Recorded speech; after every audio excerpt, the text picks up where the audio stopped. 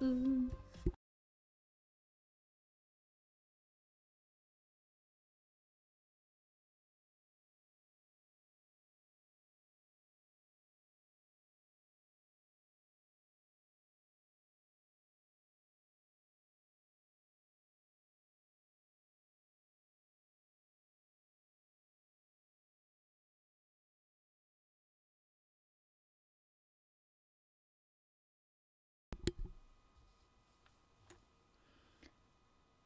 Ay, qué grande es Kira, ¿eh? Muy buenas tardes a todos, muy bienvenidos a un nuevo directo. Espero que estéis muy bien, espero que os haya ido muy bien el fin de semana, la semana pasada, porque creo que llevamos una semana sin hacer directo, así que espero que estéis muy bien, que haya ido todo muy bien. Y, y nada, pues em, he querido empezar con la canción del momento para que veáis que estoy puesta, aunque no me parezca en la actualidad. Así que, pues nada. Había que empezar con el temazo de la Shakira, que efectivamente, como ella misma ha dicho, va a facturar lo que no está escrito. Oye, ojalá ser Shakira, ¿no? Y hacer canciones así, que, que te hagan facturar un montón a base de una ruptura o a base de cosas que a uno le pasen, ¿no? En la vida. It's good, it's good. No todo el mundo tiene ese arte, también no todo el mundo conoce a Bizarrap también os se ha dicho. Eh, los contactos, los contactos, como dicen en, los pueblos. Tener contacto con la gente. Pues lo dicho, muy buenas tardes a todos. En breve empezamos el directo, ¿vale?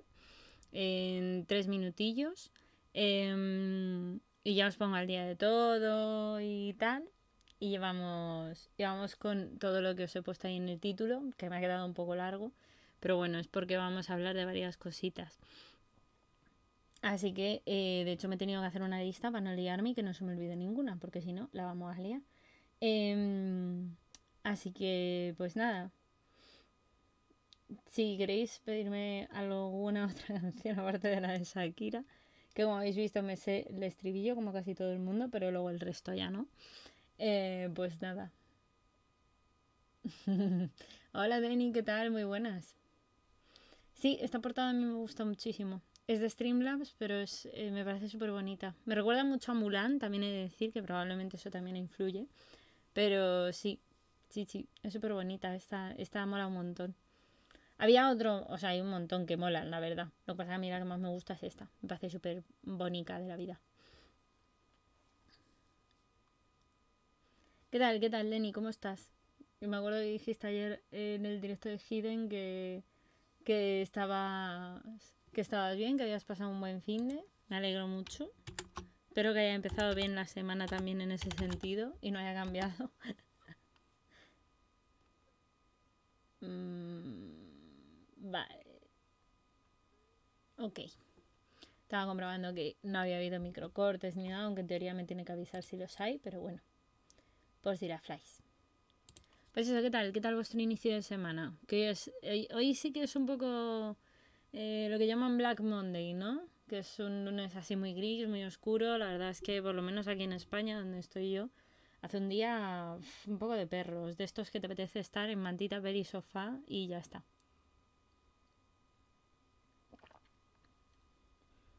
No sé vosotros cómo estaréis, depende de dónde estéis. Me imagino que tendréis el mismo maravilloso clima. O el mismo tiempo que yo, por decirlo de otra manera. Bueno, ya son las 5, así que pongo la portada oficial. Pues ahora sí que sí. Uy, muchas gracias Gambrinus por suscribirte. Muchas, muchas gracias por suscribirte. Ay, ay. es verdad, este ya es el segundo mes, a lo tonto, es verdad, es verdad. Oh, chapo, chapo. Eh, pues mira, aprovecho, que era lo primero que quería hacer, porque si no luego se me puede olvidar. Aparte de agradecerle al grandísimo Bambrinus que se haya suscrito. Eh, también se lo voy a agradecer el que me haya seguido el otro día a nuestro queridísimo Joes League Live, que es con quien os mandé en la última raid. Y, y bueno, pues luego él empezó a seguirme, así que genial.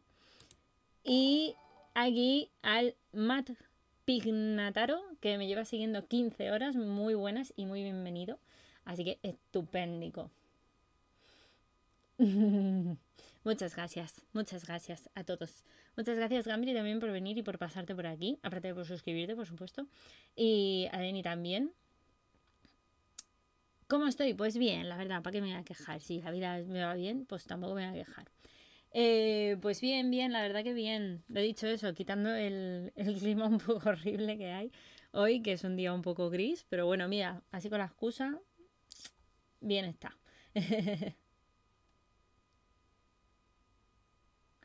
pero vamos. Em, así que pues sí, la verdad es que estoy bien. De hecho, quería comentar novedades. Así que me voy a poner las cámaras un momento. Permitidme que me ponga las cámaras para que me... Ah, para que me veáis a lo grande. Grandemente.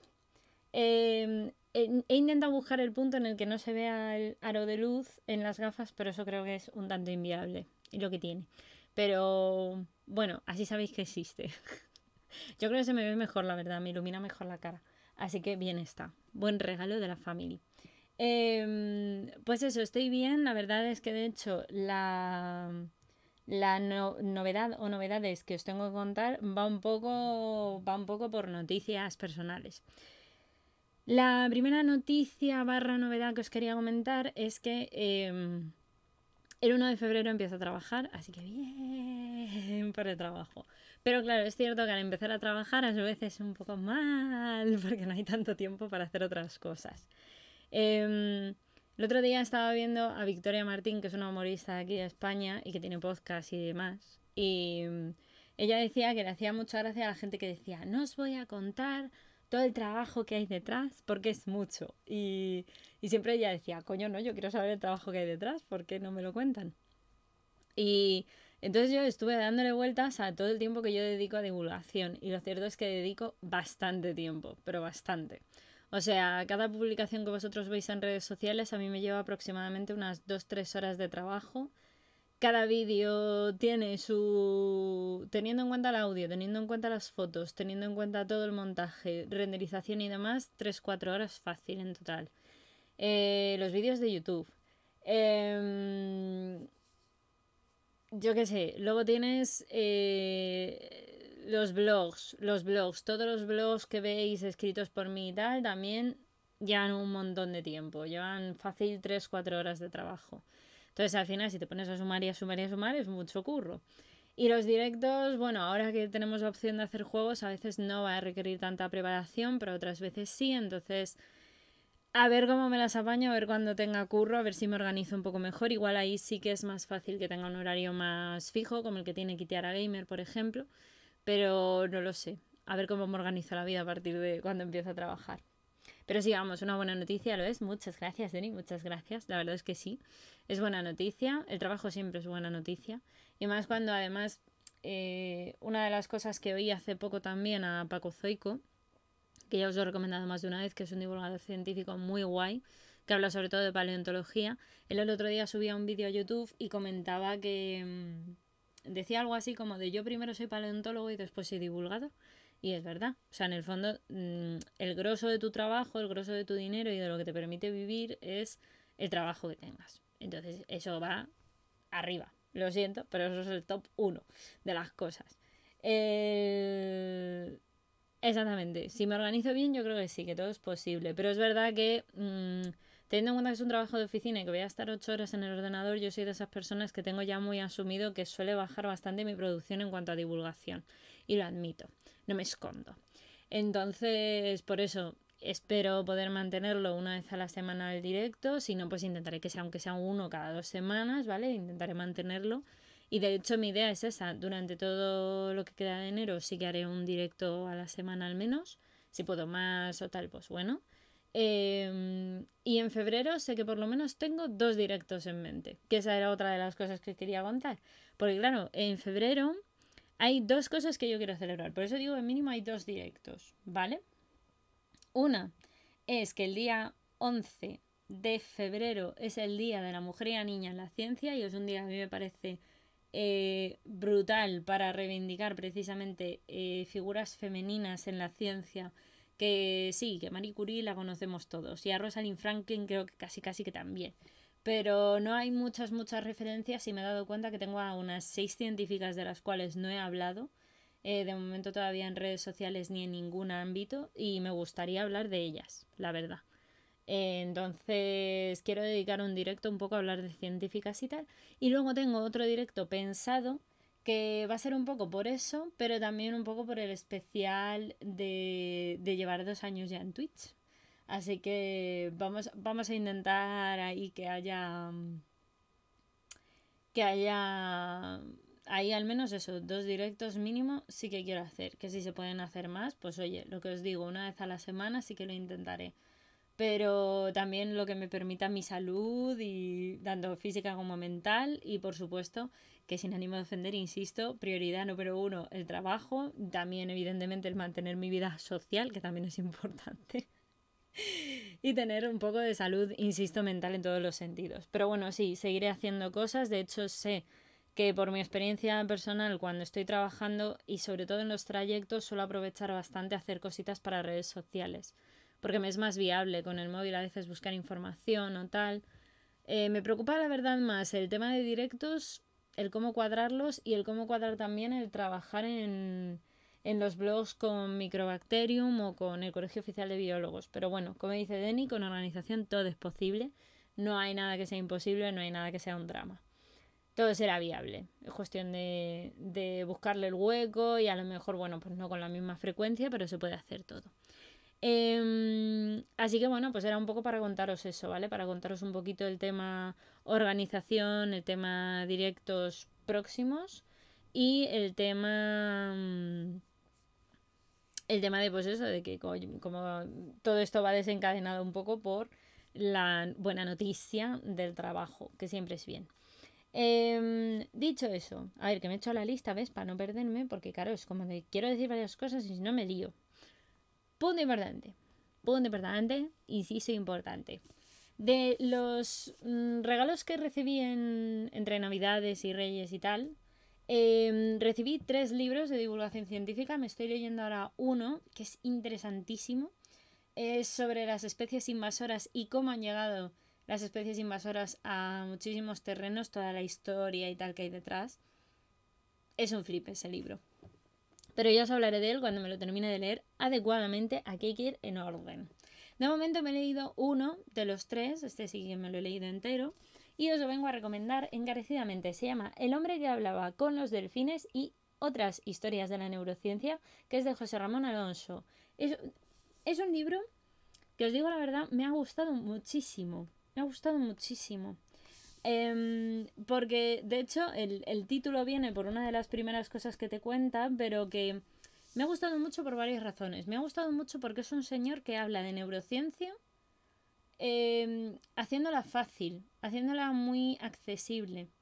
Eh, además, te cuenta un montón de curiosidades de, de, pues, de cómo se ha llegado a, a comprender y a conocer muchas de las cosas de, del cerebro desde el punto de vista de, mm, de, la evolución, desde el punto de vista del conocimiento del cerebro y eh, sobre todo el, lo que da nombre al, al, libro, por si os motiva sobre todo para leerlo, es eh, precisamente un estudio que hizo un señor, que voy a buscar el nombre para deciroslo bien, pero eh, es, es, brutal. Em, porque este señor, que se llamaba, si no recuerdo mal, Williams Lilly, fue un científico que se dedicó literalmente a investigar, eh, bueno, era un apasionado también de la biología marina y tal, y se dedicó a investigar el tema del lenguaje de los delfines y los cetáceos, pero estamos hablando de principios del siglo XX, entonces era, una, era un señor que básicamente se consideró como un loco de la vida. O sea, era como de, pero ¿para qué quieres saber qué dices? Que si los delfines no son listos, que si no sé qué, que... ¿Qué van a hablar? ¿Qué van a hablar entre ellos? A día de hoy sabemos que no, a día de hoy sabemos que todos esos mamíferos y todos esos cetáceos especialmente tienen una eh, complejidad cerebral y un cerebro sumamente desarrollado, con lenguajes muy complejos, con tonalidades, con dialectos distintos dependiendo de en qué regiones estén. ¿no? Los delfines, por ejemplo, que estén en el Atlántico no se comunican igual que los del Pacífico. Eh, que las especies entre sí tienen variaciones, tal, o sea, todo eso les sirve para distinguirse, es súper importante a nivel social y a nivel de comunicación, sobre todo en, en los delfines, que son un, grupo de mamíferos que suelen vivir en, en grupos, ¿no? Valga la redundancia, en grupitos y asociados y tal, no suelen vivir solos y aislados en el mundo, pues es cuando menos fascinante. La verdad, es muy, muy curioso los estudios y las cosas que comenta este tío. Yo a mí me encanta el libro, de verdad. O sea, muy, muy, muy recomendado. Em, y lo dicho, que yo lo recomiendo encarecidamente. Sabéis que yo no recomendaría un libro que no me haya gustado porque no tendría sentido. Pero este en concreto me parece una pasada. Tengo otro de este mismo autor y sé que hay como otros cinco más que no tengo. Pero me regalaron otro que es el de la historia del cerebro. Ese es el más gordo de los que me han regalado y he decidido empezar por él el último. Em, pero sí, sí, sí. Me, me, ha gustado mucho. Y ya os digo, el de las especies invasoras es otro que me regalaron. Me lo he empezado a leer. Es una pasada de libro. No es de este mismo autor, es de otro, pero ya os contaré cuando me lo termine de leer. De momento me está gustando mucho, la verdad. Así que nada, ya sabéis que yo siempre que puedo aquí os suelto recomendaciones de libros y tal, además en este final de año y principio de año he estado leyendo mucho, eh, que hacía tiempo que tenía un poco parado el tema de la lectura y la verdad es que últimamente me estoy volviendo a enganchar a leer, así que bien por leer. De hecho, mirar, una de las cosas que me dijo mi, bueno, mi futuro jefe, el que me va a contratar, eh, me dijo que él consideraba súper importante el tema de, de, pues eso, de que te guste leer, porque leer al final es conocimiento, es adquirir, es comprender em, y requiere de un tiempo también leer, etcétera. Entonces me, gustó mucho que me dijera que, él valoraba mucho el que a alguien le guste leer, escribir em, y querer comunicar. Y otra cosa a lo mejor no, pero yo eso creo que por lo menos sí que lo tengo. Otras cosas igual no, pero esas al menos creo que sí que las tengo de base. Así que bien. Por ahí vamos bien, por lo menos algo, algo funcionará. Em, entonces, bueno, esas son las novedades. Eh, ya os he recomendado el libro que os quería recomendar porque ya me lo he leído y estoy muy contenta. Me he enamorado platónicamente de este señor, la verdad, no os voy a mentir. Y dicho un poco ya todo esto, eh, vamos a pasar, ahora sí que sí, eh, a las noticias. A ver un momento. Aquí bien. Y tú, tú, tú, tú, tú, tú. ¿Aquí? Yes, aquí. Noticias. A ver, os comento. Noticias. Las noticias, eh, tengo dos aquí, ¿vale? Porque el resto sí las he leído de Microbacterium. Tengo noticias nuevas también de la Fundación de Dinosaurios de Castilla y León. Y eh, yo creo que con eso hoy y con jugar un juego que os quiero enseñar, eh, yo creo que va a estar bastante bien. Mm, por hoy, ¿vale? Para el directo. Otro día, porque no me ha dado tiempo de buscar mucho más, otro día os, busco más noticias y un poquito más actualizadas y tal, ¿vale? Que espero que sea pues para el próximo directo. Yes, vamos a intentar traer un juego a ver si me lo pilla bien todo el stream y todas estas cosas. Y si no, pues siempre nos quedará el cucoro, que ya sé que nos gusta. O incluso a lo mejor hago un poco de cucoro y hago un poco de ese, no lo tengo claro. Pero bueno, Luego, si no, lo reedito en el, en el título para, para rematar bien todo. Em, pues bien, los antioxidantes. La primera noticia va sobre los antioxidantes, que eso es súper importante. Los antioxidantes porque son los mejores aliados contra el envejecimiento. Esto yo creo que ya lo comentamos un poco en, en algún directo pasado y creo que ya os he explicado que los antioxidantes son esenciales porque cuando hacemos un montón de reacciones metabólicas en el cuerpo, que eso si queréis verlo súper en detalle, iros al canal de YouTube, que para eso está explicado todo el metabolismo que os he ido yo contando a lo largo de toda la bioquímica estructural, metabólica y tal. Em, pero bueno, efectos prácticos, normalmente cuando nosotros eh, realizamos cualquier tipo de, mm, de actividad que requiera eh, la obtención de energía desde el punto de vista de la célula, siempre hay una pequeña parte, unas pequeñas cositas que son estos radicales libres, que son el NO, el oxígeno negativo, el HSO4 menos y otros componentes que son oxidantes, ¿vale? Entonces, eh, todos esos oxidantes que muchas veces vienen provocados, como bien pintan aquí en el dibujo, por la radiación solar, por pequeñas mutaciones y alteraciones que puede haber, pues sí que acaban siendo algo que normalmente nuestro cuerpo tiene ya previsto porque la evolución está ahí. Pero eh, aunque tenemos mecanismos para intentar reducir esos, esos radicales eh, libres, esos oxidantes que se generan y que no son buenos para la salud ni para el cuerpo y que de hecho provocan parte del envejecimiento, em, es un poco inevitable, ¿vale? Dependiendo de lo activos o de lo buenos que sean tus sistemas, al final puedes conseguir evitar em, que tu envejecimiento sea más o menos rápido. También hay otros muchos factores, por ejemplo el estrés psicológico, algún tipo de enfermedad, patologías, virus, etcétera, que pueden cambiar esto, ¿no?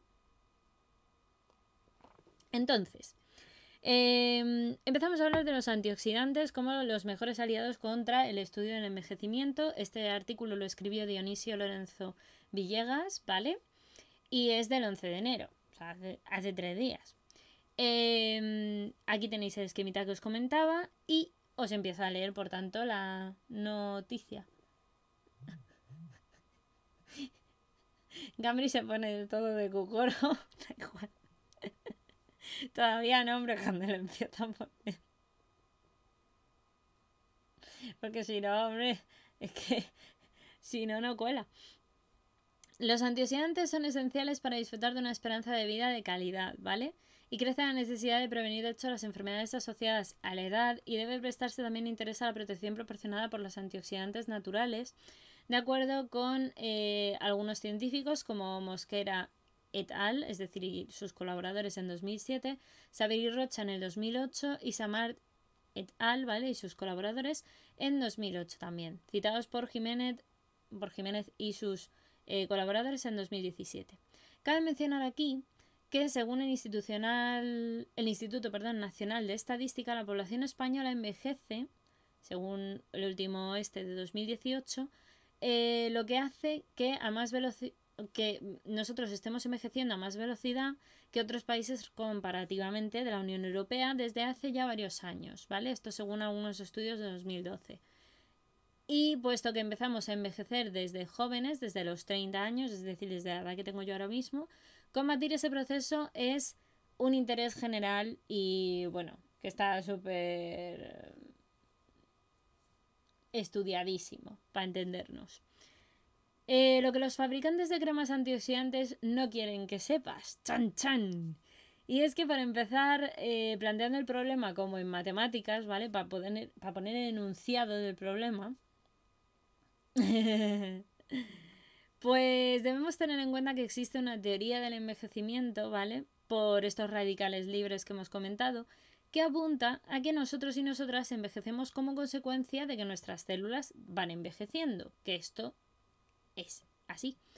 Y un claro responsable de ese envejecimiento celular es en parte el estrés que sufren las células, es decir, el estrés celular. Este tipo de estrés se llama normalmente el estrés oxidativo porque se debe a unas moléculas muy oxidantes que se llaman radicales libres, que son los que hemos visto arriba en el dibujo, y de hecho bien podríamos decir que son oxidados en vez de envejecidos. Así que el caso es que hay unas sustancias que se llaman antioxidantes porque nos protegen de esta oxidación que se va produciendo y que nos hace por tanto envejecer y que se encuentran en las cremas antioxidantes pero también las podéis encontrar de manera absolutamente natural en frutas y en verduras. Fíjate tú qué cosas, oye, igual no hace falta que te eches 150 capas de crema. Igual lo que tienes que hacer es mm, comerte un tomatito o comerte unas verduritas y entonces ya, ya llevas antioxidantes, ¿sabes? Y de hecho, llámame loca, pero suelen funcionar mejor, porque así nutres a todas las células. Con la crema, pues las de la piel, pero las demás, ¿para qué? Total, ¿qué, son los radicales libres y los antioxidantes, ¿no? De los que acabamos de hablar. A ver, los radicales libres son moléculas o átomos, ¿vale? Depende del tamaño, que atacan continuamente a nuestras células y así lo que provocan es el envejecimiento de nuestro organismo, ¿vale? Todo por sentido un poco común.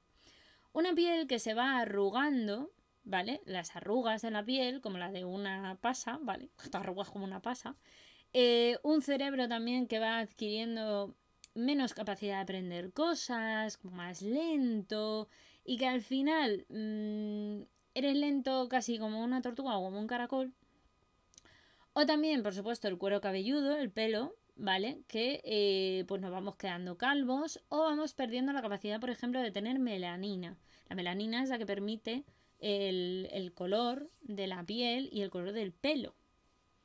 Entonces, por eso también, si tienes mucho estrés en tu vida, te suelen salir canas y estas cosas, aparte de por la edad.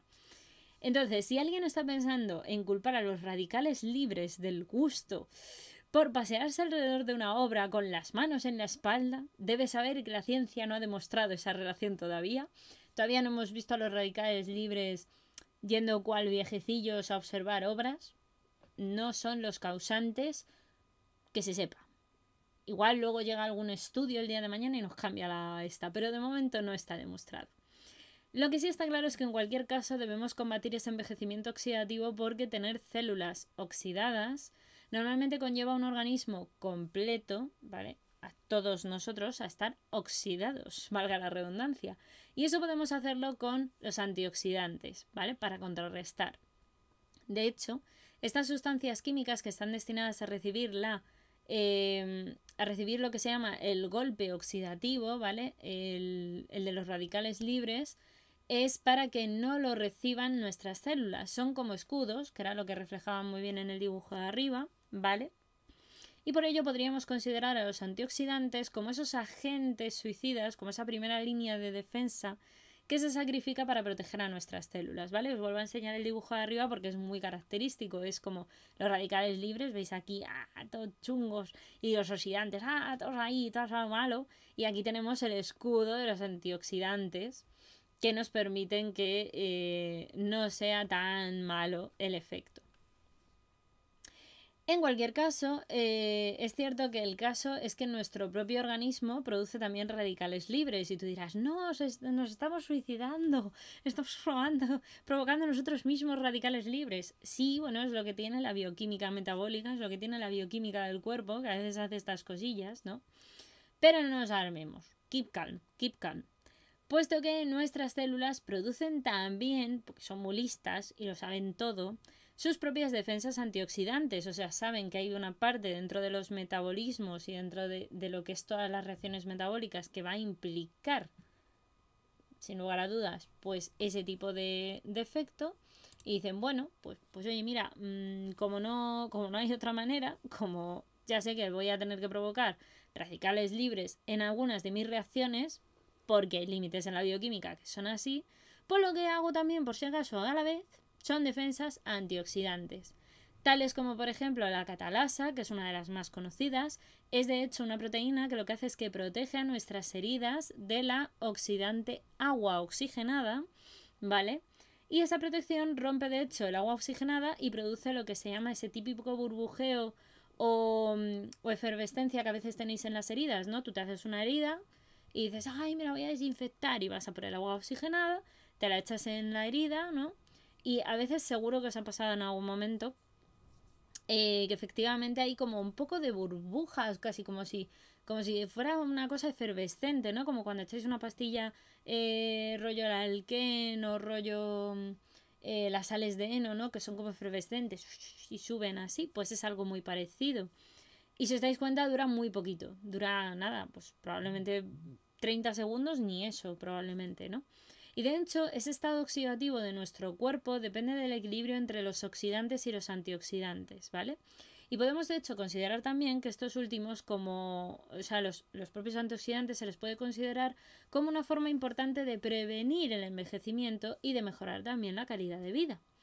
Es decir, que podemos ser partícipes de garantizarnos una mayor calidad de vida futura y también de una mayor calidad de vida presente si tenemos en cuenta que nuestro estado de oxidación se relaciona con la aparición de también muchas enfermedades crónicas, ¿vale?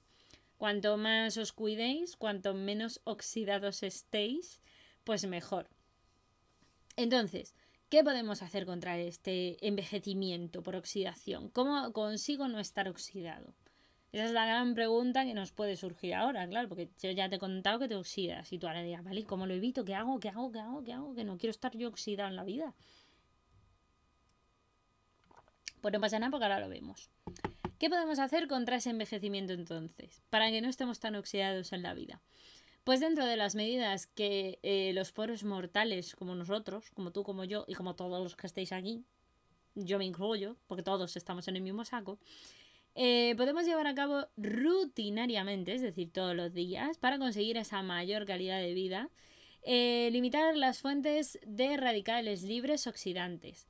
Y tú dirás, ¿y dónde están esas fuentes? Pues mira, no fumes, no bebas alcohol, especialmente las bebidas destiladas, y potencia eh, hábitos de vida saludables. Por ejemplo, aumentar las fuentes de antioxidantes, tales como alimentos ricos en vitamina C y en vitamina E, por ejemplo los zumos, las naranjas, manzanas, peras, bueno, prácticamente todas las frutas. Los frijoles, por ejemplo, que son muy buenos porque tienen isoflavonas, que son unas moléculas que precisamente son antioxidantes. Todos los cítricos que tienen flavonoides, que son precisamente también moléculas antioxidantes que nos protegen. Caso de los limones y las naranjas especialmente, muy ricos, muy buenos. Eh, la cebolla, también, la cebolla es muy rica si os coméis en ensalada o cuando hacéis un guiso tal. Eh, pues está, o en la tortillita de patata, por ejemplo, pues está muy bien porque tiene la quercetina, que es otro antioxidante. O por ejemplo, si os gustan también las aceitunas, olivas y demás, suelen ser ricas en polifenoles, que también son antioxidantes. Y algunos antioxidantes fenólicos también están en el café, en el vino tinto y en el té. Así que, oye, que si os gusta todo esto, fijaos qué fácil lo tenemos para estar cuidados y no tan oxidados. Estupéndico. Pero en este sentido también podemos considerar las vitaminas antioxidantes C y E como la garantía de calidad en nuestro propio organismo. Y apuntar también al consumo de frutas y de verduras, como os he dicho antes, de temporada. Si, por ejemplo, em, bien es verdad que a día de hoy se puede consumir prácticamente cualquier fruta en cualquier momento, eh, por el tema de los transgénicos y tal, es verdad que si te la comes de temporada suele ser el momento de se ha cosechado y está cuidada en ese momento y por tanto hay un poco menos de manipulación genética y por ende los antioxidantes y todos los componentes suelen ser, digamos, un poco más naturales y un poco mejores. Y también debemos considerar lo que hacemos en la cocina, ¿vale? Esto también es importante, no solo, ay, me como una naranja y tal, sino qué haces en la cocina. Porque claro, la tecnología culinaria puede afectar también a los antioxidantes que tenga el alimento. Depende cómo lo prepares y cómo lo cocines, pues puede también influenciar. Por ejemplo, la vitamina C es muy sensible a determinadas tecnologías culinarias de día de hoy, especialmente aquellas que incluyen el calor. Porque el calor entre otras cosas, una de las cosas que hace em, modifica el pH. Entonces, mm, normalmente, eh, si tú coges un zumo y te lo calientas, mm, de hecho, la vitamina C, por ejemplo, y la vitamina E, que son muy comunes de encontrártelas en los zumos de naranja, melocotón o casi de cualquier em, casi de cualquier fruta, siempre hay algo de contenido de vitamina C, pero especialmente como todos sabemos, los zumos de naranja son conocidísimos por tener gran vitamina C. Bueno, pues eh, claro, ¿cuál es el problema? Oye, pues yo me tomo un zumo de naranja, tiene vitamina C, fantástico. Pero imaginaos que luego resulta que se me queda al lado de la vitrocerámica o del fuego donde está guisando, pues eso ya se calienta, la vitamina C de pronto se evapora, empieza a perder propiedades y ya no es tan bueno. Entonces de ahí un poco el problema. Aquí tenéis también un dibujito muy bien puesto por el compi que pone pues eso, pues el aguacate por ejemplo es uno de los alimentos que a día de hoy más se consume, que tiene muchas propiedades antioxidantes, es muy bueno, está muy rico. Em, por ejemplo, también el café, como hemos dicho antes, las aceitunas, las frutas, el té, las verduras, todas esas cosas son buenas, son antioxidantes que podemos hacer y podemos tomar de manera completamente natural Así que, eh, bien está. Pero luego tenemos las cosas malas, ¿no? Las cosas malas como por ejemplo el tabaco, el estrés, el estrés emocional, obviamente aparte del estrés oxidativo que sufren nuestras células, el alcohol, oye, pues que te salgas y te tomes una cerveza un día no pasa nada, pero si te estás tomando 150 cervezas todos los días, pues ya no, ya no es bueno. Eh, la edad, como hemos dicho, a partir de los 30 años, eh, va todo para abajo. Ya no vamos a ir para arriba. Ya con los 30 ya va todo para abajo. Eh, pero es porque realmente nuestro ciclo de vida lo hemos ido alargando, pero claro, el culminen biológico suele estar aproximadamente a los entre los 20 y los 30 y entre los bueno, yo diría ahora ya se está alargando hasta los 35-40, pero bueno, sí que es cierto que empiezan a ocurrir una serie de eventos a partir de los 30 que tienden a em, empezar a notarse cierto, hasta cierto punto la edad, ¿no? Y sobre todo los alimentos procesados. Esto también es muy importante porque evidentemente, igual que os he dicho antes, eh, las propiedades de los alimentos, claro, cuanto más procesado esté un alimento, más manipulado está. O sea, más... Mm, más alteradas pueden estar eh, sus, propiedades eh, básicas, por decirlo de otra manera, ¿no? Entonces, bueno, pues son cosas a tener en cuenta, ¿vale? Yo os las comento porque creo que es una cosa importante que debemos todos de saber. Así que llegamos a la conclusión y eh, nos comentan, pues para luchar entonces contra el envejecimiento de nuestras células, tejidos y órganos, pues porque se van oxidando, como si fuéramos un, un cacharro de metal, ¿no? Que nos oxidamos, pues basta con reponer un poco nuestro organismo con estas sustancias y con estos alimentos antioxidantes. Las sustancias químicas que pueden llegar a nuestra piel desde, desde dentro, eh, sea mediante frutas, mediante la verdura de temporada o a través de incluso suplementos dietéticos si los queréis, que también los hay y que son menos dañinos, es importantísimo porque tener en cuenta que el aporte de antioxidantes debe de ser continuo, no vale con con que yo diga, ay, hoy me voy a comer tres naranjas. Bueno, pues hoy te has comido tres naranjas, muy bien, la vitamina C está a tope en tu cuerpo, pero si luego no te las vuelves a comer en tres meses, pues no estás haciendo nada, cariño, lo siento por ti. Estás ahí, le has dado escudo a las células unos días, pero luego ya no hay nada, ya no hay, ya no, ya no, no se suele quedar ahí eso eternamente.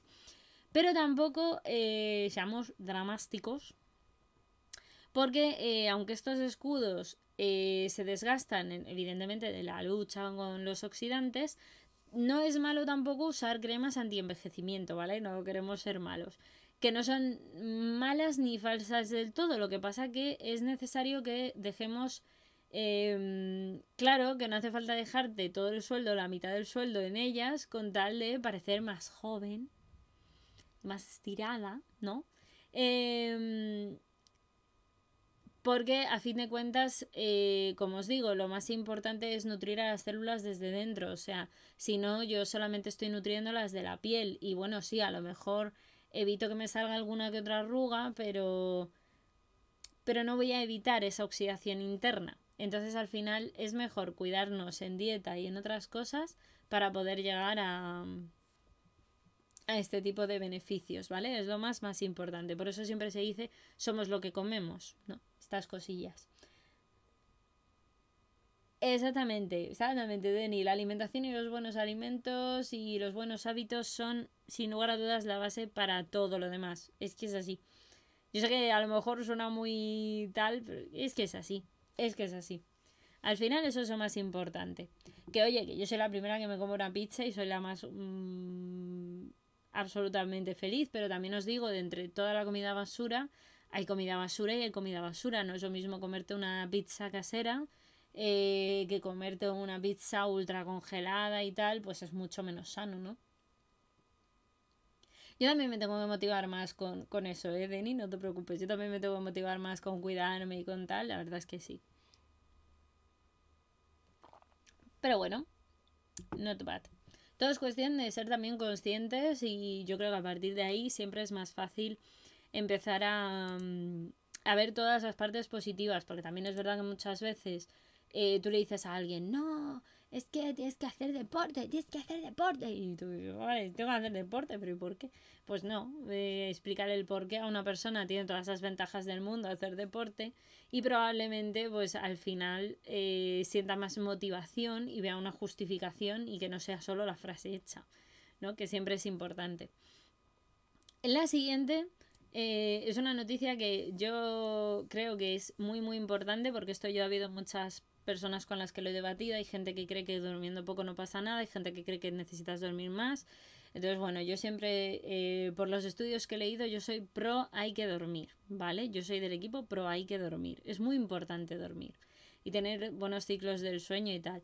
Que yo, de hecho, ahora cuando empiece a trabajar, seguramente tendré mejor limpieza de sueño y dormiré mucho mejor de lo que lo estoy haciendo ahora, que tengo los horarios un poco desregulados. Em, también yo creo que mm, más que desregulados es una cosa que bueno, que a todos nos pasa, ¿no? Cuando estás de vacaciones o tal, tiendes a acostarte un poco más tarde, a levantarte un poco más tarde y entonces ya entras en un poco en un bucle. Y yo como llevo unos cuantos meses de, de encontrarme en situación de desempleo, pues eh, seguramente me hará falta también a mí este artículo. Así que lo vamos a leer, ¿vale? Habla de la importancia del sueño. Eh, Jaime Mulero Franco es el que lo escribe, este es del 13 de enero, ¿vale? Y os lo leo. Eh, los sueños siempre han despertado mucha curiosidad, pero sin embargo, ¿qué se sabe realmente sobre los sueños y por qué son importantes desde un punto de vista incluso fisiológico? Tradicionalmente a los sueños se les ha asignado un valor dentro de todas las sociedades y de hecho hay poblaciones antiguas como las eh, de nuestras primeras cunas de la civilización, como las mesopotámicas, del año 3100 a.C., que ya otorgaban a los sueños eh, una interpretación incluso divina. En años más recientes, concretamente ya para el siglo XIX, Sigmund Freud fue el que trató de interpretar los sueños como deseos reprimidos desde el inconsciente que se pueden expresar durante la etapa del sueño. ¿no? Sin embargo, ¿por qué nacen los sueños y por qué es necesario dormir y cómo se induce el sueño? Pues son muchas las preguntas que surgen de este tema tan amplio como el que vamos a tratar en este artículo.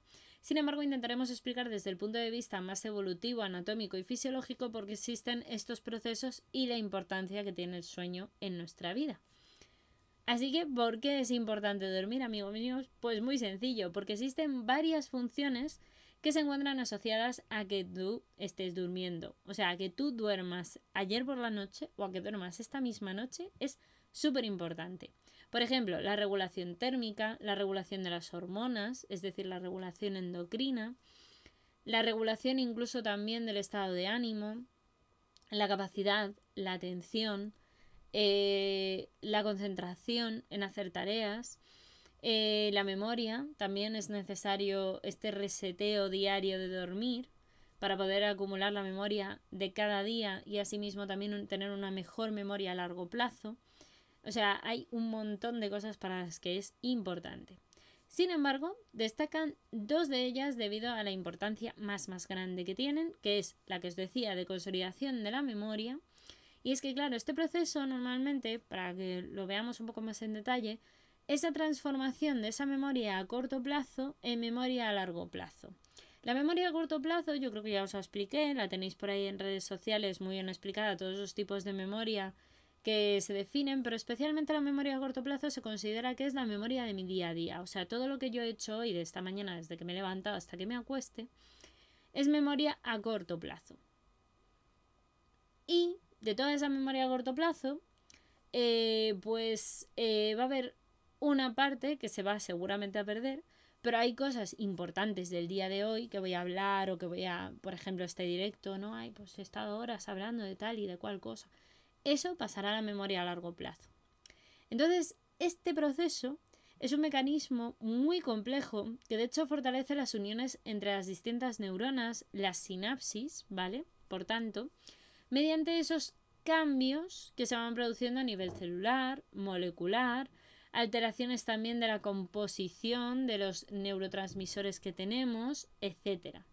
Y esas fuerzas de conexión, esas redes que tenemos en el cerebro son fundamentales. Así que de esta forma se puede consolidar de hecho toda la parte de memoria a largo plazo, sinapsis neuronales, conocimientos que hayas adquirido hoy que se anclan a conocimiento que tú ya tenías previamente por otras cosas, y así la memoria a corto plazo se transformará en la memoria a largo plazo. Por eso también dicen que si tú has aprendido algo nuevo hoy, imaginaos, eh, yo he aprendido cómo encender el aro de luz este, ¿no? Y cómo controlarlo. Y yo lo asocio con cómo aprendí a usar, eh, no sé, el mando de la tele, pues probablemente esta noche mi memoria a corto plazo lo va a pasar a la memoria a largo plazo y la memoria a largo plazo va a decir, este es mi momento, este es mi momento, pues maravilloso, ya está, ya tengo un recuerdo muy parecido al que lo puedo asociar, reestructuro y ayudo a que esas sinapsis, a que esas conexiones, a que esa red neuronal se enriquezca y sea más fuerte. De manera que es más difícil que la memoria, ese recuerdo, ese nuevo, em, ese nuevo aprendizaje se olvide. Al contrario, lo anclamos y entonces lo aprendemos más rápido, ¿vale? Y de hecho, hay estudios recientes que sugieren que durante el sueño también se activan las mismas conexiones neuronales y en el mismo orden en el que ocurre durante los procesos de aprendizaje que os estaba comentando. Se cree también que el hecho de que se activen las mismas neuronas y en un orden concreto, específico y muy similar, no es casualidad, no es trivial, sino que este proceso genera la reactivación, el fortalecimiento de que esa información que yo he aprendido en el día se aprenda durante la noche y se consolide, digamos, por la noche. Todo ello permite, por tanto, la consolidación de esas uniones sinápticas, porque a nivel no solo de aprendizaje, sino sobre todo a nivel celular, molecular y tal, todo eso está consolidándose, ¿vale? Y genera la transformación, como os digo, de la memoria de corto plazo a largo plazo. O sea, esa es la manera en la que aprendemos. Por eso es tan importante que los niños también a veces cuando tienen un examen, cuando estudian, aunque estén estudiando mucho, también es importante muchas veces irte a dormir. Irte a dormir para que el cerebro, todo lo que de verdad ha aprendido y todo lo que de verdad ha memorizado, va a entrar a la memoria a largo plazo. Si no es así, entonces fastidiado. Por eso hay veces que se te olvidan cosas cuando te vas a dormir y dices, ah, estoy estudiando mazo ayer y ahora no me acuerdo de mazo de cosas. Bueno, no te acordarás de muchas de las cosas porque desgraciadamente no todo entra dentro de tu memoria a largo plazo. La vida es así, amigos míos. ¿Yo qué queréis que os diga? Pero bueno, la alimentación y los buenos frutos secos al final son el ácido de todo. Pues sí, la verdad es que sí, ese sería el resumen, Gambri, completamente de acuerdo. Em, y luego la otra parte, aparte por supuesto de la memoria, que es fundamental, el aprendizaje y demás, que como os digo, en los niños, en los estudiantes y tal, es súper importante dormir. O sea, sé que también muchas veces cuando tienes un examen dices, no, esta noche me la paso estudiando entera y no duermo. Mi consejo siempre ha sido dormir yo he gateado igual y creo que quedarme noches en vela no me hubiese quitado realmente el suspenso, ni el aprobado que haya tenido en cada caso. ¿Y por qué? Pues porque no es necesario.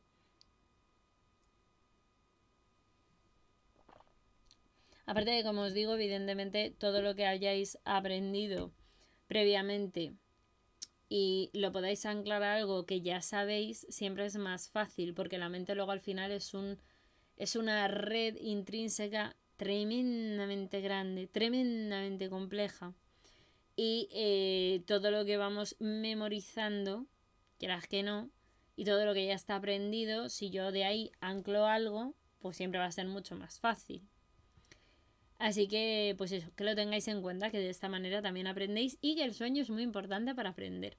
Pero también es importante y principalmente, aparte de por todo lo que ya hemos comentado, para la otra gran actividad que se hace durante la noche y es eliminar los desechos. Sí, sí. A lo largo del día, debido a toda la actividad neuronal que tenemos, de, ay, tengo que ponerme de pie y el cerebro tiene que pensar que te tienes que poner de pie, que tienes que mover las manos, que tienes ahora que hablar, mover la lengua, decir, no decir cosas y tal inevitablemente se generan desechos en todo ese proceso. Incluso en cosas importantes como puede ser hablar con tu churri, hablar con tu jefe o eh, cumplir tus tareas del día a día. Pues sea como sea, o incluso cuando vas a clase y tienes que ahí interaccionar con tus colegas o con tu profe o con el que sea, pues da lo mismo, todo eso puede generar desechos en el cerebro. Entre esos residuos más destacables están sobre todo una sustancia, unas moléculas que se llaman los beta-amiloides. y son los cuales em, son unas sustancias las cuales pueden provocar la muerte de las neuronas, si se acumulan, claro. Y desencadenan también incluso, o se las ha relacionado mucho con la enfermedad de Alzheimer si se acumulan de manera muy abundante y durante muchísimo tiempo. Claro, no penséis que ahora si lo acumuláis dos días ya tenéis Alzheimer, no es eso. Pero eh, sí que, claro, acumulado a lo largo de los años, con el envejecimiento que hemos visto antes, etcétera, todo va a más. Entonces, ¿cómo evitamos esto? Pues evitamos durmiendo. Entre otras muchas cosas, claro. Durante el día, de hecho, se produce una corriente eh, que le llaman linfática, ¿vale? Porque es de, los, de las células de la glía, ¿vale? Las células de la glía junto con las neuronas, ya sabéis que tenemos para sinapsis, que es las neuronas son muy importantes en el cerebro porque son realmente las que se supone que transmiten toda la información y demás. Pero todo el sistema de la glía es un montón de células como los astrocitos, las microglías, etcétera, que se encargan de nutrir neuronas, conectarlas, eh, darles como los oligodendrocitos em, bandas de mielina que les permitan potenciar la velocidad, potenciar la memoria, etc.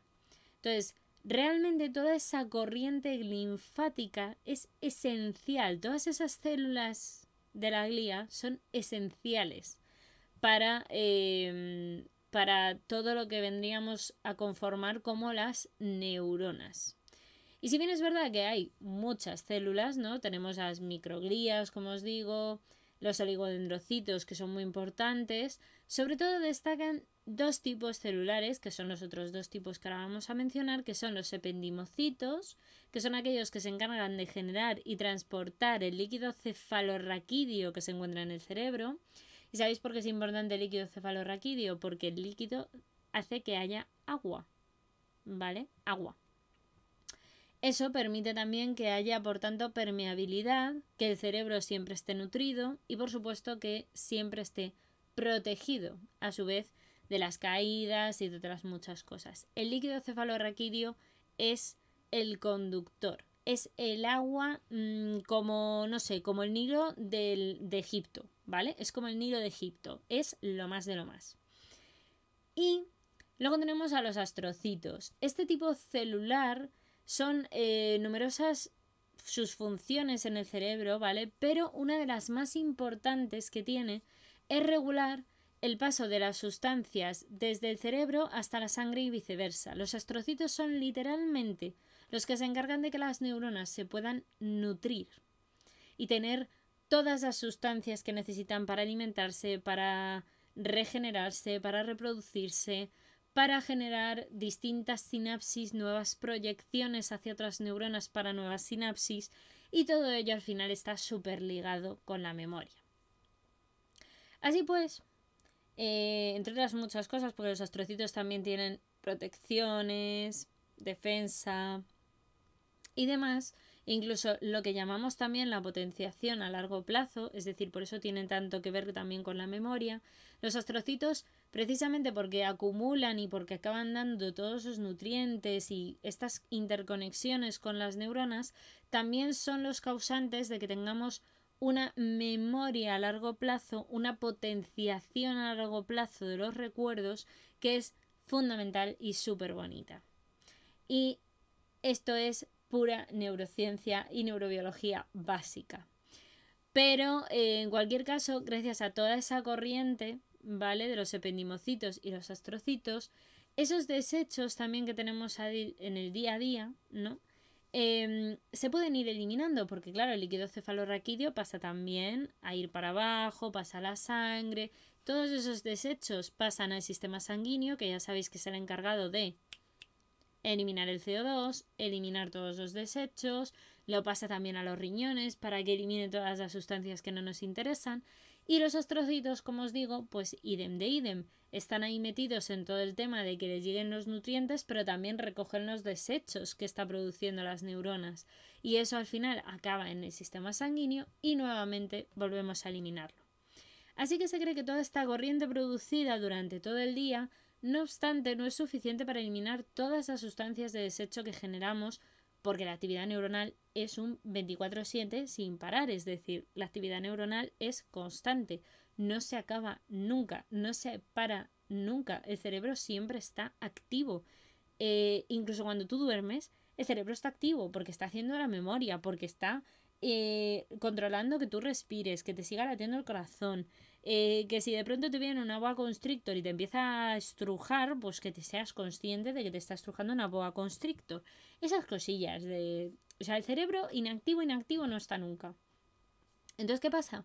Que aunque durante la noche es verdad que se aumenta el transporte del líquido cefalorraquídeo en un 60%, pudiendo eliminar muchísimos de los residuos eh, producidos precisamente pues, cuando estamos más activos de día y restaurando también la actividad cerebral. Y evidentemente no es lo mismo tener que utilizar todo el cerebro em, en, por ejemplo, ya ahora, ¿no? En ver, en moverme, en hablar, en comunicarme, tal. Por la noche, pues en principio estoy callada, no estoy hablando, no tengo que estar mirando a nada porque mis ojos ya están cerrados y dormidos. Eh, mi cuerpo tiende a estar en un modo de reposo, entonces los músculos se suelen mover menos, etcétera. Aunque nos movamos en la cama, no es lo mismo. Y al final es fundamental que este proceso se dé así porque eh, si no, no habría ningún momento en el que el cerebro pudiera aprovechar hacer esa limpieza tan, tan importante, ¿no? De hecho, aquí tenemos, por ejemplo, un, un esquemita muy mono que nos pone, por ejemplo, como esa corriente linfática que decimos, ¿no? De, toda la glía, incluyendo a los astrocitos, en el cerebro se comunica con los vasos sanguíneos. Entonces, ¿qué ocurre? Que eh, esa corriente permite, como hemos dicho, eliminar los desechos, detoxificar el cerebro que se dice. Y si existen patologías asociadas, por ejemplo, al sueño, imaginaros que tenéis insomnio, insomnio crónico o tal, esta corriente acaba siendo menor, porque claro, mm, no, tú no duermes tanto, si tú no duermes tanto, al final la corriente es menor, eliminas menos los desechos del cerebro y si lo haces menos, entonces inevitablemente y por consecuencia de lo mismo, habrá más detoxificación. ¿Y qué significa eso? Pues que entonces acumulas más, de, más sustancias tóxicas, tales como los radicales libres que hemos comentado en la anterior noticia. También, por supuesto, eh, se acumulan desechos como los betamieloides que también hemos comentado y por tanto al final vamos acumulando factores que juntados con otros muchos seguramente acabarán dando que a lo mejor tú cuando seas mayor tengas una enfermedad de Alzheimer mientras otra persona no. Mira tú las cosas. Así que es importante el sueño muchísimo. Pero ojo, cuidado que seguimos hablando del sueño porque el sueño tiene cosas muy importantes de las que hablar. Como por ejemplo las fases del sueño. Para aquellos que no hayáis estudiado el sueño, os diré que el sueño no es totalmente uniforme y ya está. Tú te duermes y tú no eres consciente de todo lo que pasa ahí. Pero realmente dormir es una cosa que evolutivamente es necesaria. No solo por todo lo que hemos comentado hasta ahora, sino porque hay una cosa llamada ritmo circadiano. Los ritmos circadianos son realmente cambios físicos o conductuales que siguen un ciclo, ¿vale? En nuestro caso suele ser de 24 horas porque vivimos en el planeta Tierra y nuestros días duran 24 horas. Basándose normalmente en ciclos de luz y oscuridad, por ejemplo el sueño es con luz y oscuridad, cuando recibimos luz, normalmente nuestros sistemas de los ojos tienen un conector maravilloso que va a un punto del cerebro llamado el quiasma óptico, que se encarga entre otras muchas cosas de mandar información a otras áreas del cerebro para decirnos que oye es de día me tengo que levantar, tengo que moverme, tengo que irme a cazar o cualquier otra cosa. Y cuando estamos en plena oscuridad, lo normal es que se produzca el efecto contrario. Percibimos que la intensidad de la luz es mucho más baja y entonces empieza a secretarse cierta sustancia que quizás os suene porque además te la venden en pastillitas, gominolas y de todo, llamada la melatonina. La melatonina es una hormona que lo que hace es ayudar precisamente a que entremos en esa fase de sueño. Y todo este proceso se encuentra altamente regulado por el sistema nervioso central y más específicamente por el hipotálamo y la glándula pineal, que son estas dos áreas y regiones que, como os digo, se conectan con el quiasma óptico, que es en realidad uno de los primeros núcleos conectados a los ojos, que son nuestra fuente de fotorrecepción. Que esto ya os lo he estado contando en los canales, en el canal de YouTube, en los vídeos, que ya hemos hablado del ojo. El ojo es importantísimo, no solamente por todo lo que vemos, sino porque los ojos también tienen precisamente fotorrecepción. O sea, son conscientes de la luz que me está llegando a mí ahora. Y eso nos ayuda a que haya toda esta regulación de eh, los ritmos circadianos. Como pequeña curiosidad os diré de hecho que está demostrado que exponerte a el móvil aquí por la noche o exponerte al ordenador o cosas así justo antes de dormir no es algo que favorezca mucho el sueño. Lo mejor es quitarse un poquito antes de irte a la cama. Es decir, que lo mejor es que tú si ya ves que ya son las 11 y tú te quieres ir a dormir a las once y media, vete quitando a las 11 del ordenador. ¿Por qué? Porque a las 11, cuando tú te quites del ordenador, todavía va a haber un tiempo que tu cerebro va a necesitar desconectar de esa luz, de esa intensidad recibida, para poder disminuir esa cuestión. ¿De acuerdo? Entonces, la fase del sueño comienza con la secreción de la melatonina que os he comentado antes. ¿Y la melatonina dónde se empieza a secretar? en la glándula pineal, que está sumamente conectada con este punto que os decía yo que era del quiasma óptico, que está a su vez súper conectado con los ojos. Entonces, induce así los ciclos del sueño a la melatonina, ¿vale? Porque se empieza a distribuir y a secretar desde este punto, desde la glándula pineal hacia todo el cerebro, y lo que hace es que pasamos poco a poco a recibir una señal, por tanto, hormonal que nos está diciendo, señores, hay que ir apagando los sistemas, vayan ustedes cerrando la tienda, venga, apáguense ustedes. Como aquel vigilante que te pasa por el centro comercial y te va diciendo, bueno, a ver, que ya va siendo la hora, váyanse, señores, váyanse, que ya, ya va siendo hora. Ya, que esto, esto se cierra, por favor, esto se cierra, váyanse, por favor, se van, ¿no? Bien. Pues ese tipo de persona. Entonces, ¿Qué pasa? Que la melatonina va dando como ese aviso por el cerebro y esto es lo que hace que entremos poco a poco en ese letargo, en esa fase de qué sueño me está entrando, tal, hasta la fase más profunda. El conjunto de estas fases es lo que nosotros llamamos, o lo que han denominado los que saben y son expertos, el ciclo del sueño completo, que dura normalmente en torno cada uno de ellos a 90 minutos. Y tú dirás, pero yo no duermo 90 minutos, amo, ¿qué me estás diciendo? Estas fases, pero que me está... No, no, no, a ver, calma, calma, que ahora os cuento. Una de las cosas que ocurre es que aunque las fases del sueño son varias, se considera que a lo largo de una noche tú tienes varios ciclos de sueño completo o incluso a medias. Entonces, eh, de hecho, lo que se estudia es en qué fases estás, porque eso también ayuda mucho a conocer determinadas patologías y demás que ahora lo veremos un poquito más adelante. Vamos a ir por partes. Lo primero es definir las fases. Tenemos realmente dos fases en el sueño. Está la fase REM y la fase no REM. Fase no REM. Vamos a empezar por la no REM, porque es por donde empieza nuestro cuerpo. Esta etapa normalmente se caracteriza porque los ojos se mueven muy lentamente y la actividad muscular se empieza a reducir, ¿vale? Esto es como cuando tú ya dices, madre mía, que el sueño me está entrando y tendrá ese desplome físico y los ojos se le empiezan a cerrar. A su vez, la fase no REM tiene cuatro subfases o cuatro pequeñas fases, ¿vale? La primera. Esta constituye el 5% del ciclo, es decir, es muy, muy, muy al principio, y es la fase en la que tenemos el sueño más ligero completamente. Esta fase se define normalmente por ello, como la transición de la vigilia al sueño, es decir, de estar despierto hasta dormido. Por lo que aún se conserva la conciencia, la respuesta a estímulos externos y se caracteriza también porque se empieza a reducir la actividad poco a poco fisiológica y se disminuyen por tanto las constantes vitales en la actividad muscular. Lo que os decía, es ese primer momento de uy, qué sueño me está entrando. Que eso lo hemos tenido todos. La fase número 2. Esta constituye ya más bien el 50% del ciclo, porque en esta etapa empieza la desconexión con el medio externo y se incrementa esa relajación muscular y la disminución también de la actividad fisiológica para poder entrar en las siguientes fases que ya son más profundas y lo que denominamos sueño profundo. Es decir, aquí todavía estás en una etapa, normalmente yo lo definiría así, la fase 2 normalmente es cuando tú ya estás literalmente cogiendo el sueño.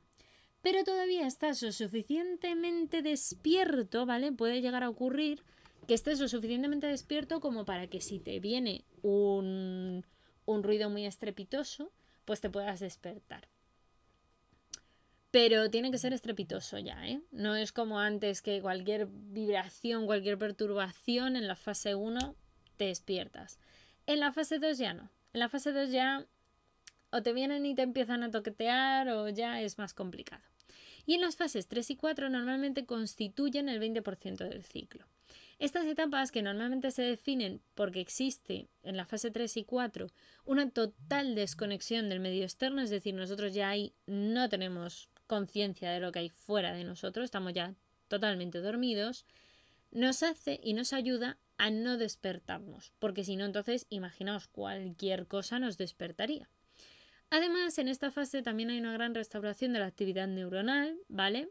que es precisamente cuando se hace la consolidación de la memoria, cuando hacemos toda la detoxificación, limpiamos toda la porquería del lugar, etc. Y de hecho, los trastornos del sueño, como el sonambulismo, también se dan normalmente en esta etapa. Por eso las personas que son sonámbulas no son conscientes de que se están moviendo ni son conscientes de absolutamente nada de lo que están haciendo, porque ellas están en estas fases del sueño profundo. Y también por eso se te dice que intentes no despertar a alguien que esté sonámbulo, porque el trastorno que puedes suponer para esa persona es bastante heavy. Hay que tener en cuenta que su propio cerebro está en esas fases profundas en las cuales no se entera de nada. Y luego tenemos la segunda parte del sueño, ¿vale? Estas serán todas las pequeñas fases que tiene la fase no REM, ¿vale? De no sueño profundo. Y la de sueño, sueño profundo es la REM. La REM es la fase más importante de todo el sueño. Irónicamente constituye solo un 25% del ciclo, pero esta etapa se caracteriza porque es cuando se incrementa toda esa actividad fisiológica, tanto a nivel del ritmo cardíaco como del respiratorio. Y el movimiento de los ojos es tan activo como el que tú tienes cuando estás completamente despierto. Los músculos también se pueden encontrar incluso paralizados y completamente inertes y es la fase en la que se producen de hecho nuestros sueños. Es cuando soñamos.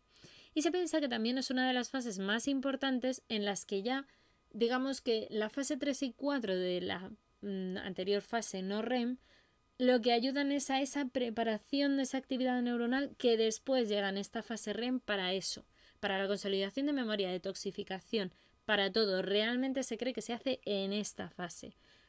Aunque digamos que todo el preparativo o ya se empezaría a hacer también en las fases 3 y 4, ¿vale? De la fase no REM. Se cree que está un poco ahí entre medias, porque todavía no se sabe a ciencia cierta en qué punto exacto comienza ni en qué punto exacto termina, ¿vale? Entonces aquí lo tenéis un poquito esquematizado, ¿no? El cómo sería la fase 1, la fase de no REM 2, la 3 y la 4 y luego ya cuando estamos en fase REM total, que es cuando soñamos. Entonces aquí viene la otra parte. ¿Por qué se producen los sueños? ¿Vale? Ahora que ya sabemos cómo dormimos, cómo se produce, tal. ¿Por qué se producen los sueños? Why is the reason? Pues a ver, aún a día de hoy, la razón y el mecanismo por los cuales los sueños siguen existiendo y por qué están es un reto. Evolutivamente no se sabe la razón exacta por la que pudieron eh, aparecer los sueños a nivel de nuestro cerebro. Sin embargo, se piensa que están relacionados en principio con lo que os decíamos, con la consolidación de la memoria, los análisis de los recuerdos, eh, la memoria autobiográfica, que también se dice, ¿no? La memoria de ti mismo acordándote de cosas que te han pasado. Por ejemplo, si tú has tenido, imaginaos, un evento traumático, has perdido has perdido a tu perro, tuviste otro perro y pues tu perro por desgracia ya se ha vuelto mayor y también se ha muerto. Pues a lo mejor de pronto vuelves o, le tienes muy enfermo y de pronto vuelves a soñar con tu primer perro. Bueno, pues porque las emociones, análisis de recuerdos, la memoria, está toda ahí interconectada.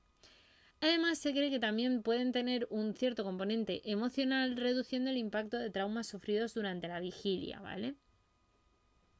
Por eso también normalmente suelen aparecer personas que conocéis, pues si el día ha sido muy duro, En fin, hay distintas, distintas cositas, ¿no? Eh, Francesca Siclari, mediante un estudio del sueño que llevó a cabo en el Hospital Universitario de Louisiana, pudo dilucidar que las áreas del cerebro que se activaban mientras soñábamos eran unas determinadas, ¿vale? Entonces, su grupo de investigación comprobó que el área cortical posterior, concretamente cerebro, cortical, es todo lo que veis, toda la corteza, ¿vale? La corteza cerebral siempre es la parte superior. Em, si os la sitúo como tal, el cerebro, uy, perdón, que he perdido la línea, el área cortical posterior. Cortical es toda la corteza, como os digo, la posterior suele ser aquí, donde están precisamente también las zonas eh, occipital, que es justo la parte de atrás del cerebro, ¿vale? El lóbulo occipital, y donde también se suelen encontrar en muchos casos eh, los núcleos más importantes que nos ayudan a analizar la información del, desde los ojos, ¿vale? Desde la visión. Que como os digo, solo podéis ver mejor en el canal de YouTube, que para eso os hice los vídeos de, de los distintos puntos del sistema nervioso y de los distintos sentidos, porque es que cada uno tiene tela marinar para contar. Entonces, esta zona, que como os digo, integra mm, la información de los sentidos, especialmente la de la visión, se activaba cuando el paciente se encontraba especialmente soñando. Así que esta zona de aquí atrás, o aquí, es fundamental. La de la corteza, ¿eh? Además, también lo hacía la amígdala, la cual se encuentra muy relacionada con las emociones. La amígdala aproximadamente os la podéis encontrar por aquí, ¿vale? Más o menos. Esta sería la parte frontal, pues como por aquí, por un lateral, ¿vale? Y la amígdala es fundamental para todo el tema emocional, para todo el tema del, comportamiento, eh, emociones, apego, eh, etcétera, etcétera. Ahí hay mucho. Entonces, claro, sobre todo cuando se producen pesadillas, la amígdala está hiperactiva. Porque la amígdala, como está asociada con las emociones, también muchas veces con lo que está asociada es con los miedos, con los traumas y con otro tipo de problemas no tan bonitos que a veces tenemos todos en nuestro día a día y oye, pues ahí están. Así que em, la cuestión es que em, sugirieron que las áreas de integración de las emociones, como la amígdala y los sentidos, que como hemos dicho está aquí en el área cortical posterior, se activan para producir el sueño. O sea, las dos estimulan y producen que tú tengas sueños, eh, pues, pues lo dicho, pues o con un recuerdo muy vívido o con em, bueno, en realidad los sueños están fomentados por un montón de cosas, ¿no? A nivel emocional, quiero decir, tiene que ver con tu día a día, tiene que ver con cosas que te estén dando estrés, con cosas que te preocupen, con cosas que te estén sucediendo y demás. Y normalmente se cree que el constructo de los mismos se hace a través de tu información diaria. Que de hecho ahora, por cierto, voy a hacer un inciso, pero quiero terminar de leeros este, este párrafo y luego ya eh, lo comento. Estas observaciones, en cualquier caso, como comentan aquí, dieron pie a preguntarse por qué solo en algunas ocasiones recordamos los sueños y en otras no, que esto seguro os ha pasado a todos en algún momento. Los últimos estudios apuntan, en principio, a que la hormona que induce el sueño, que es la melatonina, es también capaz de inhibir la actividad del hipocampo, que es precisamente una de las áreas del cerebro que se suele situar por aquí más o menos en el interior, ¿vale? Y es la que forma la memoria a, corto plazo normalmente y la memoria también a largo plazo.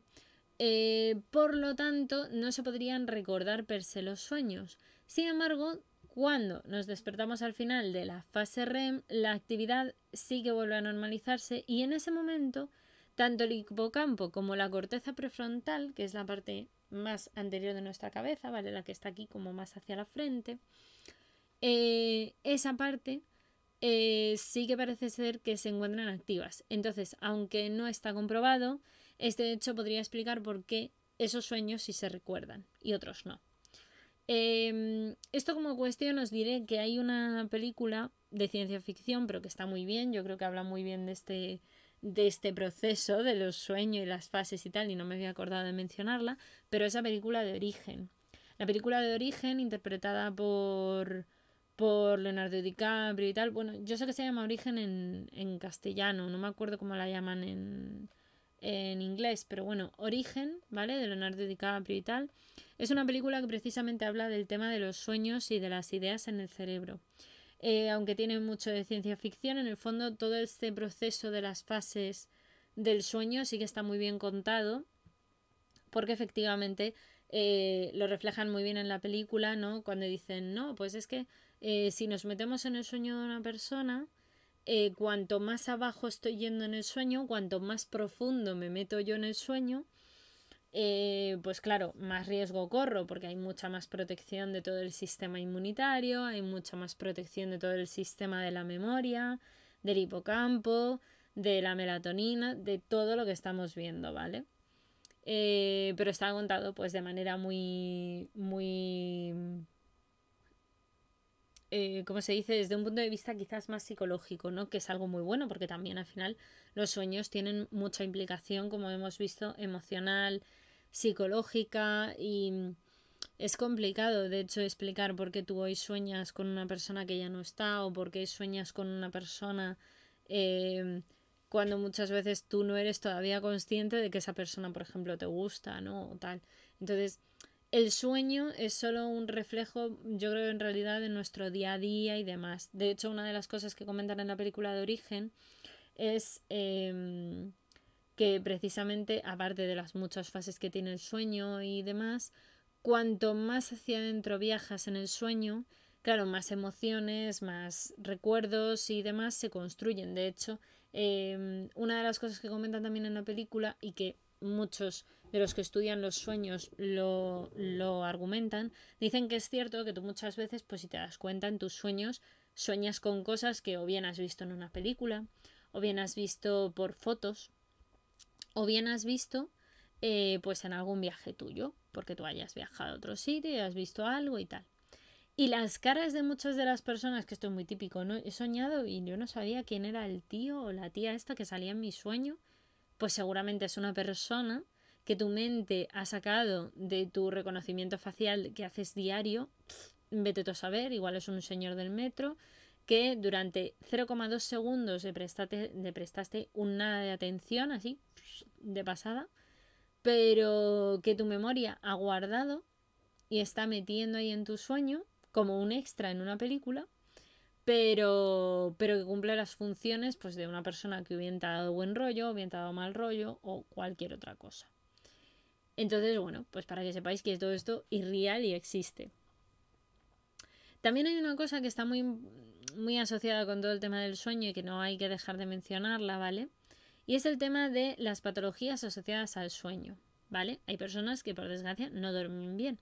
Aparte del interés que siempre se ha despertado por el tema de conocer sobre el proceso fisiológico que hemos comentado, que es súper importante, eh, conocerlo para si alguien, por ejemplo, no duerme bien, saber si es un problema fisiológico. Oye, ¿cuál es tu problema? ¿No produces melatonina? Pues te demandaremos una medicación que lleve melatonina. Eh, oye, mira, no, que el problema de esta persona eh, tiene que ver pues con, con otro tipo de cuestiones, a lo mejor más psicológicas. Pues entonces lo que necesita es ir a un psicólogo y ya está. Y el psicólogo le ayudará a entender por qué está teniendo esas pesadillas o qué está queriendo decirle sus sueños a esa persona, porque a lo mejor tiene pesadillas porque hay algo ahí que le está diciendo en los sueños, oye, mira, esto no funciona. Entonces, normalmente como ocurre en la biología, los procesos cruciales, como es el caso del sueño, están muy regulados, como hemos visto. Y por ello, cualquier desregulación en, en todo este engranaje de reloj suizo tan perfecto, en cuanto un engranaje ya no está como debe, pues la hemos liado. Entonces, si bien existen numerosas patologías asociadas al sueño, en este artículo sobre todo, em, el compañero quiere explicar sobre todo dos bastante conocidas e importantes. Una es el tema de la narcolepsia. La narcolepsia es una enfermedad que se caracteriza porque los pacientes presentan somnolencia continua, ¿vale? Y ataques de sueño muy repentinos. Eh, no sé si habéis visto la película de Moulin Rouge, pero aparece un personaje que le pasa esto que es narcolepsia, o sea, tiene narcolepsia el pobre personaje. Y eh, tiene somnolencia pues prácticamente todo el día, pero de pronto está normal y ¡pum! se cae a dormir. Esto se debe a que estos pacientes comienzan sus ciclos de sueño directamente en la fase REM. O sea, ellos no tienen fase no REM, no tienen una fase preparatoria. Ellos tienen fase REM y a dormir. Entonces, ¿qué pasa? Que saltándose todas las demás fases y provocando esos ataques tan repentinos, pues es malísimo para ellos, porque se meten unos guarrazos como el de la película de Moulin Rouge. De verdad, si no lo habéis visto, ver aunque sea, o buscar narcoléptico de, de Moulin Rouge. Es que lo vais a ver, es que es muy bestia, pero es que muy, está muy bien representado. Aunque no se sabe exactamente por qué se produce, se piensa que es por una deficiencia de la hormona que es la hipocretina. Es una hormona que es clave para que nosotros pasemos de la fase no REM a la fase REM. Es la que permite que haya esa fase, esa entrada junto con la melatonina, por supuesto. Pensar que la melatonina no iba a ser la única. La hipocretina también ayuda en ese proceso. Y luego otra de las patologías también más comunes, por desgracia, es la apnea del sueño. La apnea del sueño es esta patología que se caracteriza porque existe una obstrucción de las vías aéreas debido a la relajación de los músculos, ¿vale? De las zonas sobre todo posteriores a la garganta. Entonces, ¿qué pasa? Que esto las personas lo que sienten es una falta de oxígeno que es evidentemente detectada por el cerebro, que es el que está hipersensible a todo tipo de faltas de azúcar, de oxígeno y de todo tipo de, em, de cuestiones básicas para nosotros, ¿vale? Para eso está el cerebro. Entonces, lo que hace es que el paciente se despierte y diga, ostras, que me ahogo. Normalmente ocurre unas 30 veces por la noche. A las personas a las que le pasa, eh, muchas veces os ocurre hasta 30 veces. Entonces, ¿esto qué pasa? Que evidentemente, pues no puedes llegar nunca al sueño profundo y reparador que tú necesitas como persona, porque estás continuamente muriendo, muriendo, y eso no puede ser. ¿Vale? Vamos, muriendo. No muriendo, pero que no duermes. No duermes profundo. Y si no duermes profundo, no duermes bien. Y si no duermes bien, entonces ¿qué estamos haciendo? Pues no tiene ningún sentido. Entonces de ahí que la apnea del sueño sea tan, tan heavy y tan, tan importante. Y así la conclusión, también a la que se determina y se llega en este artículo, es que desde hace unos años la importancia que desempeña el sueño y el tiempo dedicado a dormir ha sido eh, muy estudiado porque de hecho se ha visto que ha ido disminuyendo. Cada vez es más común el uso de bebidas energéticas que son capaces de compensar temporalmente el haber dormido mal.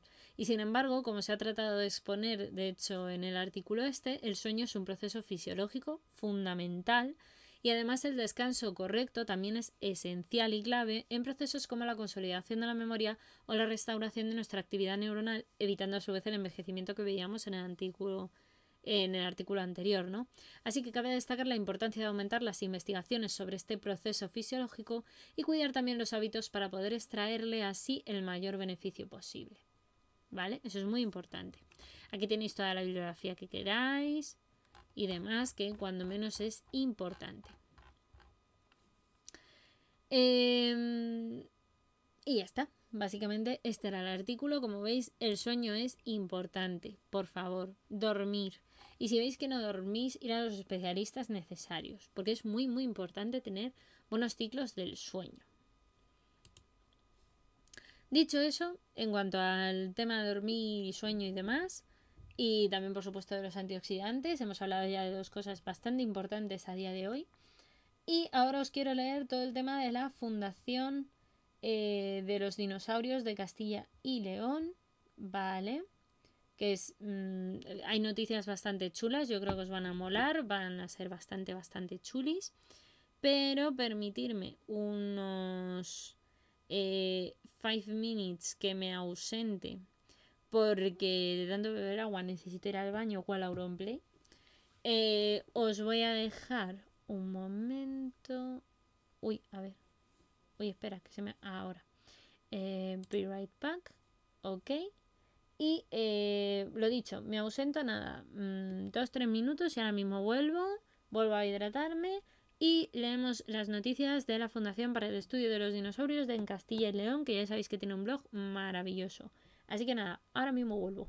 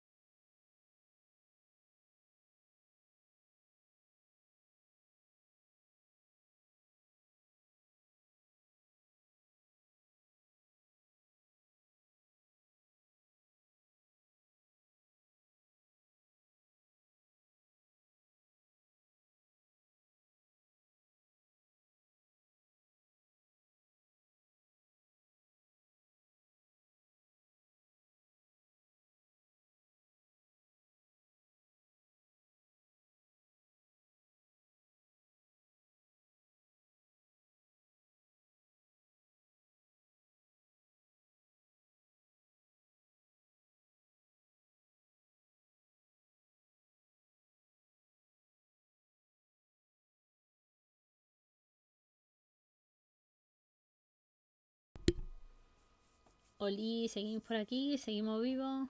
Hola, hola. Hello, hello. Adiós, adiós. Me encanta como Spoon English.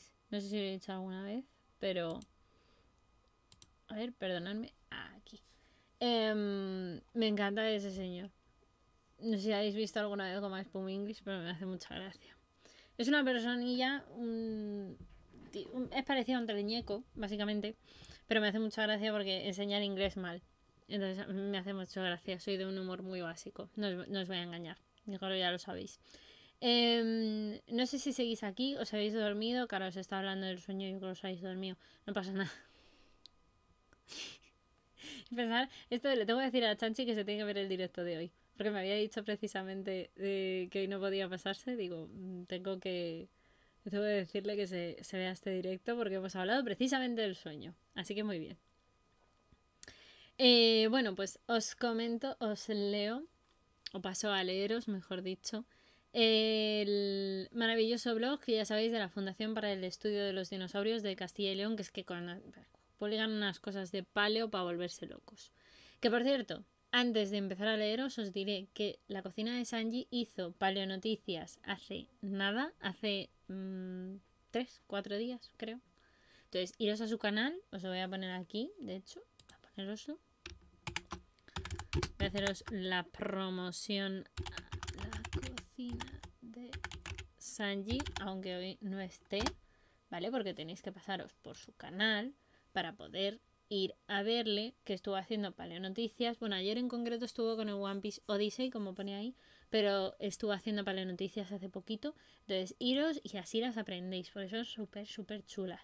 Muy chulas, maravillosas. Y además os las cuenta con todo el amor del mundo y sabe un montón. Así que, pues nada. ¡Hombre! ¡Hola, Kike! ¡Hola! Hola, uy, no te de mi bot. Me cachis en la pena. Me pongo a gruñir ahora mismo, ¿eh? ¿Qué le pasa a mi bot? Ah. Porque a mí sí y a ti no. Ah, porque ha pillado la coma. ¿Qué tiquismiquis? El Nightbot. En fin. Hola, que Pues muy bien, aquí estamos. Nada, te has perdido. Te has perdido nada. Dos noticias. Una del tema del envejecimiento. Te lo ves si quieres luego en el diferido. Otra sobre el sueño, también la puedes ver en el diferido. Que he recomendado un libro, por si quieres, mira, te lo vuelvo a enseñar. Este, ¿vale? Que es el de, te, digo, digo el título. El hombre que hablaba con los delfines y otras historias de la neurociencia. Es de José Ramón Alonso, por si lo quieres leer, por si te lo quieres adquirir. Muy buen libro, muy curioso. ¿Y qué es lo otro que te has perdido? Nada, que voy a hacer seguramente dos directos como mínimo en febrero y que a partir de febrero Dios dirá, porque... Bueno, Dios dirá. A ver, yo intentaré seguir haciendo directos, pero es que el 1 de febrero empiezo a trabajar. Así que como es una buena noticia, pues a lo mejor los directos se disminuyen, pero bueno, todo sea porque lo más importante es que nos lo vamos a pasar bien. Yo tengo trabajo y si tengo trabajo tengo dinero y si tengo dinero tengo otras cosas guays. Enhorabuena, nice, nice. Totalmente, muchas gracias, Kike. Pues nada, aquí ya sabes, asiéntate, que además ahora vienes, vienes para el momento que a ti te va a gustar. Porque vamos a hablar de noticias. Voy a convertirme en Chanchi. Voy a convertirme en la cocina de Sanji. Y vamos a leer noticias concretamente paleontológicas, de paleonoticias. Que además justo estaba haciendo yo ahora aquí promo a tu señor marido. Para que la gente vaya a su canal, porque el otro día estuvo con paleonoticias y hay que hacerle promoción, ya tú sabes. Entonces, pues nada, Ahí, ahí, vamos con la noticia. Digo, es que así te hago resumen. Como no te has perdido mucho, te puedo hacer el resumen. Ya el siguiente que entre, como venga más tarde, ya igual el resumen no se lo hago porque no me va a dar la vida. A ver, que lo voy a intentar poner un poquito más grande para... Ahí. Para que vosotros también lo podáis ir leyendo. ¿Vale? Pues si alguno le va rápido que yo, pues oye. Pues siempre está bien. Ahí Denis saludando aquí, que estupéndico. Pues bien, eh, la primera noticia es del 14 de enero, es decir, de hace dos días, y hablaban de una flor fósil que excepcionalmente es bastante, vamos, es excepcional que sea tan grande y esté tan bien preservada. Y eh, concretamente la han encontrado en el ámbar. Ya sabéis que el ámbar, seguro que Chancho os lo ha contado mil veces, em, es eh, uno, una de las maneras donde mejor se conservan los fósiles. Es como si estuvieran ahí embebidos y súper protegidos. Entonces es una maravilla. Y eh, os leo la noticia, ¿vale? Dice, científicos del Museum für Naturkunde de Berlín, nunca sé si lo digo bien, pero bueno, es que no sé alemán, es lo que hay. Perdónenme los que sepan alemán. Y de la Universidad de Viena han encontrado la flor más grande descubierta hasta ahora en ámbar. Es de, ojo, de casi 3 centímetros de diámetro. O sea, tú solo piensas y 3 centímetros no es nada. Pero es la más grande que se ha conseguido. Es que es muy raro encontrar cosas en ámbar. Entonces, esta flor y el polen fueron, eh, porque veis aquí, ¿no? En la foto se ven los estambres y en los estambres está aquí el polen, ¿sabéis? O sea, ahí está. Fueron encerrados y conservados en resina hace unos 38 a 34 millones de años y es unas tres veces mayor que la mayoría de las inclusiones florales que se habían encontrado hasta la fecha. El ámbar es como una cápsula del tiempo, literalmente, porque conserva con increíble detalle inclusiones de las plantas y de los animales de hace millones de años. Por eso son tan espectaculares cuando se encuentra cualquiera. Las inclusiones vegetales en ámbar, de hecho, son mucho más raras todavía que las de animales. O sea, las de animales ya son raras, pues imaginaos las de plantas. Pero extremadamente muy valiosas para la ciencia, porque claro, imaginaos todo lo que se puede sacar de ahí. Y sobre todo porque permiten reconstruir la vegetación durante varios periodos de la historia de la Tierra y además comprender la flora de los llamados bosques de ámbar, tan importantes, ¿no? La inclusión floral de este estudio está sobre todo encerrada en lo que llaman el ámbar báltico y procede normalmente del mayor yacimiento de ámbar de hecho que hay en el mundo, situado en el Kaliningrado, que está concretamente en la costa del mar Báltico. Y la flor se descubrió hace más de 150 años como este, esteguardia, que es un género que pertenece a la familia del té, que precisamente hemos hablado antes del té. Y sin embargo, en los años siguientes esto se consideró dudoso, ¿vale?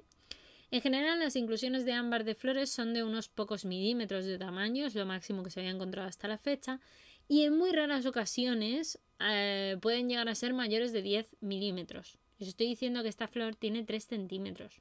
Como comprenderéis, es un hito, una locura. Entonces, aún se desconoce qué procesos pueden, eh, de hecho, limitar el tamaño de esas inclusiones vegetales, el por qué no se están encontrando, por tanto, algunas más grandes. Sin embargo, se sugiere que en función de la tensión superficial y de la viscosidad de la resina, ¿no? Es probable que los órganos vegetales más pequeños queden retenidos más fácilmente que los que eran más grandes, porque estos se pueden llegar a destruir. Los científicos descubrieron numerosos granos de polen desprendidos por los estambres de esta flor que se encuentra en el ámbar y dicen que es muy excepcional encontrar una flor tan grande en ámbar con los estambres en el punto perfecto de estar justo abiertos para liberar su polen mientras la flor estaba todavía retenida por la resina. Esto es lo que dice en un comunicado Eva María Sadowski, que es la investigadora del Museo eh, Berlinés y coautora del hallazgo. El polen, de hecho, se extrajo con muchísimo cuidado, ¿vale? De la inclusión en la que estaba con un bisturí y a continuación los científicos examinaron los granos de polen en el microscopio electrónico de barrido, que es uno de los microscopios más tochos que hay en el mundo, y solo un aumento extremadamente alto podría permitirles ver esos detalles morfológicos de los granos de polen que solo miden unos pocos micrómetros, ¿vale? Por eso este, este tipo de microscopio, según añade Krista Hoffman. Las características en cualquier caso del polen y la inclusión de la flor ayudaron a los científicos a asignar este fósil a un miembro asiático del género Simplocos que contiene árboles y arbustos de la familia de las hojas dulces llamadas las Simplocaceae y es el primer registro fósil de este género en el ámbar báltico, de hecho, pero el Simplocos no era la única planta del bosque de ámbar báltico que se había encontrado, sino que hace entre 34 y 38 millones de años este bosque albergaba numerosas especies de plantas cuyos parientes más modernos también están restringidos a las zonas de Asia Oriental y Sudoriental. ¿Qué os parece? Qué curioso, ¿eh? Decir que esta es la más grande y solo mide 3 centímetros, por favor. Es que, pero claro, es que lo que dicen es que es muy raro. Ahí estamos. que viene motivado con la, con la noticia. Ahí Gambri, muy bien, también saludando. Hola Nightbot. que saludar al Nightbot, pobrecillo, que es que se siente excluido. No, no, no. O sea, tú puedes estar todo el día saludando con el Nightbot si quieres, ¿eh, Gambri? Ahí puedes estar en el bucle. Un poco pesado. Él cada vez que le dice hola es muy educado, ¿sabes? Y dice, yo también digo hola. Porque es así. Es así. le hemos educado bien. ¿Qué le vamos a hacer? Esto que os he dicho, la verdad es que es muy curioso lo de la flor. Pero es que lo que os voy a contar ahora lo puedo incluso contar con anécdota concreta. Porque mm, esta noticia habla de que La Rioja invertirá 337.000 euros en siete yacimientos de huellas de dinosaurio, ¿vale? Primero os leo la noticia y después os cuento eh, la anécdota asociada a esto, ¿vale? Eh, comienzo a leer noticia. Momento que veo asua.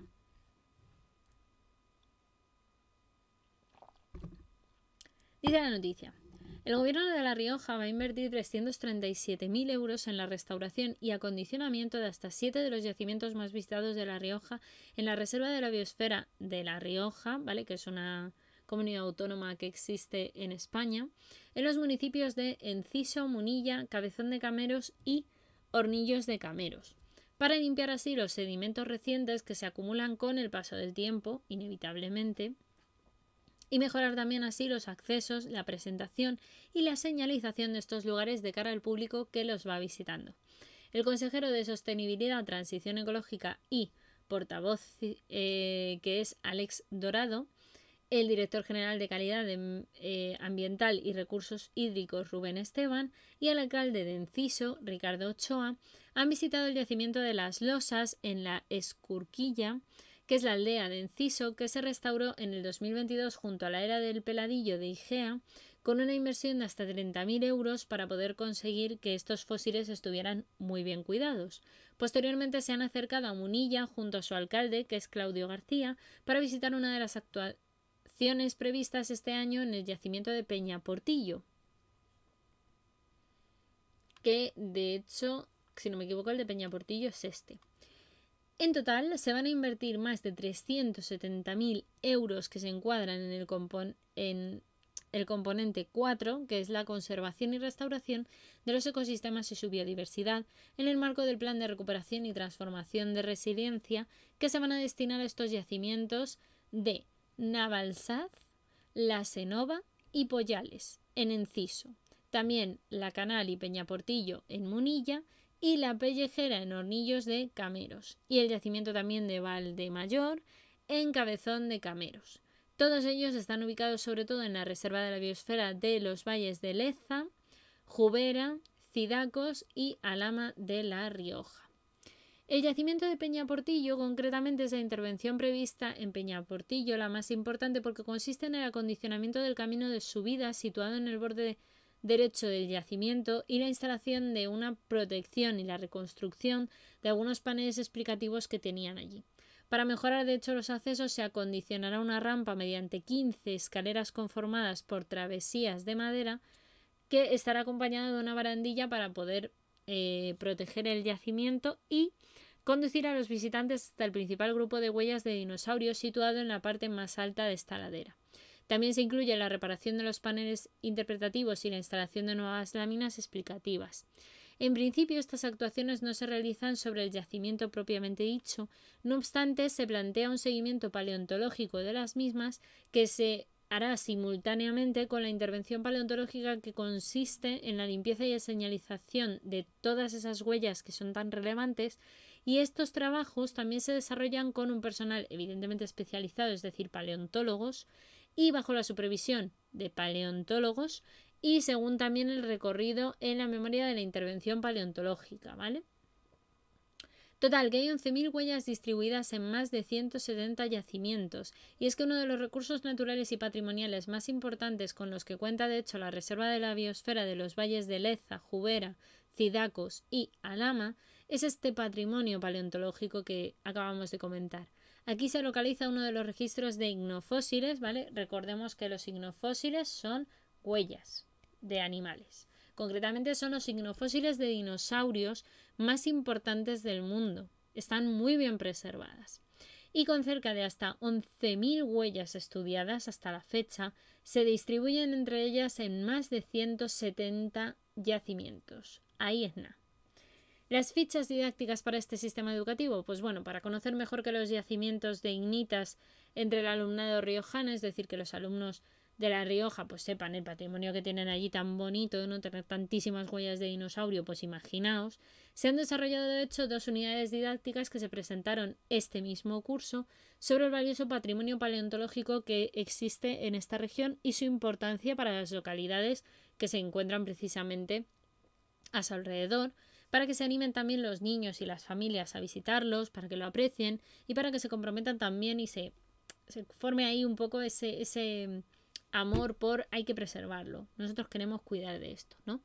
La iniciativa partió sobre todo de la Dirección General de Calidad Ambiental y Recursos Hídricos, como la gestora de la Reserva de la Biosfera, y también se elaboró en estrecha colaboración, por supuesto, con la Consejería de Educación, Cultura, Deporte y Juventud.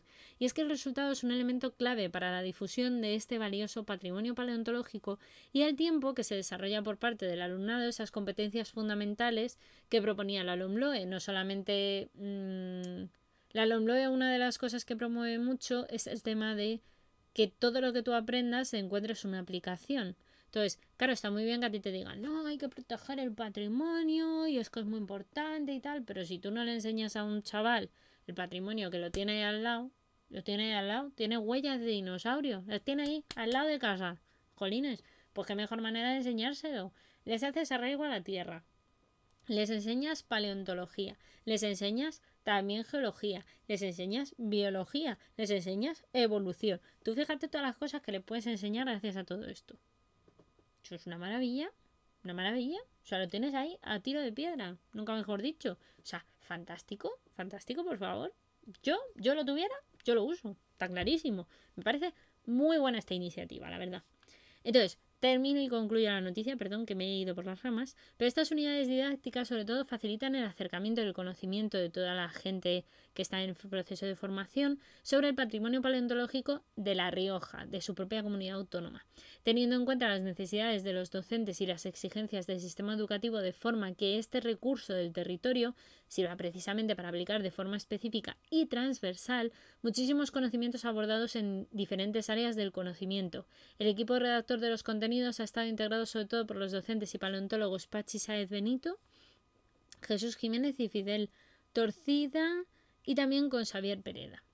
Esto a mí me parece súper interesante porque eh, una de las cosas que yo, mm, otra cosa no, pero lo bueno de estudiar en una, de trabajar en una editorial de libros es que eh, te das cuenta de todo el trabajo que hay detrás de cada reforma y ley educativa. Eh, que esté bien hecha o no es otra cuestión, pero sí que es cierto que intentar enseñarles a los chicos y eso es algo que sí que, no creo que tanto de la LOMLOE, bueno, sí, es una cosa que han puesto mucho en la LOMLOE, pero yo creo que ya también estaba de antes, el esfuerzo de intentar que los chavales conecten con lo que están aprendiendo. Eso es fundamental. Eso es una de las cosas que creo que está enseñando también mucho la divulgación científica en todos los ámbitos. Eh, desde Destripando la Historia con Pascu y Rodri, que nos están enseñando a todos eh, las mitologías antiguas y tal, pero cantadas en una canción y demás, eh, y luego haciendo el análisis más histórico de esos vídeos, ayudan mucho más a que probablemente alguien aprenda mitología griega que muchos profesores de historia. Eh, o por ejemplo Buttercup, por ejemplo aquí en, en Twitch, o Laura Floresciencia, enseñando cosas de ciencia Em, o Ainhoa Gómez, por supuesto, la grandísima Ainhoa, que tenéis que seguirla porque es fantástica y tiene un canal de YouTube. Y ella además es profesora, ya os enseñamos aquí, biopelantólogo y yo. Todo ese tipo de personas están ayudando a, em, yo creo, como comprender y a entender que podemos hacer las cosas de otra manera. Y podemos enseñar y educar de otra manera, eh, sobre todo pues más práctica, más cercana, más tú y yo, así, cerquita, de tú a tú. No esas clases magistrales donde estaba tu profe aquí arriba y tú estabas aquí abajo y esas cosas, pues no, no es necesario. Y no es necesario tampoco que sea un monólogo, al contrario, hace esa interacción, ¿no? Entonces, pues bueno, pues eso, pues... Eh, en fin, maravilloso. La Rioja, maravilloso. Maravilloso. Me parece una iniciativa fantasticulosa, fantasticulosa. Maravilloso esto. Eh, pasamos a la siguiente noticia, que habla sobre el pesar en Neuquén por la muerte del paleontólogo Jorge Calvo. Desgraciadamente, hemos perdido a un paleontólogo, un paleontólogo muy bonito, muy buena persona, que es Jorge Calvo. Ha muerto por desgracia con 61 años y fue un destacado profesional en la región eh, a la que se le atribuyen de hecho varios descubrimientos y era director del Parque Geopaleontológico Proyecto Dino del lago eh, Barreales, ¿vale? Jorge Orlando Calvo, que era su nombre entero, falleció el pasado 10 de enero desgraciadamente en Neuquén y fue un destacado geólogo y paleontólogo con numerosos descubrimientos y que tuvo a su cargo el Parque eh, Geopaleontológico de Proyecto Dino en el eh, lago de, Barreales, que además era docente universitario también de la Universidad Nacional de Comahue, la UNCO. Em, nacido en Córdoba, Calvo llegó a la región en la década de los años 80, ¿vale? E inició su vínculo en la casa de estudios. Desde la UNCO, sobre todo, confirmaron su deceso por desgracia porque tenía 61 años y desde hace un tiempo peleaba contra una grave enfermedad. Así que desde Córdoba a la paleontología en Neuquén. ¿Cómo llega a un cordobés a Neuquén? Córdoba, por si no lo sabéis, es una de las eh, provincias que pertenecen a la gran comunidad autónoma que es Andalucía dentro de España. Me puse a hacer un curso de estructuras antisísmicas, comentaba él, y me di cuenta que los números conmigo no iban. Y no podía estar encerrado. Así que fui a ver la universidad eh, y encontré carreras naturalistas. Los paisajes y la roca me llamaban la atención y me incliné al final por la geología. Pero me crucé también con la paleontología y esta ya me encantó. Esa fue una de sus descripciones ahora en enero del 2022, ¿no? antes por desgracia de morir. Se recibió y llegó a Neuquén en el año 1987 y trabajó durante 34 años en la región y conoce de hecho toda la historia de la paleontología de allí, porque oye, se la ha estudiado. Y durante la pandemia, de hecho, sobrellevó casi en solitario la custodia del museo en el predio del lago de Barreales. Cuando uno visita un museo hay, sucesos, hay huesos, pero no sabes qué es lo que estás viendo. Yo explico, por ejemplo, los grandes grupos de dinosaurios. Cuando los sacamos con el retro del ejército, los trajeron desde el campo de abajo y los pusieron acá. El galpón era la mitad. Y nunca más se volvieron a mover y el museo, de hecho, que era un repositorio, se adaptó a estos huesos para poder exponerlos. Eh, un dinosaurio que lleva de hecho el nombre de Jorge Calvo es precisamente el dinosaurio de la colección que fue bautizado en honor a Gregorio Álvarez y a su descubridor Jorge Calvo, que eh, como el Alvez como el Alvezaurus calvoi es precisamente por eso, por Gregorio Álvarez y por Jorge Calvo. Y es que fue sobre todo trasladado desde los Barreales hacia la ciudad de Neuquén en abril del año pasado. El Alvarezsaurus era un dinosaurio de dos patas que fue hallado por el paleontólogo Jorge Calvo y descrito por José Bonaparte y de hecho se halló en las eh, barbas de la ciudad de Neuquén, medía aproximadamente un metro eh, de por 70 centímetros de alto, ¿vale?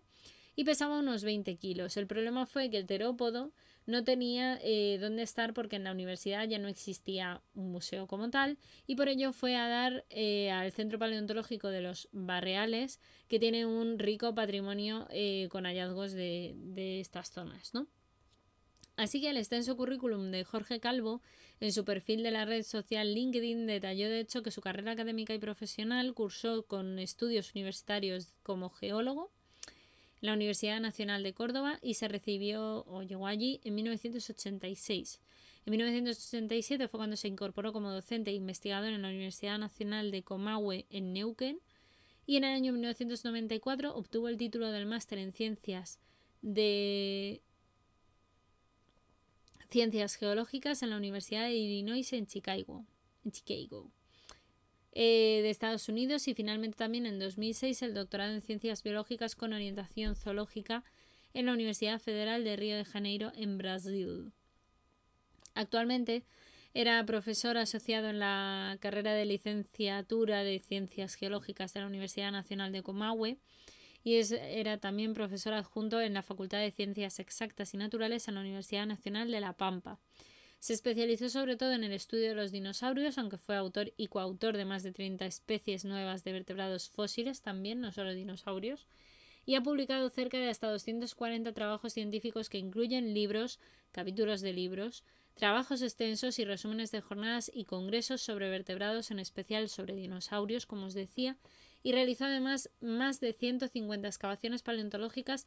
De hecho, ha realizado más de 280 informes técnicos a empresas del medio sobre protección del patrimonio paleontológico.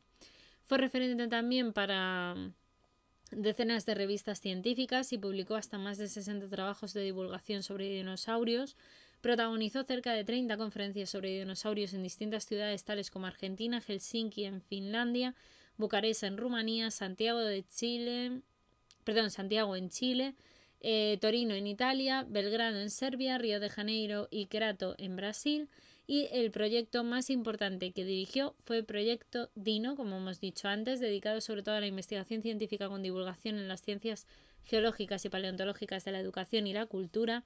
Y este centro de investigaciones, de hecho, este centro paleontológico del lago Barreales, que pertenece a la Universidad Nacional de Comahue, es el único sitio paleontológico donde los visitantes pueden ver el trabajo paleontológico en excavaciones de dinosaurios que había realizado este maravilloso señor.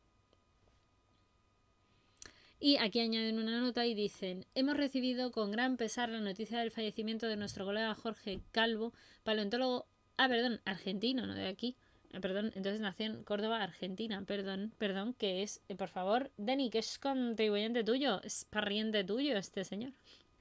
no, bueno, pariente tuyo no, pero es argentino como tú. Eh, de una larga y exitosa carrera investigadora, promotor del curioso experimento científico divulgativo y turístico que es el Parque Geopaleontológico Proyecto Dino en el lago de Barreales y profesor, como hemos dicho, de la Universidad de Comahue. Y desde las salas de los infantes que está en Castilla y León y que son grandes promotores de, la protección y de todo el patrimonio paleontológico. Recordamos con un cariño y una emoción especiales a la visita del trabajo que nos llevó a Lago Barreales allá en el año 2009, donde compartimos además con el equipo de Jorge varios días inolvidables. En un entorno semisalvaje y rico en yacimientos de dinosaurios, no solo estudiamos los fósiles del Limasaurus, que se custodiaban las instalaciones del proyecto Dino, sino que también pudimos ver los materiales del gigante Futalo Cosaurus, uno de los dinosaurios más grandes del mundo, y desde este pequeño rincón de Europa enviamos nuestro pésame y un abrazo fraternal a todos sus familiares y amigos. Descansa en paz, Jorge. Me parece muy bonito. Esto es de, del propio, de los propios blogs de, la fundación y, y, creo que es una nota muy necesaria. La verdad es que chapó. Chapó porque, de hecho, la especie eh, que hemos comentado arriba, a ver, que la quiero decir bien, el Saurus, yo creo que os he leído una noticia de él y si no lo he leído yo, os lo ha leído la cocina de Sanji fijo. Pero hemos hablado de este fijo, porque no me acuerdo haber hablado de este. Yo creo que fue cuando fuimos a la exposición de dinosaurios, que la comentamos Chanchi y yo juntos, de hecho. Así que bueno, pues eso, que, que la verdad es que es una pena, por desgracia, que haya fallecido este señor, Jorge Calvo, porque ha hecho muchísimo.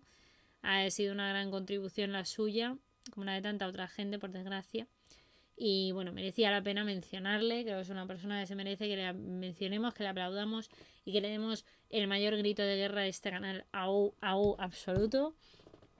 Y todo lo que le queráis dar, eh, pues será poco.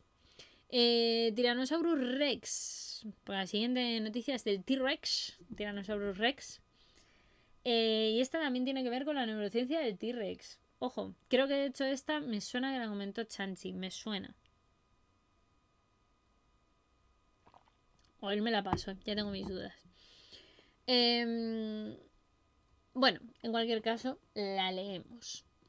El Tyrannosaurus rex tendría la misma cantidad de neuronas que los primates modernos. ¿Y esto por qué parece tan... Oh, ¿Qué ha pasado?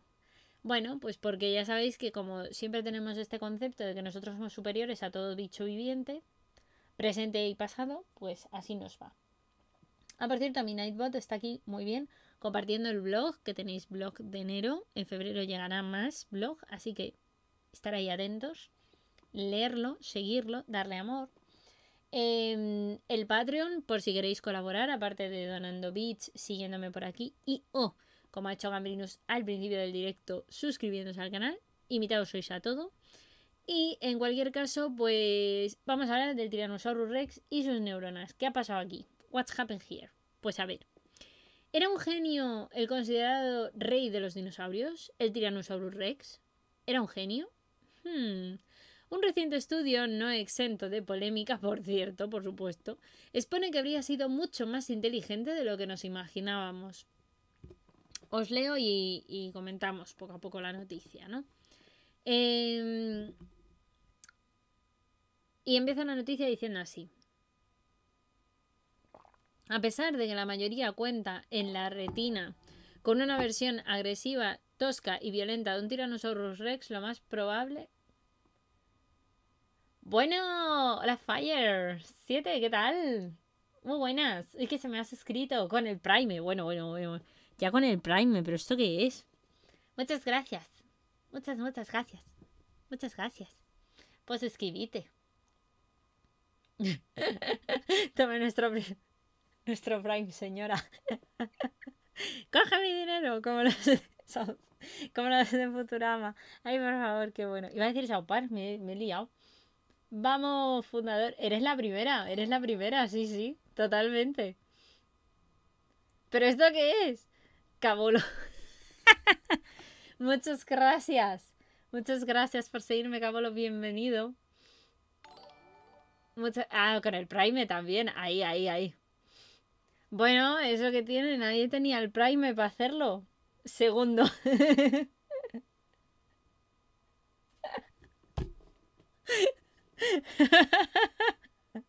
Pobre Nacho. Muy buenas a los dos. Muchas gracias por suscribiros. Muchas, muchas gracias a ambos.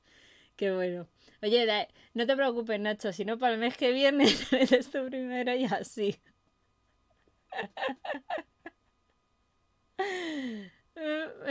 Muy bien ahí, tú spamea, tú spamea, como tiene que ser. Oye, siempre se lo puedes decir doble, si le tienes al lado se lo puedes decir en persona y tal. Lleva a ser icono guay, ahí estamos. Muy bien, muy bien. Pues eso. Ay, muchas gracias, modos. Os quiero, sois geniales. En fin. De verdad, pues eso, que, mm, que estaba yo aquí hablando, que parezca mentira, aparte de que os suscribierais o tal, que es que habéis aparecido en el momento. no dudaba de que lo hubieras hecho, pero por si acaso yo te daba la idea. Por si flies, ya sabes. Ay, madre. Pues eso, que estábamos aquí hablando del Tyrannosaurus Rex y lo inteligente o no que era. ¿Qué os parece? Yo creo que el Tyrannosaurus Rex era más inteligente que mucha gente, eso seguro. Mm. Pero bueno, la noticia empieza ahí con los topicasso. No, no, no, a mí siempre se me puede interrumpir en los directos y más si es para suscribirse. no, no pasa nada, no pasa nada, en serio, en absoluto. ¿Qué tal estáis, por cierto? Vamos a hacer pausa, si a mí me viene bien, así bebo agua.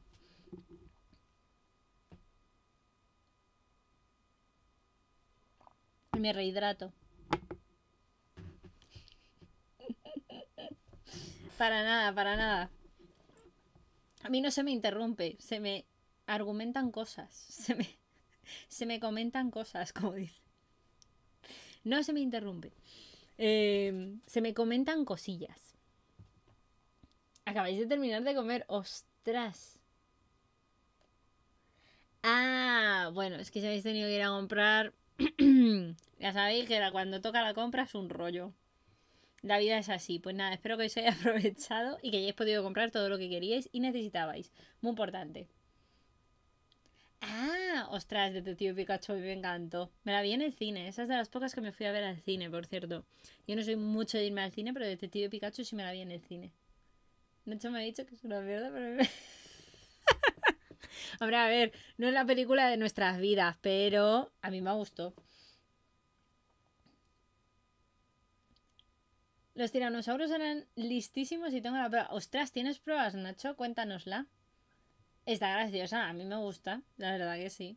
Además, es que a quien no le gusta ver un Pokémon en el mundo real, imaginarte que tú puedes tener uno de verdad. Es que, es que no sabe.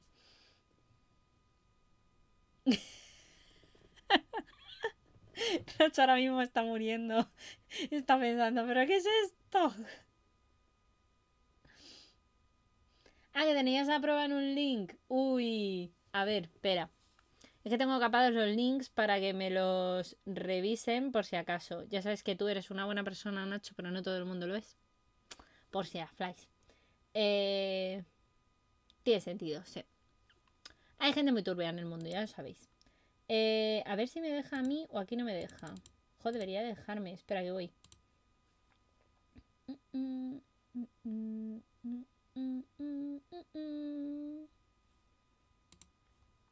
Ahí. Espera, que lo estoy buscando, ¿eh? Momento. Para ver si puedo ver su prueba fehaciente antes de leer, por supuesto, la noticia seria. Permitirme que me llamen por teléfono va a tener que hacer una pausa. Así que ahora mismo vuelvo. Minuto. Hasta ahora.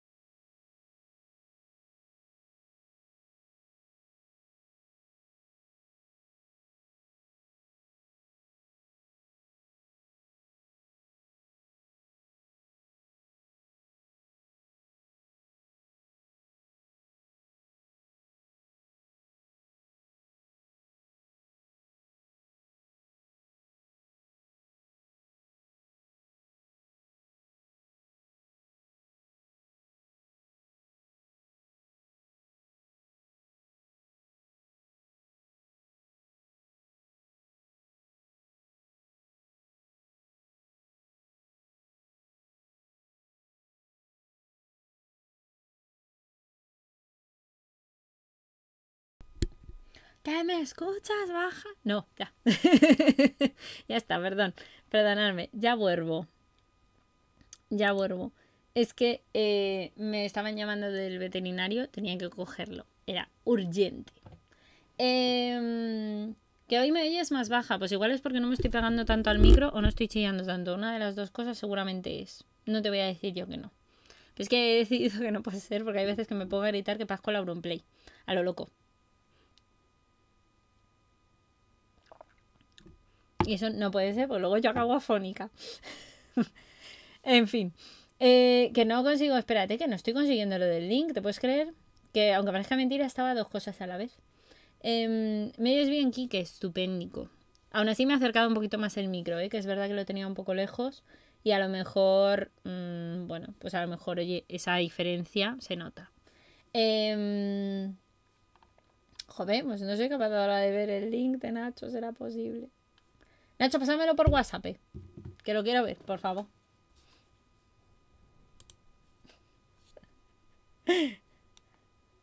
O que me lo pase Sara.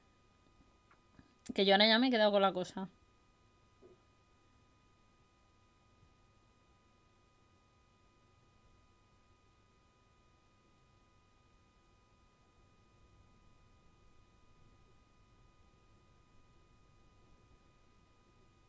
Mm. Ah, me habían escrito. Ajá, ajá.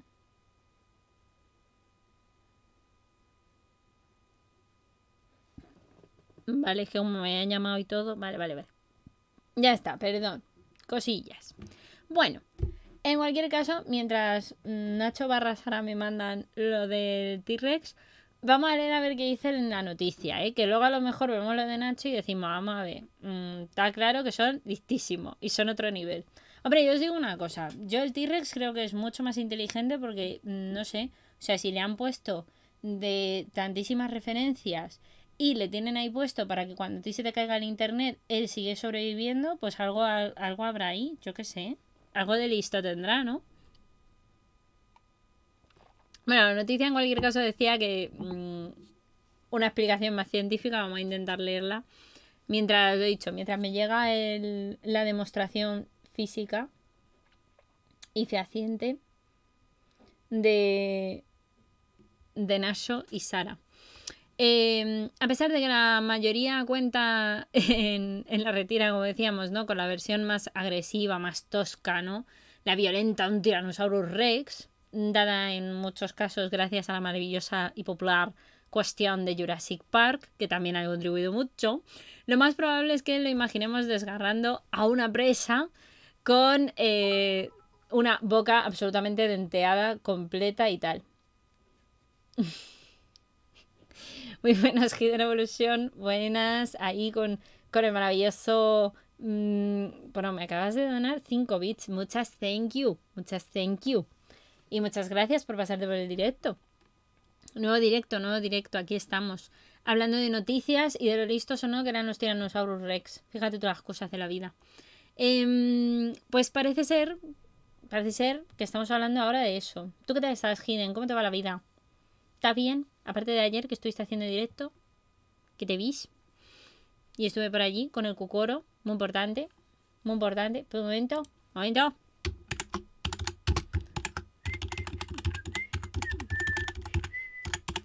¿Y se me oye todo el tiki tiki tiki tiki? Sí, pero a que mola. Ahí estamos. Que ayer estuvo Hidden con el cucoro y os tenían que hacer la promo. Em, ya que encima me regala cinco vitazos, por favor, loves you. Total, que mm, lo estamos hablando, que los dinosaurios parece ser que eran muy inteligentes, sobre todo el, T-Rex. ¿A que sí? Porque tengo el micro al lado, literalmente. Tengo el micro, literalmente, al lado del teclado. O sea, es imposible que no lo digáis. Pero de por sí, aún no teniéndolo al lado, se oye. O sea, es, es tocho.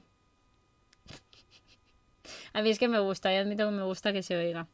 Soy muy rara en esto, lo admito, porque normalmente a la gente no le gusta que se oiga, pero a mí sí. Me, hace como sentirme rollo máquina de escribir antigua. Soy, soy rara, no me hagáis caso. En cualquier caso, para obviar este estúpido velo, lo corremos y seguimos hablando del T-Rex. Pues bien, eso, el T-Rex resulta que aparte de todas estas cosas que tenemos todos en la mente de Jurassic Park, y ser el rey de los dinosaurios y demás, resulta que también parece ser que era una criatura bastante inteligente, tanto que los Rex podrían haber sido los primates de su propio tiempo. Y a tenor de una nueva investigación desarrollada sobre todo por la Universidad de Vanderbilt de Estados Unidos, que ha revelado precisamente que el Tyrannosaurus Rex podría haber tenido la misma cantidad de neuronas cerebrales que los primates actuales. Los dinosaurios, de hecho, gobernaron la Tierra desde hace unos 179 millones de años, antes de desaparecer repentinamente en el evento de la extinción que ocurrió en el Cretácico junto con el Paleógeno hace alrededor de unos 66 millones de años, ¿vale? Y antes del catastrófico evento que les hizo extinguirse, ciertas especies habían desarrollado parece ser características muy similares a las de las aves, como las protoplumas y las plumas, las alas, las garras y los cráneos agrandados, por supuesto. Como es raro encontrar tejidos blandos de dinosaurios, desconocemos bastante sobre el cerebro pero lo que sí que se sabe es que están muy relacionados con las aves. Esto a nivel evolutivo sí que se sabe. Entonces, Ahora en este estudio lo que han hecho ha sido descubrir sus capacidades cognitivas. Así que al comparar los cerebros de estas criaturas con las aves más modernas, ¿vale? Con aves, tortugas y reptiles, ¿vale? Eh, con escamas, se ha visto en esta investigación publicada en la revista Journal of Comparative Neurology que calculó matemáticamente cuántas neuronas podrían introducirse dentro de los cerebros de los terópodos, ¿vale?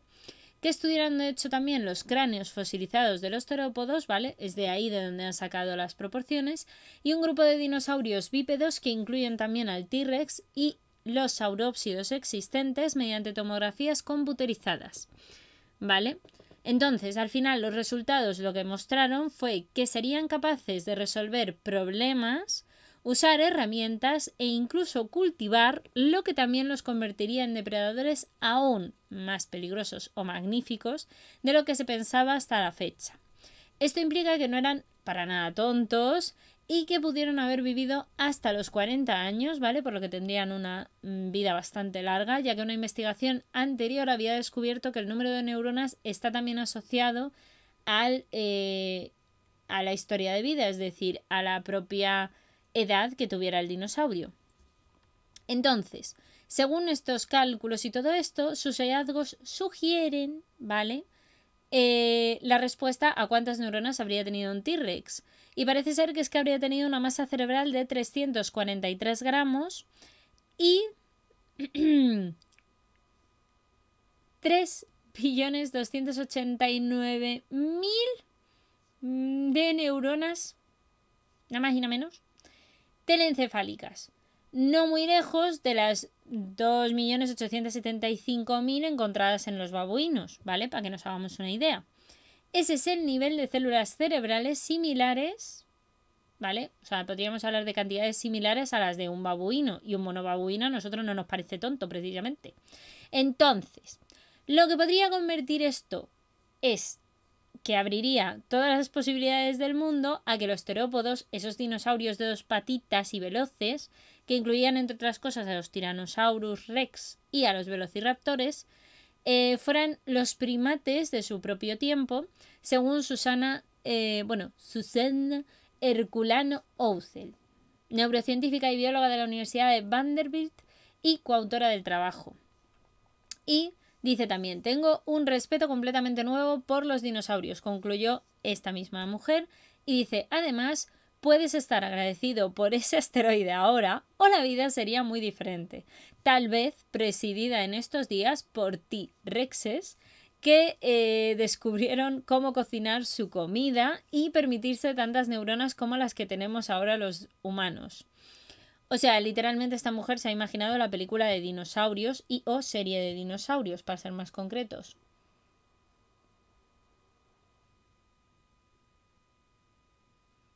¿Me he perdido algo? Ah, no, me ha saltado una cosa, perdón. Eh, bueno, pues eso. Entonces, yo creo que esta mujer lo que se ha imaginado es la serie de dinosaurios. Total, que la nueva investigación se basa en un creciente cuerpo de evidencia que sugiere efectivamente que los Tyrannosaurus rex eran algo más que una criatura de fuerza bruta, como nos han pintado siempre, sino que más bien era un animal bastante social, que trabajaba bien incluso en manada, que tenía un comportamiento social, por tanto, que hemos podido eh, disfrutar en el último documental que subió el grandísimo, el gigante Sir David Attenborough, un señor maravilloso con planeta prehistórico y que lo podéis encontrar en Apple TV Plus.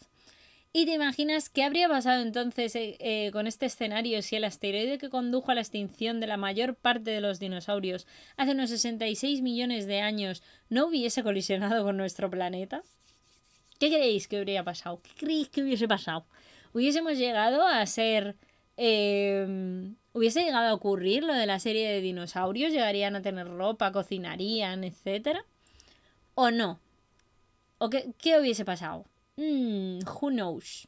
También os digo que aquí eh, la controversia, que no la explican, pero ya os la digo yo porque me la he leído, eh, la controversia estaba también en, en todo el problema o todo el tema de que eh, igual que por ejemplo los elefantes o muchos otros animales por su tamaño evidentemente tienen un cerebro muy grande y tienen muchas más neuronas probablemente que nosotros o que otros animales muy inteligentes como los primates se ha visto que probablemente la inteligencia de los elefantes ojo a priori que todo habría que verlo por ejemplo la de los elefantes o la de un rinoceronte que en principio por tamaño corporal el cerebro es mucho más grande tienen muchas más neuronas, probablemente en número, evidentemente, que nosotros, ¿vale? Pero eso no significa que el elefante sea más inteligente que nosotros. Porque, como hemos estado hablando al principio de las noticias, una de las muchas cosas que hay que tener en cuenta en esta vida es que em, con cariño, con amor, con sutileza, eh, todo se resume en no solo cuenta el número de neuronas, ni cuenta el tamaño de tu cerebro, que también es muy importante, pero es que el tamaño del cerebro va relacionado con el tamaño del cuerpo. Así que, evidentemente, si, por ejemplo, em, bueno, ya nos habéis visto in situ a bioplantólogo y a mí, eh, bioplantólogo es más alto que yo. Entonces, si a lo mejor nos extrajeran a los dos el cerebro, ¿vale? Pues probablemente su cerebro sería más grande y más pesado que el mío. ¿Es porque es más inteligente? Sí, en este caso sí. No, a ver, aparte de porque sean uno más inteligente o no, realmente el, el, peso es una cosa, el número de neuronas es otra, pero lo más, más importante para la inteligencia es lo que veníamos hablando en las primeras noticias. Si duermes, si tienes eh, buena alimentación y sobre todo las sinapsis. Las sinapsis, ¿vale? Todas las redes, todas las capacidades, interacciones, conexiones que tiene el cerebro entre todas las neuronas, ¿vale? Sinapsis. Sinapsis, todas las sinapsis que tenéis. Si esto está conectado, todas estas cositas con cosas, con otras neuronas, ¿vale? Y hacéis muchas sinapsis, como sinapsis, nuestra querida mascótica, pues entonces vuestro cerebro puede ser de este tamaño, pero podéis ser súper listos. Mm, así que da igual, no importa. Lo que importa es la calidad de la sinapsis y la capacidad incluso de regenerar neuronas, etc. Eso es mucho más importante que el tamaño del cerebro. Porque si nos basáramos en el tamaño del cerebro, entonces el ser humano se quedaría en el fin del mundo. O sea, no seríamos nada. Y eh, se sabe que esto también visto desde nuestro punto de vista, por supuesto, antropocentrista y ególatra, además no poder, el ser humano es el ser más inteligente del mundo. Bueno, no sé yo. Yo viendo que los delfines, que además esto lo digo por el libro también que os he enseñado antes, los delfines son capaces de dormir con la mitad del cerebro y la otra mitad del cerebro les mantienen en activo y nadando y de todo. Yo no digo nada, pero yo necesito eso. ¿Tú sabes lo que sería medio cerebro funcionando y medio cerebro descansando? Yo ahí lo dejo. Yo no creo que seamos los seres más inteligentes del mundo. O sea, los delfines están en otro nivel, ¿me entendéis? Están en otro nivel. Que vosotros diréis, pero están dentro de un acuario y están haciendo así con una pelotica. No subestimes a los delfines, amigo. Nunca se sabe. En esta vida nunca hay que subestimar a ningún animal. Mira, las cucarachas sobreviven a todo. Son una cosa que, no puede ser. Es una cosa fuera de lo normal.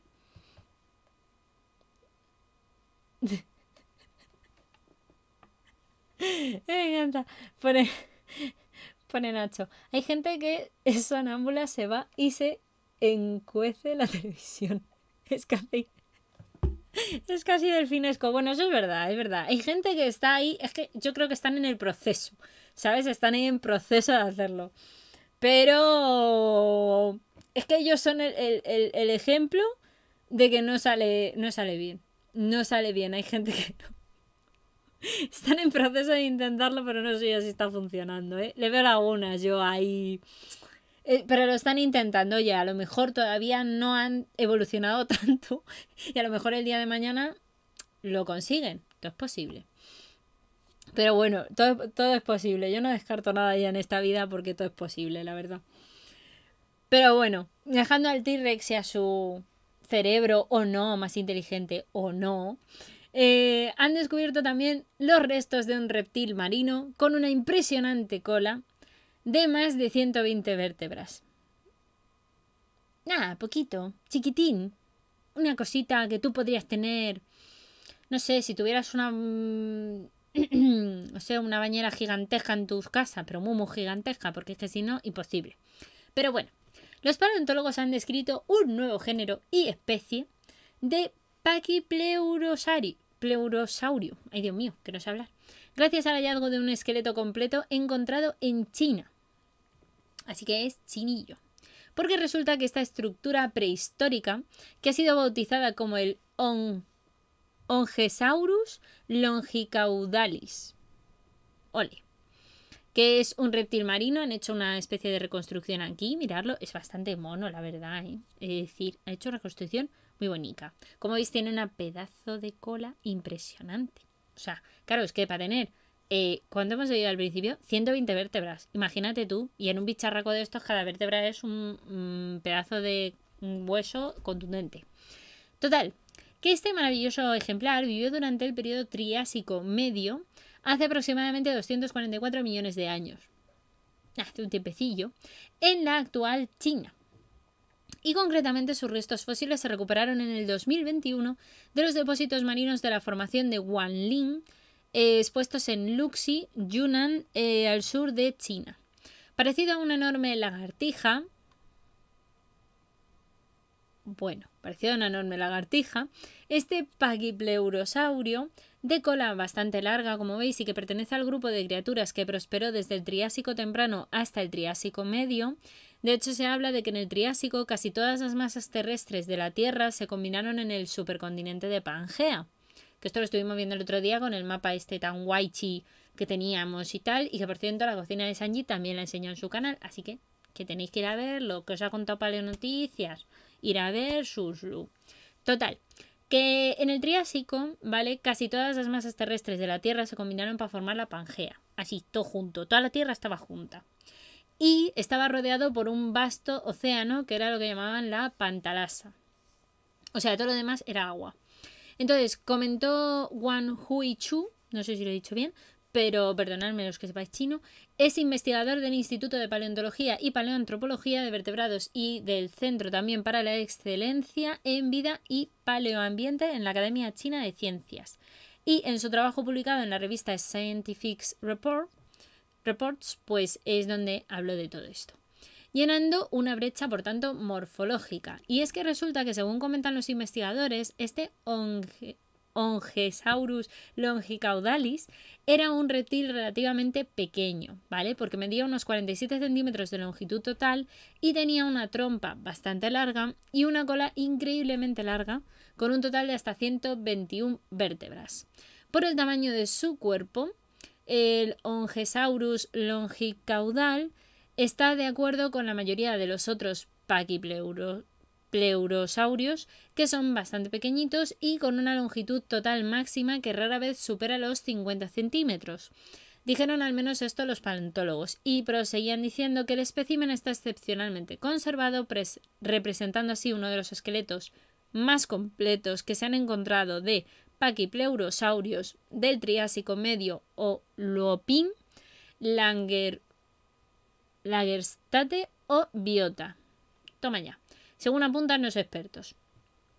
Y en la morfología general, las características más llamativas de este dinosaurio eh, tienen su cola increíblemente larga que mide literalmente y según las estimaciones el 117% de la longitud precaudal, es decir, em, por delante de la cola, ¿vale? Que es bastante. Y dijeron de hecho los científicos que toda la columna vertebral consta al final de 121 vértebras, documentando el mayor número conocido en todo el grupo. Así que ha sido cuando menos un punto bastante, bastante interesante, que de hecho la noticia sale de la revista muy interesante, igual que por cierto la anterior, que también era de este mismo, esta misma fuente, ¿vale? Eh, los científicos, los científicos siguen trabajando y trabajando y trabajando. ¡Oh! Baguetas. Baguetitas de Bagueto Life. Bagueto Life, una persona maravillosa que tenéis que ir a ver porque es una persona muy bonita de ver. Juega al cucoro, te hace de pronto IRLs haciendo cosas por ahí porque le da la gana. El otro día estuvo Hidden con él en persona, todo maravilloso. Tenéis que ir a conocer a Bagueto Life. Yo no digo nada. Tenéis que ir a verle. ¿Qué estáis haciendo? Cuando esté en directo, a ir a verle. Pero mientras tanto, como estoy aquí, pues bueno, me veis a mí un ratico que tampoco pasa nada. Científicos que descubren a los megaraptors otra noticia que esta, esta, es para romper la cabeza. Pero no pasa nada, no os rompáis las cabezas. Vamos a leerla juntos porque es muy bonita. Hay científicos que descubrieron que hay megaraptores que dominaron la Patagonia chilena hace 70 millones de años. ¿Y por qué digo que os va a, llamar la atención? Porque es que es un poco... A mí todas estas cosas es como que me las imagino un poco el rollo Jurassic Park, la verdad. Entonces, hay una investigación chileno-estadounidense que descubrió al dinosaurio que ocupaba el tope de la cadena alimenticia, ¿vale? Em, en la comunicada carnívora, eh, en la comunidad, perdón, más carnívora que habitó hace más de 70 millones de años en la Patagonia chilena. Hay un grupo de científicos chilenos en concreto, en alianza con otros investigadores de la Universidad de Texas, que descubrió que los megaraptores fueron los dinosaurios dominantes de la comunidad de dinosaurios carnívoros que estuvieron en la Patagonia chilena hace más de 70 millones de años. Pese a los numerosos hallazgos paleontológicos que se han encontrado y realizados hasta la fecha en esta zona cercana a las torres de, del Paine, en la región de Magallanes y de la Antártida chilena, aún faltaba una pieza fundamental de este ecosistema por identificar y es que los depredadores que dominaban la cadena alimenticia en este mundo cretácico se encuentran con que la investigación de la Universidad de Texas y de la Universidad de Chile, así como de la Universidad de la Concepción del Instituto Antártico Chileno, el INACH, y del Museo Nacional de Historia Natural a partir de las piezas fósiles rescatadas en el sector del Valle del Río de las Chinas, en campañas paleontológicas que se han organizado precisamente por este Instituto Antártico Chileno y que fueron realizadas en el año 2016 y 2020, pues tenemos a los megaraptores que son el top del top de, la, de las cadenas alimenticias. Aquí tenemos un vídeo de YouTube que ahora lo vemos cuando terminemos de leer la noticia. Eh, pero bueno, en esencia, los restos encontrados en la Patagonia chilena corresponden principalmente a dientes y a restos óseos poscraneales, ¿vale? Poscraneales es detrás del cráneo, ¿vale? Y que dan cuenta de una comunidad diversa de terópodos carnívoros que vivieron ahí entre hace 66 y 75 millones de años atrás, época en la que la geografía de esta área eh, presentaba un gran delta fluvial y abundante vegetación. El descubrimiento de estas piezas lo que ha permitido es plantear que en el tope de la cadena alimenticia de este ecosistema habrían estado de hecho los megaraptóridos, depredadores similares a los famosos tiranosauroideos, ¿vale? Que podrían haber alcanzado entre unos 6 y 10 metros de longitud y un peso, eh, de hecho, por redondeándose básicamente en una tonelada. ¿Cómo eran o cómo se lucían? Pues parece ser que las características principales de la morfología general es que los megaraptores tienen cráneos muy alargados y grandes brazos con poderosas garras, según indicaba Jared Amudeo, investigador de la red paleontológica de la Universidad de Chile. Los restos dentales de la parte media y posterior del hocico y pertenecientes a distintos especímenes fueron parte del hallazgo analizado en este estudio. De hecho, una de las características que nos permitió identificar con gran confianza que pertenecen a, a megaraptóridos son, en primer lugar, eh, lo primero que todo, que los dientes están muy curvados hacia la parte posterior, según Jared Amudeo, que es, como os digo, el investigador, y segundo, que la parte distal de los dientes, que dan hacia la parte atrás, de atrás del hocico, tienen muchas más serraciones, que son como un cuchillo que sirve para cortar, por tanto, la carne, y que en la parte mesial, ¿vale? En la parte del medio, mesial es como medial o medio, no lo tienen, entonces esa es una de las características principales que tienen los megaraptóridos, ¿vale? Que son estos de aquí. Esta sería la reconstrucción. Eh, y esta era la noticia, ¿vale? Básicamente. Entonces, aquí tenemos un video de YouTube. Video de YouTube. Oh, a ver qué ha pasado. Ahí, ahí, haciendo promoción a Hidden. Muy bien, muchas gracias, Gambrino. Muchas gracias. Muy bien, va ahí esa promo. Ahí, ahí, los emoticonos. Pues si queréis vemos este vídeo, no creo que haya problema. Pero un momento. espera. Que voy a intentar poneros el altavocico. Entonces, un monumento. Creo que esto va así, esto va así. A ver si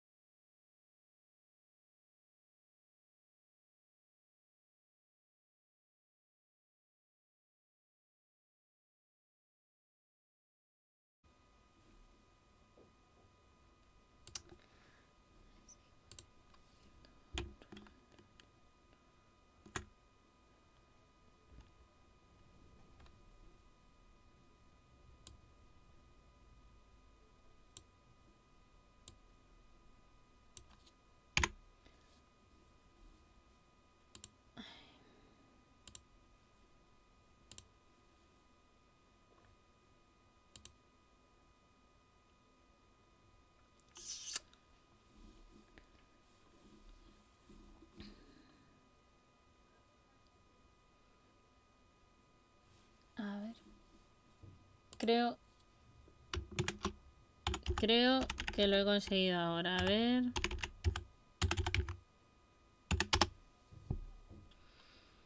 Vale. Hola, ¿me oís? ¿Me veis? Te escuchamos. Estupendo, muchas gracias, Gide, muchas gracias. Ahí estamos. Perfecto, vale, vale, vale, vale. Creo que no voy a poder poner el vídeo porque se ha petado, no entiendo por qué. Pero ya estoy en live, perfecto. Es que se había caído de pronto. Se había caído... A la burger se había caído. Entonces, voy a intentar poneros el vídeo, ¿vale? Sí, sí, sí. Eh, no, que no me vierais a lo normal porque he cambiado la, la escena por si acaso. Eh, pues creo que, no sé si ha sido por poneros el vídeo o porque ha sido, la verdad. O sea, no, no entiendo qué ha pasado. I don't know. Voy a intentar poner el vídeo. Si se vuelve a caer, no vídeo, ¿vale? Porque, no sé, no sé si es porque se ha petado. Una cosa un poco rara. Pero vamos a intentarlo, ¿vale? Entonces, os lo vuelvo a poner desde el principio porque es que creo justo se ha cortado por el vídeo. ¿Vale? Eh, vamos al lío. No sé si se oía o no, así que yo me callo y me decís. Retrocedemos en el tiempo y viajamos a Magallanes. Hace unos 70 millones de años, el Megaraptor, uno de los dinosaurios más imponentes en su tipo, habría habitado la Patagonia chilena.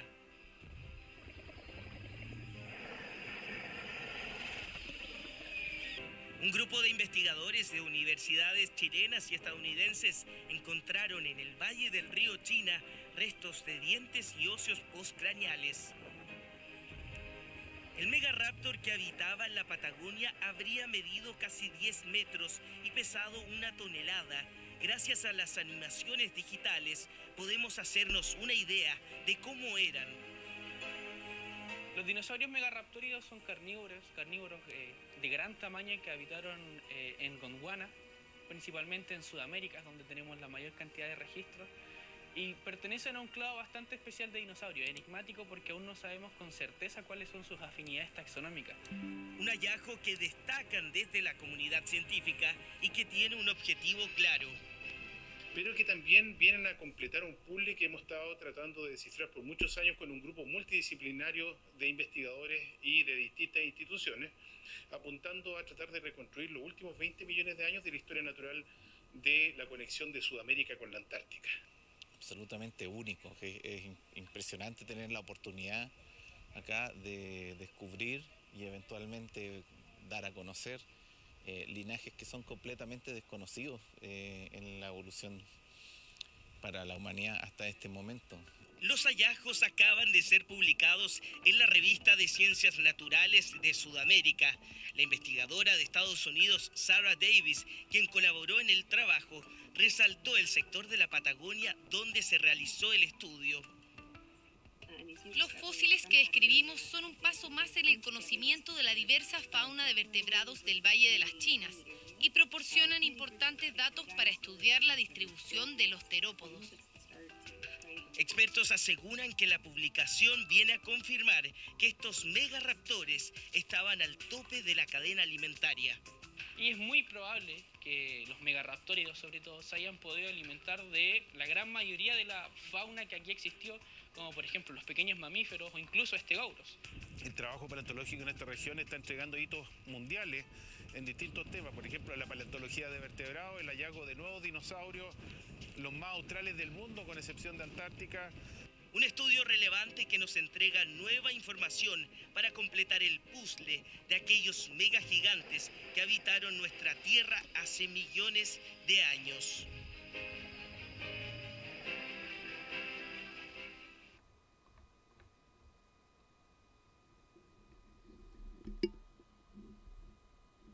Sí, es que es lo que estaba haciendo. Lo que estaba haciendo, justamente. Se escucha como si estuvieras. No, se escucha como lo estoy haciendo, sí. Literalmente, lo estaba cogiendo desde el micro.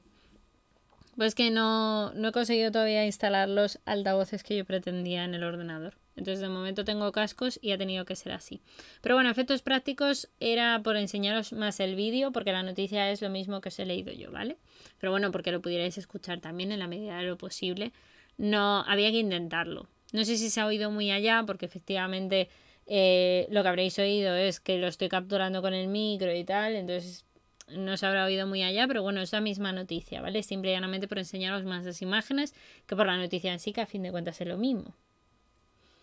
Eh, así que pues eso, bien está. Eh, voy a comprobar, permitirme un segundo. Vale, en teoría según esto eh, no hemos tenido microcorte ya, no se ha vuelto a caer el stream ni nada de nada. Estupéndico. Em, pues creo que nos queda una noticia nada más. Ya estamos en la última noticia del día. Em, sí, sí, sí. No, no es que no me lo pille. El problema es que em, que tengo conectado un micro que eh, todavía no lo he configurado yo bien para tener los altavoces bien. No es problema del OBS ni del ordenador, es problema mío que todavía no lo he configurado como debería, como debiera hacerlo. Bueno, de hecho no estoy con OBS, estoy con Streamlabs. Estoy con Streamlabs que es como el OBS, a efectos prácticos para muchas cosas. Pero sí, sí, o sea, es, es problema mío, no es problema del ordenador ni mucho menos. Es que es lo último que me falta por, terminar de configurar. Em, pero bueno, próximamente ya será lo último que, haga. A ver si lo puedo hacer en estos días, eh, que es la intención que tenía antes de, que empiece febrero. Em, ¿Qué más? ¿Qué más? ¿Qué más? Pues eso, eh, os leo última noticia. Y luego intento a ver si me deja, que en principio me debería de dejar, pero lo probaremos primero por si acaso. Eh, si puedo poner el juego que yo quiero. Y si no, pues tiraremos de Kukoro, que siempre nos sirve y siempre nos viene bien. Para entretenernos y disfrutar un ratico, que también es importante. Que a lo tonto ya son las siete y media, llevamos aquí, pues eso, dos horas, más de dos horas y media prácticamente, hablando aquí de la ciencia. Y también, pues oye, está bien, pero también hay que jugar y divertirse un poco en el proceso. Em, os leo. Última noticia. Dice que descubren en la Patagonia un ave que convivió con los últimos dinosaurios, ¿vale? Y esto ahora, cuando leamos la noticia, entenderéis por qué es tan importante. Estos son los fósiles de una nueva especie que se ha encontrado que ha sido bautizada como la Yatenavis eugensis, ¿vale?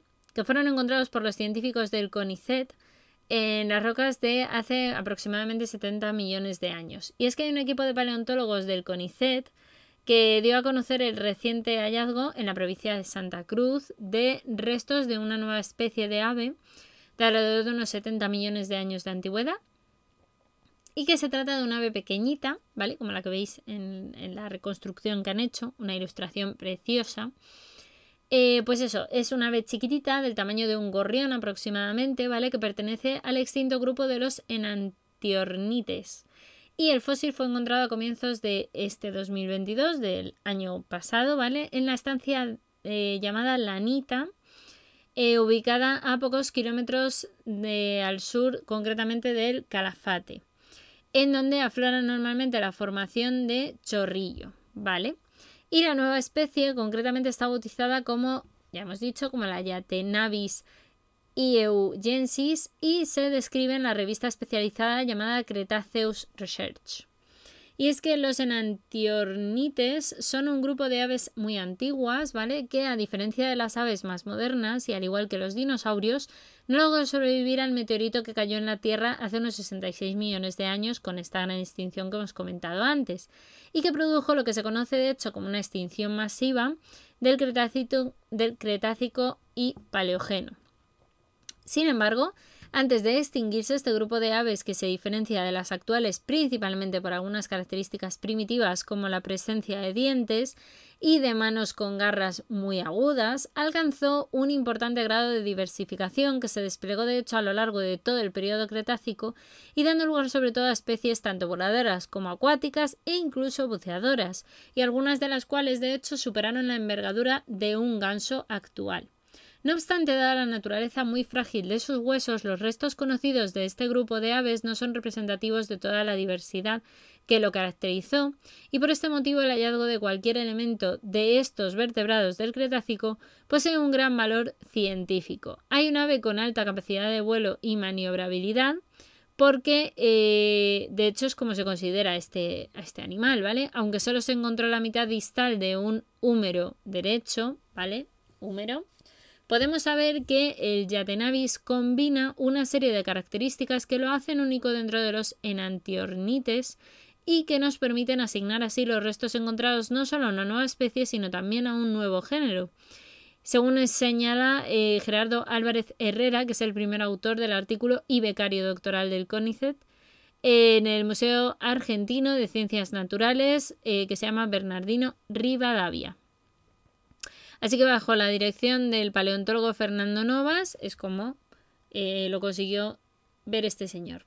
De acuerdo con los investigadores, hay marcas de músculos en el húmero que son indicadores de que esta especie, el Yatenavis, Tenía una alta capacidad de vuelo y maniobrabilidad, así como un rasgo que lo asemeja a los pájaros más modernos que habitan bosques y selvas y que son sobre todo excelentes acróbatas a la hora de esquivar árboles y arbustos mientras que vuelan a gran velocidad.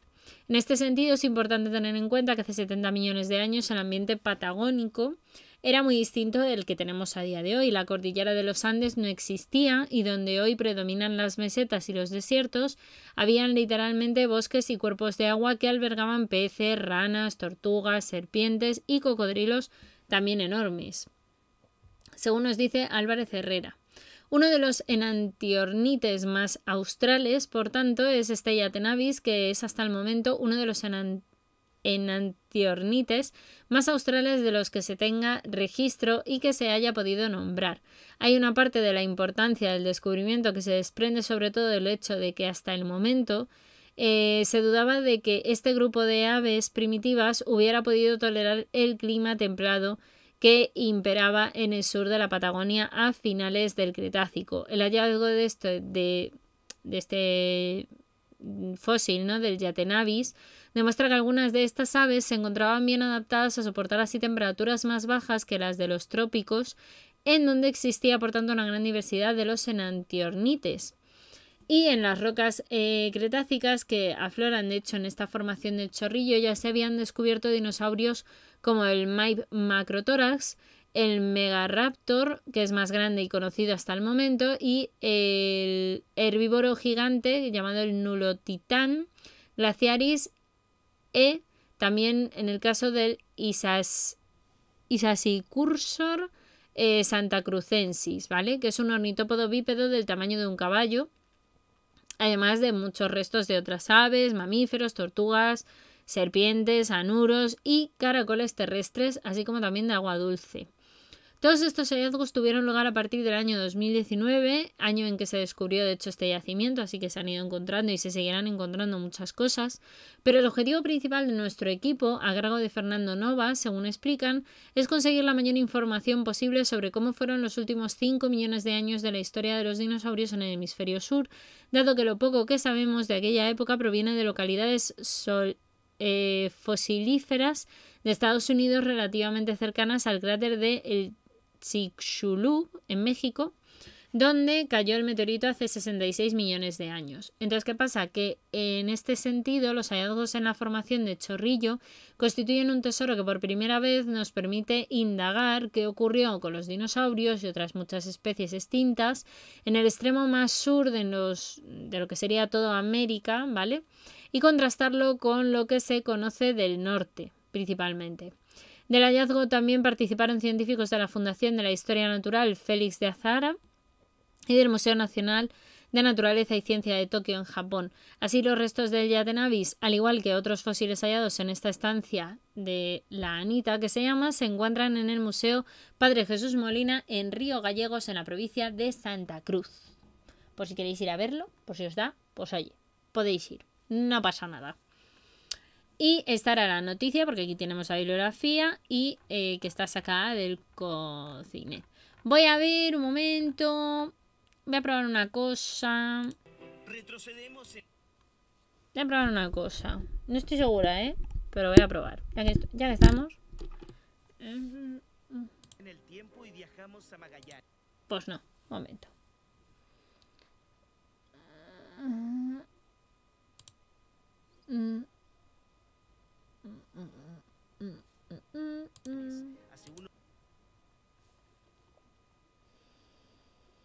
Ah, vale, espera, espera.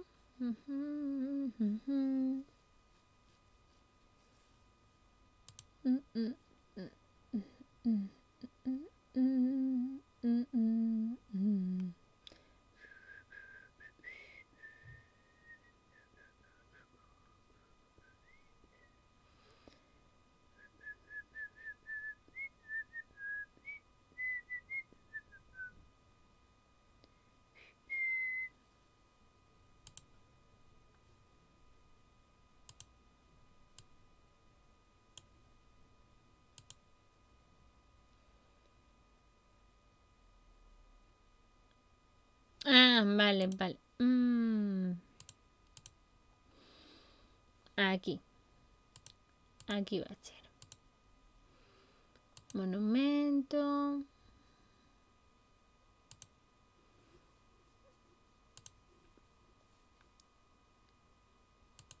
A ver.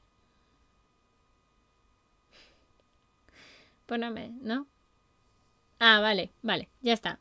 Creo que otro día intento poneros otro vídeo, ¿vale? Porque acabo de descubrir una cosa que creo que, que me puede servir en el futuro para poneroslo y que no tenga que ser eh, como ha sido. Todo sea cotillear. Pero lo, lo confirmaré en otro momento. Ahora no, que no es momento. En fin, que mm, tenemos por aquí eh, el final de las noticias, ¿vale? Hemos llegado a la última antes quitando esta mini prueba que acabo de hacer yo, que es, eh, como os decía, esta nueva especie buenísima, que, oye, pues mira, todo lo que podamos aprender del sur y del norte, todo siempre es bien para poder conocer, que ya sabéis que el conocimiento se construye piececita a piececita del ego para llegar a tener un gran cerebro, para ser tan inteligente como un T-Rex, si se puede, etcétera. Eh, en otro orden de cosas, vamos a ir aquí eh, para que me veáis la caja. Em, mm, mm, voy a ir abriendo el juego. Vale. Muy importante. Porque voy a intentar em, abriros el, el juego de... mm, Ok el juego de, del que yo os quiero enseñar hoy, ¿vale? Que es un juego nuevo. A ver si lo pilla el, el Streamlabs, que en principio debería de pillarlo y tal. Yes, ok. No hace falta que se oiga tan alta la música porque si no nos morimos. Ok, vamos a ver.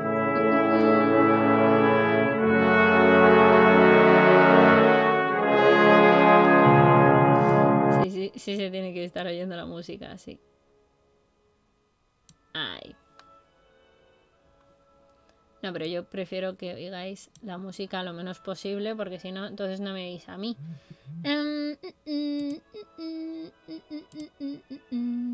Uh, ¿Qué pasó? Ah, vale, ya está, ya está. Me he rayado. Digo, uy. Sí, esta he sido yo, que me he visto que seguía todo en directo, todo bien. D'accordo. Ahora. Vamos a capturar el juego. ¡Ah! Perfecto, estupendo. Es perfecto, que me enamoro. Vale, podemos poner así. Yo creo que se puede comer un poco más. Ahí, para que lo veáis bien. ¿Qué es esto? What's that? Que es lo más probable que os preguntéis ahora. ¿Y esto qué? ¿Y esto qué es lo que es? Pues esto maravilloso, amigo mío. Esto es básicamente una simulación de un juego que su nombre realmente es... eh, os lo quiero decir bien. eh, Singularity. Singularity of STEM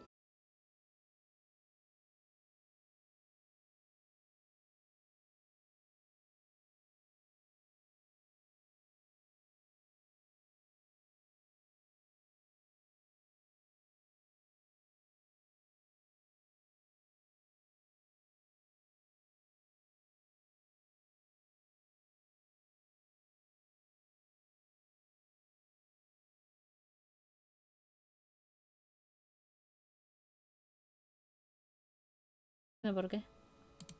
A ver. Perdonar, ha habido caída de FPS. Vale, parece que ya se ha solucionado. A ver, decirme vosotros. Ahora sí, ¿no? Perfecto, Hidden. Muchas thank you. Ya me veis, estupendo. Nada, es que me había olvidado de cerrar una cosa y creo que es lo que ha dado el fallillo. Qué travieso él, qué travieso. Es una cosa traviesa, ya sabéis, los ordenadores las travesurillas que hacen. En fin, no pasa nada. Creo que lo hemos conseguido solventar. ¿De acuerdo? Entonces, la cosa es que este juego, que os decía yo, es un juego em, que, eso, que mm, trata sobre la historia de la evolución, ¿vale? Eh, la evolución y el desarrollo de la vida, etcétera. Entonces, a mí me gustó mucho, ¿vale? Insisto, lo podéis jugar por Steam y lo podéis jugar por el móvil, ¿vale? Que era lo que os decía, se llama Cell, como tal, lo podéis encontrar como Cell. Entonces, yo lo quería traer aquí en stream porque a mí me parece muy curioso, ¿vale? Esto sería el Sol y esto sería el planeta Tierra eh, pues digamos que justo después de la formación del Big Bang, ¿vale? Es una simulación, tampoco es perfecto, tiene sus cosas. Entonces, esto que veis aquí son como pequeños atomitos que tú tienes que ir consiguiendo, ¿vale? Y que de hecho, como te invita todo el rato al juego, tienes que ir consiguiéndolos dándole continuamente al clic, ¿vale? Entonces es bastante fácil, es bastante intuitivo. Y el juego, pues ya os digo, eh, se llama Cell to Singularity, ¿vale? De hecho, mira, podemos quitar el sonido para que así no os moleste y me podáis escuchar a mí mejor. Eh, ¿Queréis que le vayamos dando? ¿Os parece bien? Vamos a intentar irlo poniendo. Por cierto que, a ver. Sí, vale, fue un casi. Que yo lo he jugado con el móvil, pero no lo he jugado aquí. Entonces, bueno, esto es básicamente ir dando. ¿Veis? Aquí. Maravilloso. Esto me encanta del juego porque cada dos por tres te van saliendo mensajes porque te van explicando cosas, ¿vale? Es un juego muy educativo. Entonces aquí, pues bueno, he visto que le he dado dos o tres veces y pone, ha recogido algo de entropía. Utilizar entropía para comprar actualizaciones de evolución, ¿vale? Esto no lo vamos a hacer como tal, pero ¿por qué es importante la entropía? La entropía significa, eh, es una de las energías básicas porque cuanto más desorden hay, que esto yo creo que ya lo he contado en algún momento, cuanto más desorden hay fuera de un sistema como el nuestro, nuestro cuerpo, tiene mucho, de mucho, muchísima entropía alrededor. Ese calor que a veces vemos en las cámaras y tal es entropía. El calor que desprendemos es entropía, ¿vale? La entropía es desorden, en principio. Y a más orden o más desorden, pues Normalmente más desorden, más entropía. Entonces, bueno, estos son, pues veis, conceptillos que tienes que ir como soltando y que vas aprendiendo. A mí esto me encantaba porque era un vicio, mira.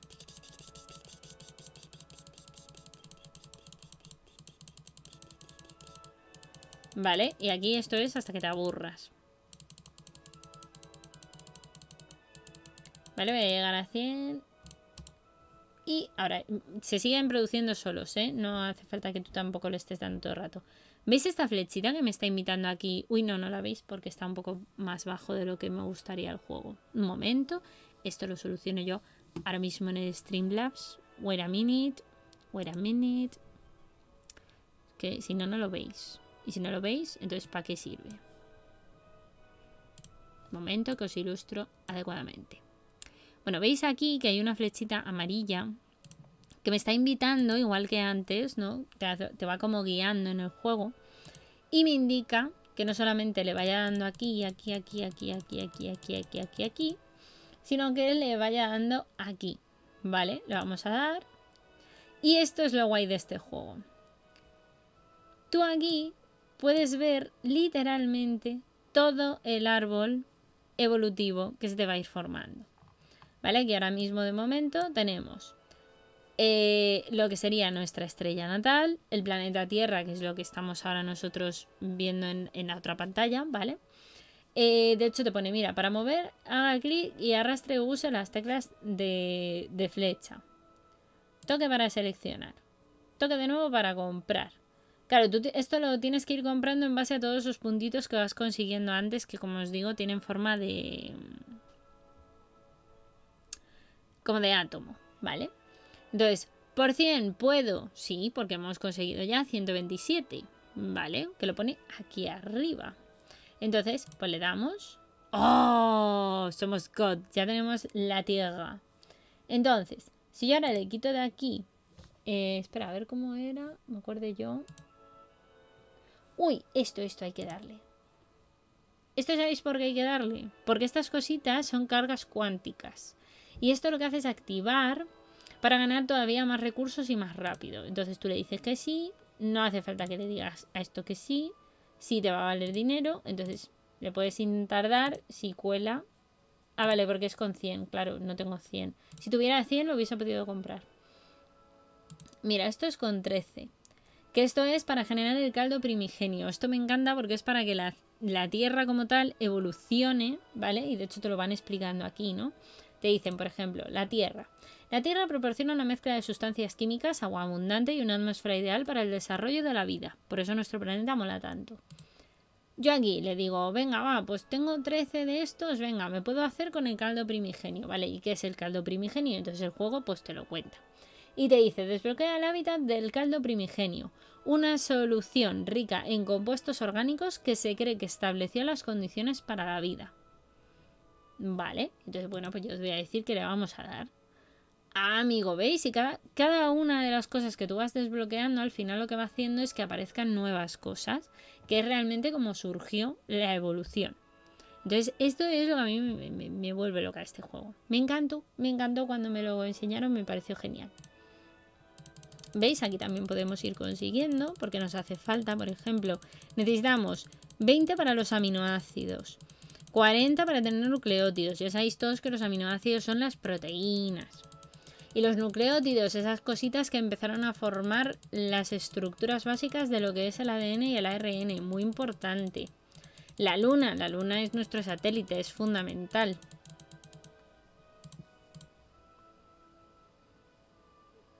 Ahí estamos. ¿Veis? Si le dais a las cositas amarillas, se consigue como el triple. Entonces es fantástico porque así tú consigues cositas.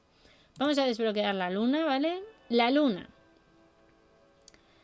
Toque de entropía que supone la luna porque son ganancias más 4 por cada toque que tú le des a la luna. Y es que las fuerzas gravitacionales ejercidas por la luna, el sol y la rotación de la Tierra mueven las mareas de los océanos para impulsar la vida. Esto ya lo sabéis que la luna es súper importante. Entonces, le vamos a dar que sí, queremos tener una luna, Mira, la luna nace cuando un objeto del tamaño de Marte golpea a la joven Tierra. Lo vamos a ver aquí. ¿Veis? Aquí está la Tierra. Esto joven, todavía. Tú fíjate cómo está. Esto no está para tener todavía vida. Vale. Pero ahí está la luna. Ya, cerquita, orbitando a nuestro alrededor. Haciendo sus cosillas de la gravedad. ¿Mm? Muy importante. ¿Veis? Esto es que te dé un, un con el tic. Pero mirar qué mono. Es que, es que esto, esto, es, esto es nuestro planeta, esto es nuestra Tierra, mira la Luna. Entonces, aquí en el árbol, ¿vale? Proseguimos. Y vemos que, uy, mira, si yo ya tengo para hacerme con los aminoácidos y con los nucleótidos. Me voy a hacer con los aminoácidos, que son las proteínas que son muy importantes, muy importantes, muy importantes para cualquier ser vivo. Los aminoácidos son los bloques de construcción de la vida. Pues sí, porque las proteínas son la base de la construcción de la vida. Mirad qué bonito. Vida creada. Aminoácidos. Ué. Vente para acá. Chacho. Ahí. Cada vida que compres te hace ganar más entropía automáticamente. Claro, vida hablamos de... de... Uy, perdón. Ah, mira, aquí lo tenéis. Nucleótidos, proteínas, ¿vale? Para desbloquearlas. Entonces, estupéndico. Sí, sí que quiero el impulso. Yo quiero todos los impulsos del mundo.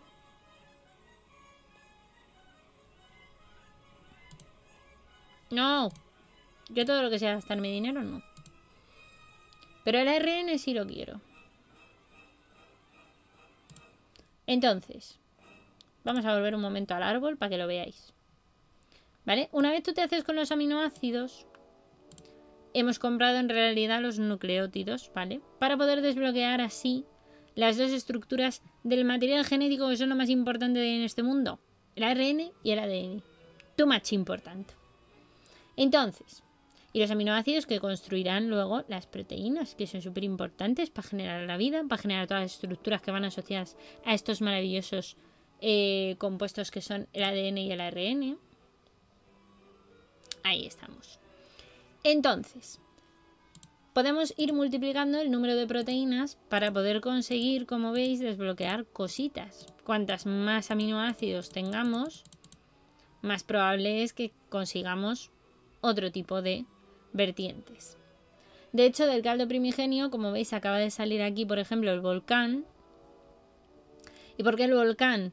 Porque el volcán realmente... Em, sabéis que la Tierra, al principio, principio, los volcanes eran muy comunes, muy abundantes, ¿no? Em, la Tierra era literalmente todo volcán, todo magma. Em, entonces, bueno, pues ahí está. Por cierto, los nucleótidos no lo he leído, lo he comprado pero no lo he leído. Los nucleótidos dicen que los nucleótidos son los compuestos químicos que forman la base pues, para el ADN y el ARN. Como veis, no es un juego súper, hiper, mega técnico, pero esto de que te vaya enseñando todo el árbol de la vida, que tú puedas ir como interaccionando, como consiguiendo cosas, tal. No sé si a vosotros os gusta o no. A mí que me flipó este juego. Cuando yo lo descubrí dije, el que lo haya creado es God. O sea, es God. La vida es God. Y ya está. No pasa nada. Hay que decirlo, es God. Por cierto, voy a concretar. Que no lo había puesto en el título, pero lo voy a poner ahí, para que se quede guardado. Correcto. ¿Cuál es el juego concretamente? Que así luego cuando lo suba, pues será más fácil. Entonces, ¿Cómo podemos hacer que esto vaya más rápido? Porque esto no va rápido. Pues nos vamos aquí. ¡Ostras! Mirar la Tierra. Mirar la Tierra. Qué forma tan bonita tiene. Mirar ya el agua como está. Ahí los, los cachitos de tierra. La luna está ahí on fire. Mira, esto también... Esto que veis por aquí... Esto también sirve para impulsar. Son estrellas fugaces. Y pone, tu toque se vuelve por 30 más potente durante 15 segundos. Pero claro, tienes que tener para comprarlo. Cachis. Yo es que esas cosas siempre que pasaban las cogía, ¿vale? Esto antes se cogía más automático, ahora ya te lo ponen...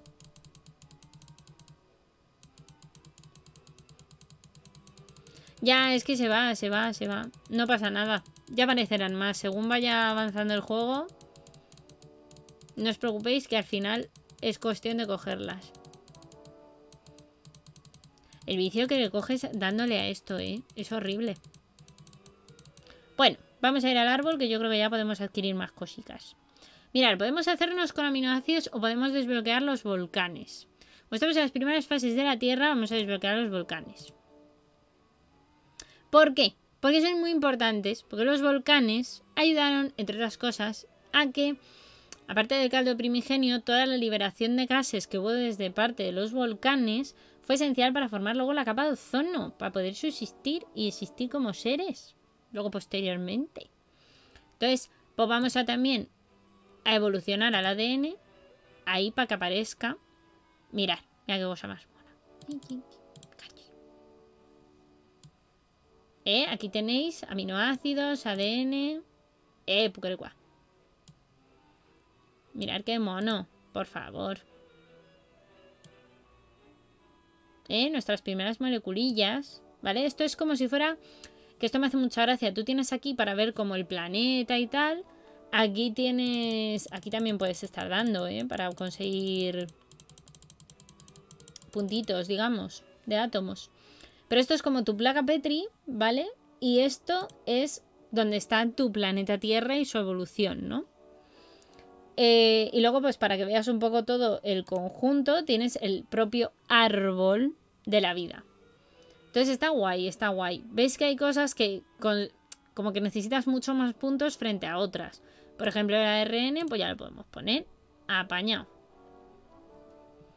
Y hay algunas que consideran más esenciales para la vida, como fue por ejemplo, que no lo he leído, pero el ADN, recordar que es una molécula con la propiedad única de autorreplicación.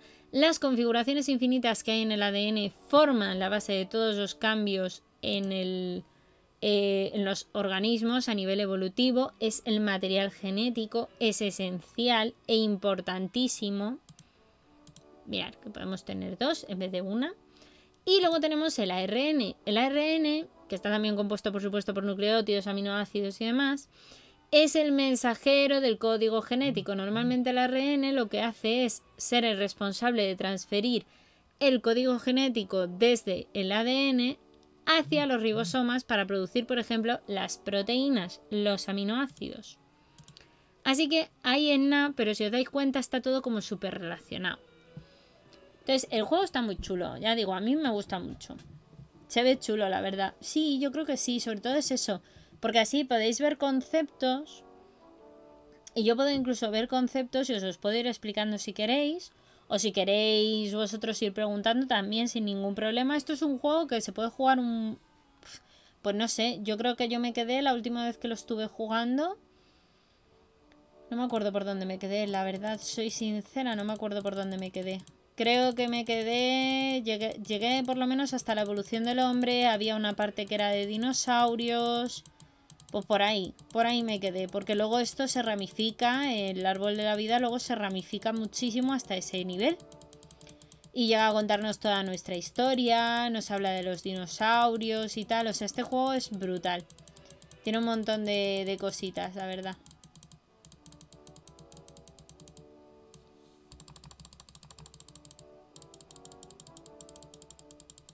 Entonces, pues eso. No sé si es muy aburrido o no, al contrario, es muy entretenido de ver. A lo mejor no lo es, no lo sé. I don't know. Bueno, sé que a mi querida Sara le estaba gustando, que ha puesto estaba muy chulo. Kike también. Quien también. Vale, vamos a intentar conseguir unos pocos para poder conseguir. Yo creo que vamos a llegar... A ver, ¿dónde queréis que nos paremos? ¿Hasta dónde queréis descubrir? Hoy. Las proteínas. Venga. Venga, vamos a llegar solamente hasta las células procariotas. Que yo creo que está bien. Así como primer día. Y luego ya... Jugamos ahora un ratito al Cucoro. Algún juego del Cucoro. Y así ya de relaxing. Que ya parece que no, pero igual os he soltado tu más información científica por hoy. Em, vale, he desbloqueado, como decía antes, las proteínas. ¿Qué son las proteínas? Las proteínas, como ya sabéis, son las moléculas que están conformadas realmente por los aminoácidos, que son las partes más chiquititas de una proteína. Los ladrillos de las células vivas son literalmente las proteínas. Las hormonas suelen ser proteínas. Las proteínas, de hecho, construyen un montón de cosas, son básicas y sobre todo forman, eh, o como os digo, están formadas a nivel estructural por grandes cadenas de aminoácidos, que son estos que tenemos por aquí. Así que muy importantes las proteínas. ¿Por qué son también importantes las proteínas y por qué con ellas se desbloquea lo del tema de la membrana plasmática? Porque las proteínas, una de las cosas que hacen también es precisamente el, el conseguir... ¿Por qué? Ah, vale, perdón. Es conseguir precisamente el, el aporte básico para poder eh, construir lo que llamamos la primera membrana plasmática, ¿vale? Que estaba compuesta por proteínas. También tiene eh, parte de, mm, de, lo que llamaremos eh, los fosfolípidos, los esfingolípidos, ¿vale? Es decir, tiene mucho lípido, ¿vale? Para que sea impermeable, pero las primeras, primeras membranas, según se sabe, estaban compuestas por proteínas, ¿vale? Por eso la ponen aquí un poco más ahí, ¿vale? Aunque a día de hoy las membranas precisamente son un poco impermeables y demás y por ende son más em, lipídicas casi que proteicas, aunque también hay muchas proteínas, ¿vale? Proteínas integradas que como os he contado en varios vídeos del canal de YouTube, son proteínas que se encuentran dando eh, transporte de sustancias y demás, ¿vale? Pero bueno, ahí están, las proteínas son importantes. Y aquí tenemos a la membrana plasmática, como os decía, ¿vale? La membrana plasmática protege el interior de las células del medio ambiente. Ya sabéis que es una delimitación, ¿vale? Muy importante. Vamos a seguir multiplicando moléculas y moléculas de ADN, ¿vale? Para conseguir logros. Idem con número de aminoácidos, vamos a irlo incrementando. Porque esto luego también está lo guay de que, ¿veis aquí el por 14? Y el por 8, cuantas más multiplico, más puedo generar y más rápido genero puntitos, átomos, ¿vale? Dentro del juego para poder seguir desbloqueando y desbloqueando y desbloqueando cosas. Entonces está, está muy guay. La verdad es que te envicias, ¿eh? Yo por lo menos me envicié mucho con este juego. Así que pues eso. A ver si conseguimos llegar hasta la célula procariota. Os leo qué es la célula procariota y si queréis lo dejamos aquí por hoy. Porque este juego es verdad que es muy chulo, pero es muy didáctico. Entiendo que yo tengo que ir explicando muchas cosas, más todo lo que os he leído de noticias, pues igual os va a dar hoy un síncope ya de cosas. Por favor, esto antes era más fácil de conseguir, ¿eh? No me gusta. Este cambio no me ha gustado. Pero lo veis, ¿no? Y además esto es una cosa que va aumentando la complejidad del juego. Es decir, cuanto más compleja es la molécula, más puntos necesitas para poder adquirir una nueva. Pero también suelen, eh, cuanto más importantes son y cuanto más subes, más valor tienen. Entonces, ¡ay, mirar, ahí está! Vamos ahí. Los primeros signos de vida brotan en ese caldo primigenio, ¿vale? Porque ya tiene sus aminoácidos, tiene proteínas, tiene cositas que pueden llegar a dar una membrana plasmática. Y entonces nace, chan chan, la célula procariota. ¿Vale? Las primeras células, como las bacterias, ¿no? Por ejemplo. Y, em, ¿veis? Aquí tenemos varias moléculas de ADN que irían sueltas, no llevarían protección ninguna. Aminoácidos sueldos en ese caldo de cultivo. Y una primera ya célula, bien, que veis aquí que es procariota, le han puesto su flagelito, sus cilios, su ADN ahí hecho un churrurru de momento. Pero bueno, ahí tiene su ADN. Tal, está súper simplificado, ¿vale? Pero bueno, ahí tenemos nuestras primeras células. Que es lo importante. Entonces vamos a ponerla para que no esté sola en el mundo. Vamos a ponerle unas cuantas más. Y como veis, al desbloquear las células, aparecen ya las mitocondrias eh, aparecen los virus, el núcleo, tal. Todo esto es porque eh, realmente la célula procariota, aunque no tiene un núcleo como tal, tiene material genético, pero no tiene núcleo. Acordaos, eso es de células eucariotas. Las mitocondrias, también de las células eucariotas. Las bacterias como tal nacen a partir un poco de estas células procariotas.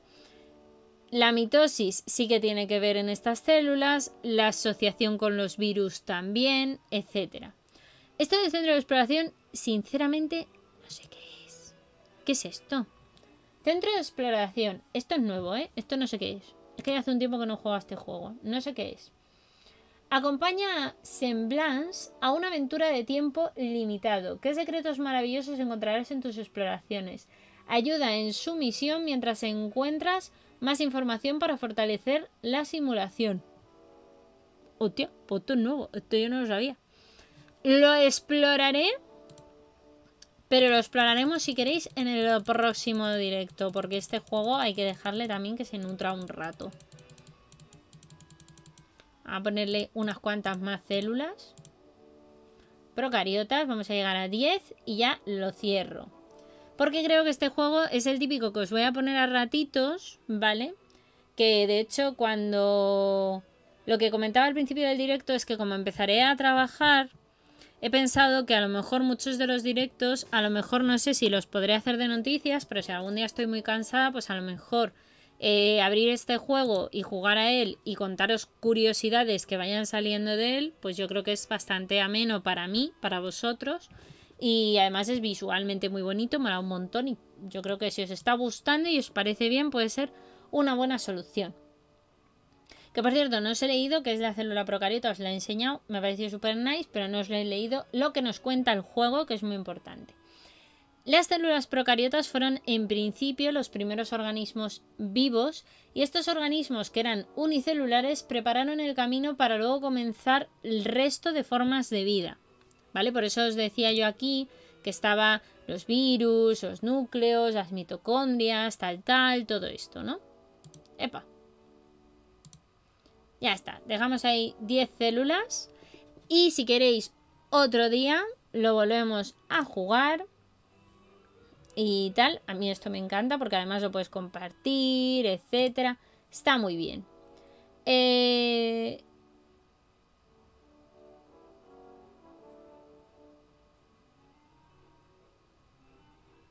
No, me vale. Salte. Estupéndico. Pues este era el juego que os quería enseñar. Como os digo, este lo vamos a ir jugando muy poquito a poquito y demás. Yo creo que es lo, lo mejor en ese sentido. Irlo jugando poco a poco porque también es un juego que tiene mucha información. Es, como os digo, es muy didáctico, lo cual es maravilloso. Pero también eh, entiendo que después de leer noticias y tal, igual ha sido demasiado. Incluso para mí es demasiado. Entonces, pues nada, vamos a jugar ahora otro juego más entretenido y dinámico.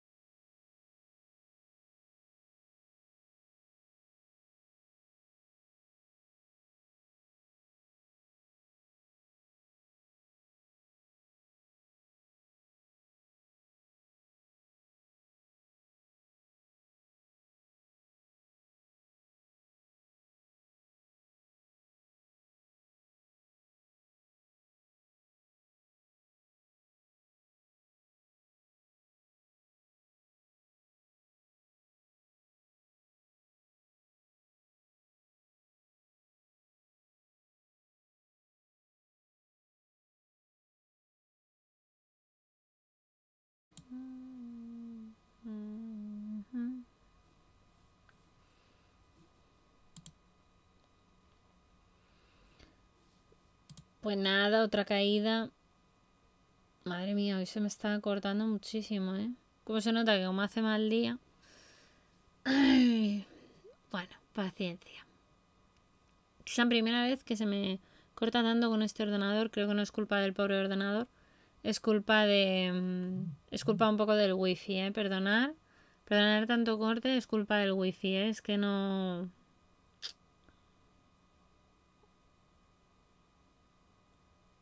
Sí, sí, sí, ha habido microcortes, es... Me da mucha rabia porque es culpa del wifi, ¿eh? No es culpa del ordenador, el ordenador va fabulosamente bien. Pero de pronto el wifi hay veces que... Caídas de FPS, estas cositas y microcorte para el canto. Bueno, lo que os comentaba, que no sé en qué momento se ha pirado. Entonces, eh, lo que estaba diciendo es que lo dejamos en las células procariotas, porque después de tanta noticia de ciencia y después de tanta cosilla, yo creo que mm, este juego a mí me gusta, me parece guay traeroslo así y tal para, para jugarlo, ¿vale? Para que lo vayáis viendo, para poder iros contando cositas de ciencia, que yo creo que está muy guay.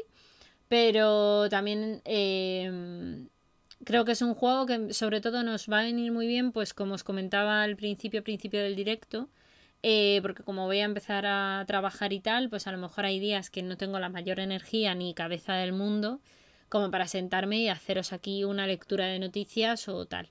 Entonces este juego nos puede permitir el hacer un poquito de ciencia, pero de manera como muy fácil, muy de chill out, muy de ya chatting y aquí pasando el ratejo que nos lo pasemos muy bien. ¿Vale?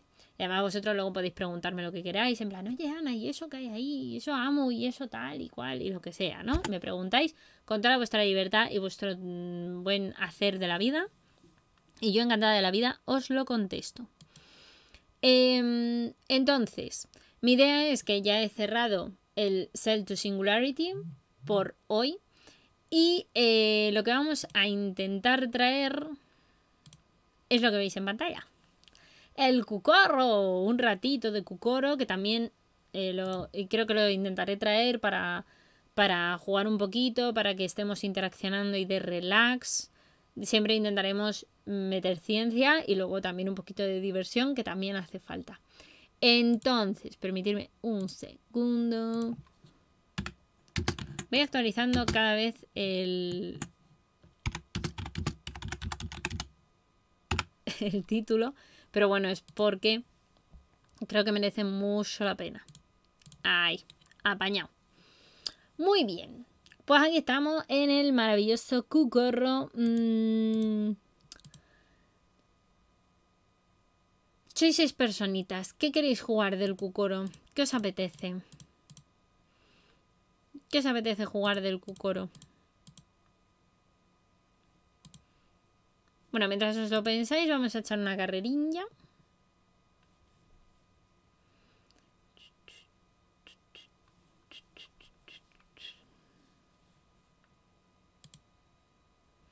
Ya le queda poquito a Hey. ¿Sí? Para el nuevo minijuego. Estupéndico. Estupéndico. Muchas gracias, Hidden, por apuntarte a la carrera. Esto es por si queréis iros apuntando a carreras, a cositas y tal. Mientras eh, me decís si queréis algún tipo de, de juego de los muchos minijuegos que tiene el Cucoro, ¿vale? El que más os ape, queréis una invasión en el jardín, queréis algo así, pues lo pedís. Así para chill out, yo creo que para estar a lo mejor un ratín con el Cucoro. Y luego yo ya me fundiré porque llevo desde las 5 hablando y ya no sé ni qué digo. Eh, pero bueno, se intentará. Oye, por cierto, soy yo la única que cree que para tener solo el foco puesto, el halo este que me han regalado, se me ve mucho mejor que yo creo con la luz. Que con la luz que yo tenía antes. Yo creo que se me ve mejor, ¿no? Oye, pues yo veo muy bien, ¿eh? O sea, decir... Por cierto, no, no sé si os enseñé el otro día estas maravillas.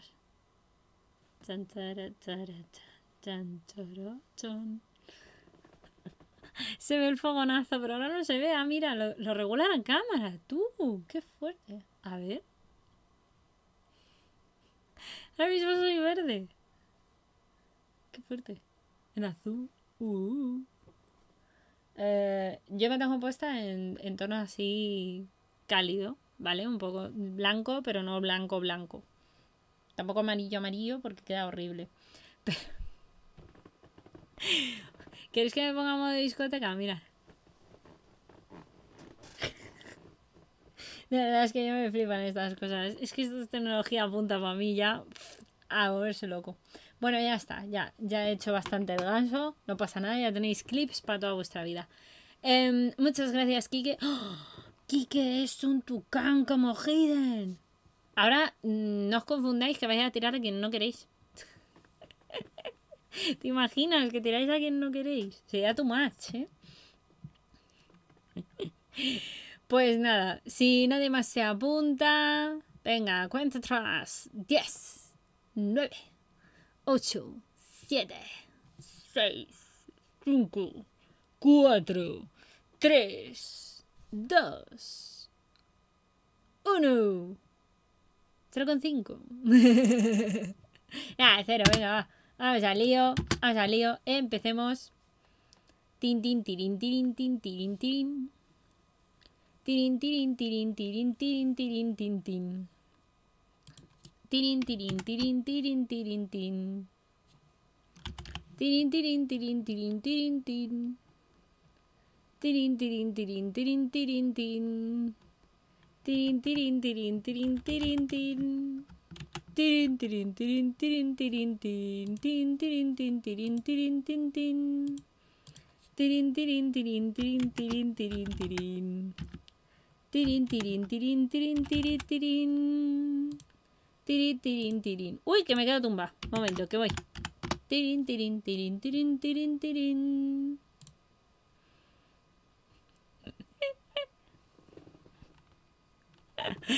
Me muero. Va a ganar Hiden. Y yo voy a quedar tercera por ser maléfica y mala persona. Oh. Enhorabuena, Hiden Evolución. Has ganado la carrera. Segundo, Kike. Y tercera, yo. En mí misma. Muy bien, muy bien. Está muy bien, está muy bien. Esta carrerita era para calentar. ¿Qué se os apetece, mozuelos míos? Una cuarentena, una invasión en el jardín. La cámara del faraón es que si os metéis los seis, sí, pero si os metéis pocos, pues no. os diría también el rodeo de extranjería, pero el rodeo de extranjería... Eh, tal, venga, ¿qué os parece una invasión en el jardín o una cuarentena? ¿Cómo lo veis? ¿Qué se sabe más? Venga, eh, habéis participado Kike y, y Hiden. Mm, Kike, elige tú una. O Hiden, el que queráis primero y el otro después. Me da lo mismo. Vosotros tenéis de Power. Bueno, y Alexander Fleming también podría tener el Power, pero es que no puede hablar. Venga, aquí que dice que cuarentena. Venga, pues vamos a la cuarentena para empezar. Y eh, pues Hiden ahora que, que diga lo que él quiere y lo jugamos después. Así vamos haciendo variadito.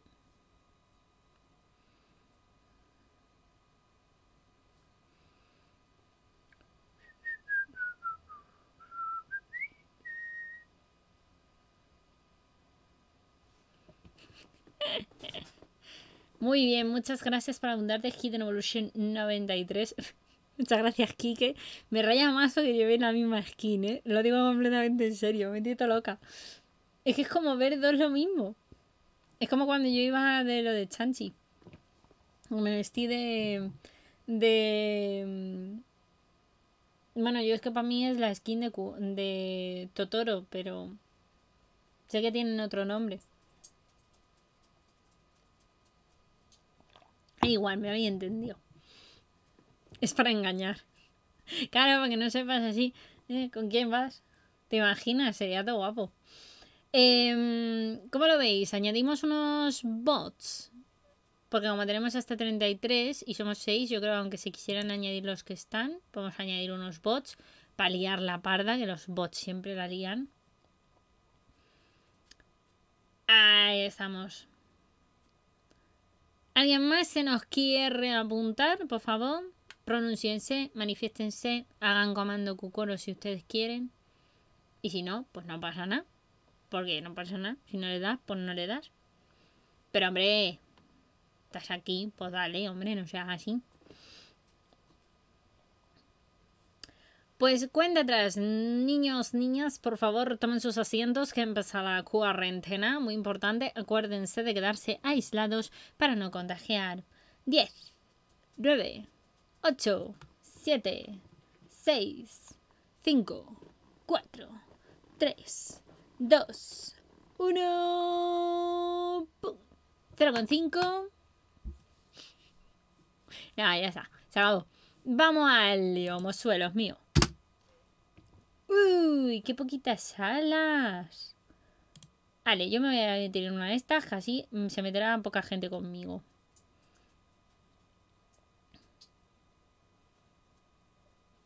Ah, el bot Daniel quiere lío conmigo. ¿Qué es esto? Mm,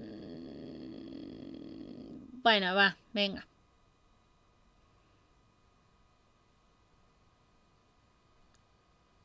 Ahí, ahí, muy bien. Kike, elige tu lugar.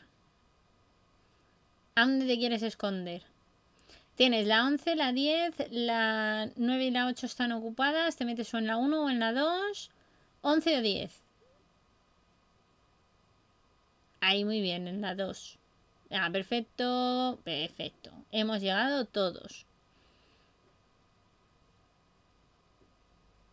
Que es lo más importante. Momento. Ay, emitisme.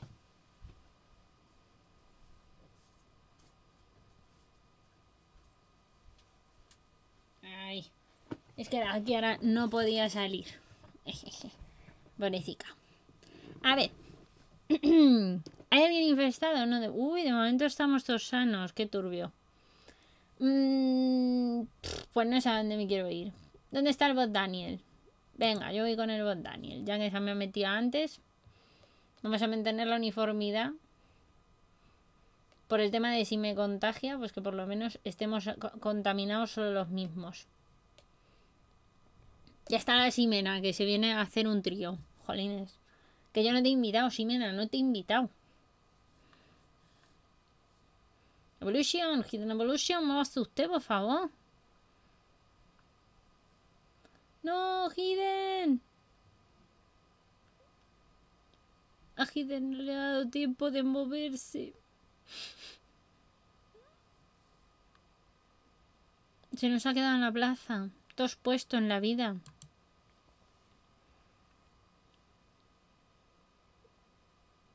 ¡Pah! La Laila esta. ¡Pah! A saber qué hace esa. ¿Y sabe de dónde ha salido? Mm, venga, me voy a meter para acá. A ver si se viene aquí el bot Daniel, que ese ya le tengo fichado. Bueno, la Simena vale porque antes también se ha metido conmigo. Kike, bot Laila te quiere hacer el lío. Ah, no, no, vale. Bot Laila, quédate aquí, hombre, muérete. Si tampoco...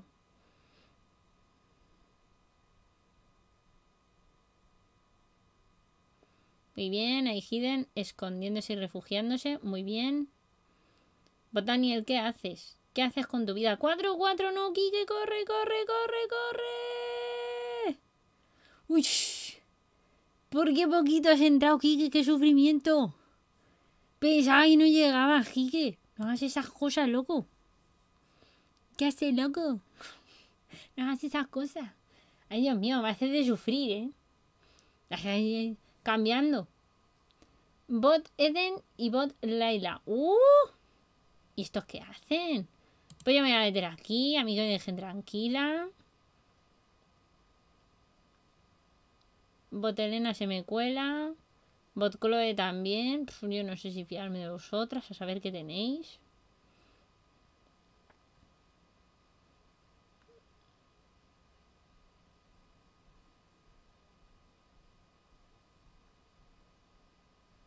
A ver.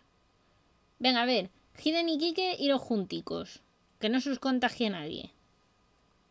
Muy importante. La bot Laila está... Mira, pues bot Laila, hija, te puedes ir aquí. ¿Tú qué es, es ahí? ¿Que te vas a morir? ¡Hala! Ya se ha muerto alguien. de verdad, seguro que la Laila que se ha quedado ahí a lo loco. ¿Y esta qué la pasa? A ver. Alguien la ha diñado. ¿Quién es? Pues eso, ¿ves? que, que alguien tenía que morir. Graham está contagiado, el que va como de Luffy. Uy, qué turbio. Pues ya me meto para acá. A mí que me dejen tranquila.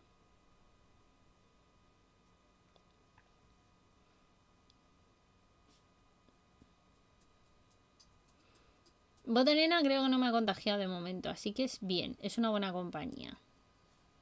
Bot Daniel parece que está limpio, porque ha empezado conmigo, también parece buena persona. ¿Me dará tiempo? ¿Me dará tiempo? ¡Corro! ¡Corro! Venga, vamos a piñarnos los tres. Ale. Bien. Boteden se ha quedado fuera. Bueno, dos muertos. Dos muertos cuatro sintomáticos. Vamos fastidiados por la vida.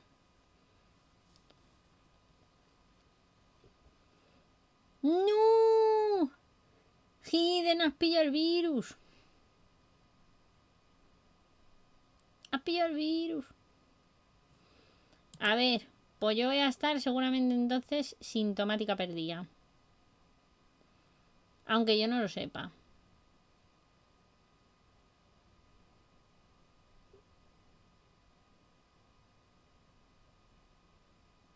Mmm... Pero Jennifer, no seas tonta. Que una vez que yo te voy a contagiar. Baisus.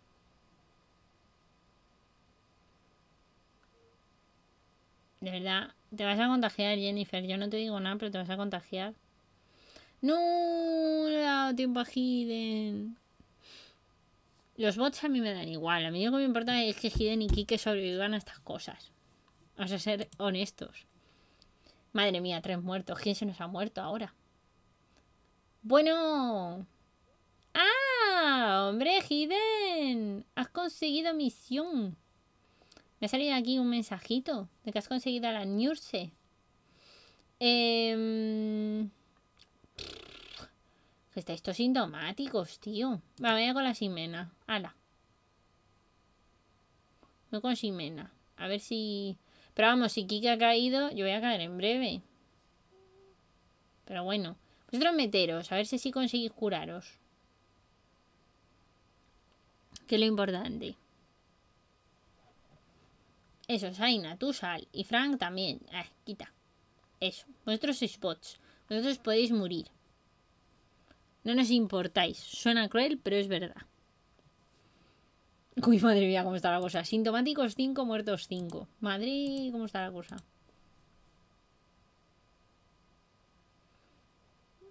¡No! Ahora soy una tortuga todavía más verde. Eh, F en el chat. Hemos perdido a Hiden. ¿Y tú por qué te metes? Vamos a ver, quita, bicho. No, espera. Vamos a meter aquí. Vamos a meter aquí. Ahora. A ver si me oscuro. Venga, Kike y yo estamos aguantando. Hay opciones todavía.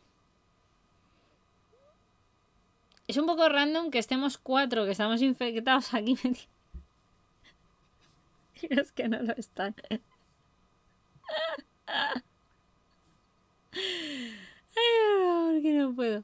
Y los que no están se han quedado fuera. Vamos a perder esta partida. La pandemia nos va a ganar tú. Esto es imposible. No vamos a salir vivos.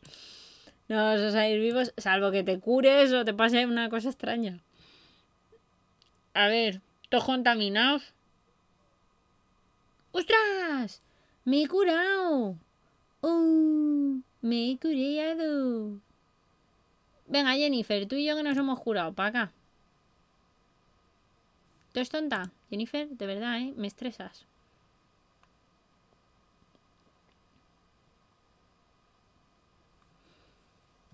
Y hemos perdido aquí que solo sobrevivo yo.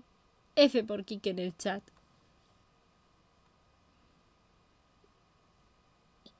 Y aquí estos, pues espérate que yo estaba antes con la Ximena, me voy a contagiar otra vez. Dios mío.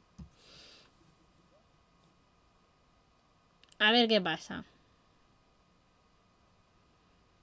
¿Qué creéis? ¿Quién va a ganar? ¿Nosotros? ¿O el, virus? ¿Cómo lo veis? Yo lo veo chungo, eh, la verdad. No quiero ser negativa, pero lo veo chungo. Bueno, aquí se ha muerto uno. Yo me voy a ir metiendo por aquí. Jennifer, vente para acá. Que tú y yo estamos inmunes. Hijas, vente para acá. Está difícil. Kike lo ve como yo, lo ves negro. Lo entiendo. Se puede, se puede. Sí, sí, Jennifer viene para acá y no se queda ahí. Bien, Jennifer, conmigo, with me. Muy bien, Jennifer. Muy bien. Eso. Y vosotros intentar curarse, hombre. Que cómo hay que hacerlo, es que si no, no se puede ganar. Ay, Dios mío. Pero que no. Estos bots, estos bots quieren morir, ¿eh? Quédate en casa. No, si yo me quedo en casa, si el problema es que el resto no se queda. A ver si, a ver si nos entendemos. Venga, Jennifer, vente para acá. Conmigo, aquí, que no puede entrar el Daniel. Jennifer. Jennifer es que va un poco al paso del caracol, ¿me entendéis? Ella va a su ritmo. Venga, muy bien, Jennifer, muy bien. Y ahora a ver el bot Daniel, a ver si se puede meter ahí el pobre y se nos cura. Y entonces, bueno, aunque haya habido una gran masacre donde hemos perdido, la Jenny no se entera, ¿no? Em, aunque hayamos perdido al gran Hiden y al gran Kike, por lo menos que haya una supervivencia en algún lugar.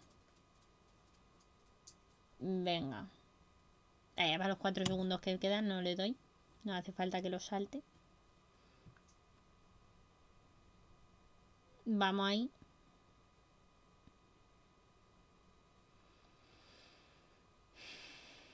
Qué tensión, ¿eh?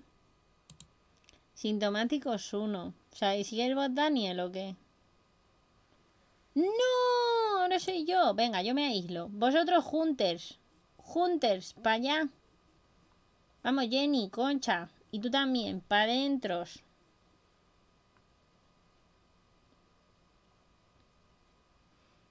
Jenny va a lo suyo, totalmente. Sabéis que van a ganar los bots y no voy a ganar yo. Somos conscientes de ello. No me lo puedo creer. Me he contagiado dos veces. Esta es la segunda vez que me contagio. Bueno, ya está. Ahora sí lo salto porque quedan 10 segundos, pero solo, solo estamos nosotros y ya estamos todos metidos. No, por Dios, sintomáticos 2 no, que no vamos a ganar. No vamos a ganar, va a ganar el virus, tío. No quiero ser negativa, pero es que está fastidiado tú. Venga, hasta luego. O sea, Jennifer y yo, que nos habíamos curado, nos hemos vuelto a infectar. ¿Y ahora yo qué hago? ¿Me meto y me salvo yo? ¿O me quedo fuera?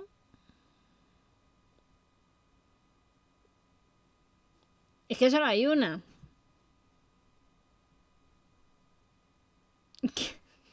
Dejo que se meta el bot Daniel. O me quedo yo fuera y la palmo. Es que no sé. Complicado, ¿eh? Qué complicado. Si es que va a ganar el virus. Va a ganar el virus, tú. Porque, y si yo no me curo, a mí me dan por Suki. Pero es que a Jennifer la cogí ahora también. El otro también. Es que así no se puede por la vida. dos habitantes. Nada, la he palmado.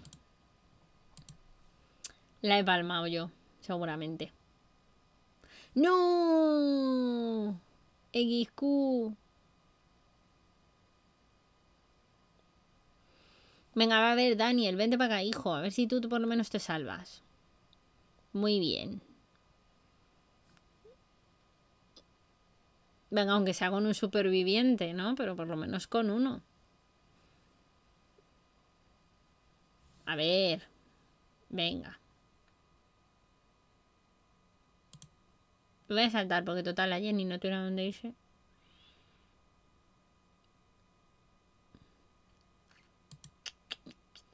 No. No, no me digas que está sintomático también él. Vamos a morir todos. No, Daniel, ven para acá. Ven para acá y cúrate solo, por Dios, te lo suplico. Que le ganemos a la pandemia. ¿Qué es esto que es? F en el chat. ¿Qué me pasa a mí que Dani... Bueno, como Dani se queda aquí y no espabile, mira que le doy a saltar y me lo cargo, ¿eh? Yo estoy muy loca. Daniel. Para acá. Came here. Ay, hijo. Tenías muchas opciones, vamos. Te ha costado. Dios mío. Es que... Ni que se lo tuviera que pensar, ¿sabes? Si solo hay una sala, o sea, si hubiera cinco, pues que hay una. Tampoco... A ver, venga, vamos a ver si Daniel sobrevive. Ya estoy yo angustia por Daniel. A ver, Daniel. Daniel San. Vente para acá. Venga, hijo, que solo tienes, solo tienes una sala. No tienes, que, no tienes ni que pensar. A mí ese chico me parece que le falta algo, no, no sé qué es. Mucha sinapsis no tiene. Este seguro que no duerme bien y a sinapsis no le conectan.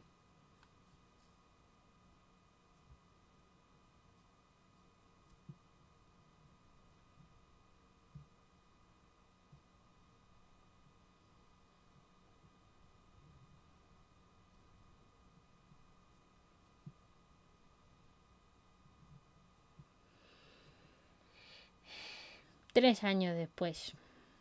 Ya no tiempo hasta que se termine el tiempo y todo. Tú fíjate. Qué pesado es para moverse este muchacho. No, normal, pero si es medio tonto el Daniel. ¿Cómo, es?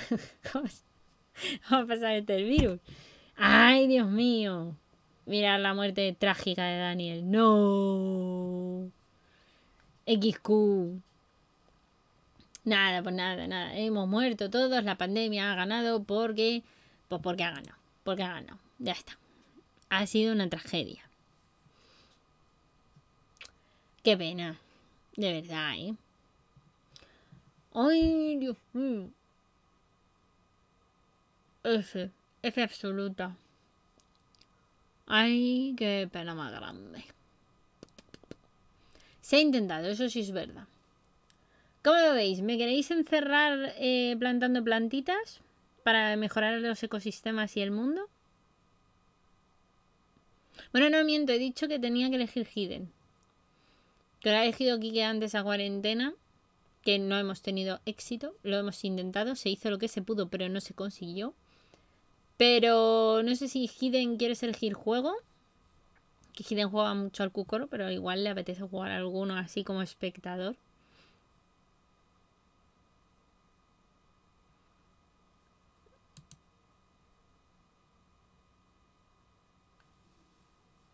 ¿Sí? ¿Invasión en el jardín? Venga, va. Pues vamos a irle dando.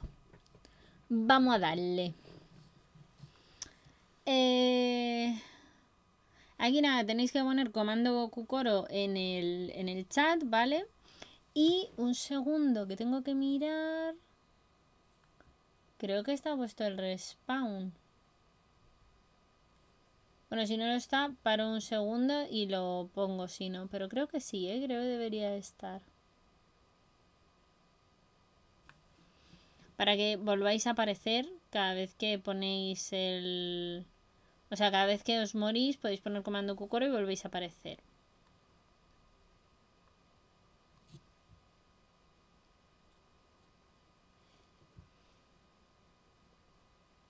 Ya me camuflo, como voy de verde. Em, no sé si alguna de las seis personas que estéis por aquí por el chat, eh, que no sé ahora mismo quiénes estáis, a ver, estáis Hidden, el Nightbot, no, el Nightbot no cuenta, Gambrinus, Denny, eh, Commander Rod, Digital Instinct, está Fire, está Infatuwe42, Aslainted y Streamfire. Bueno, si algunos queréis apuntar, estáis invitados. Ponéis comando Kukoro y, y pa'lante. Por si acaso, comando How to Play, por si tenéis dudas de cómo se juega a la invasión en el jardín. Y, em, y poco más, la verdad. No sé qué más contaros o deciros. Amigos míos.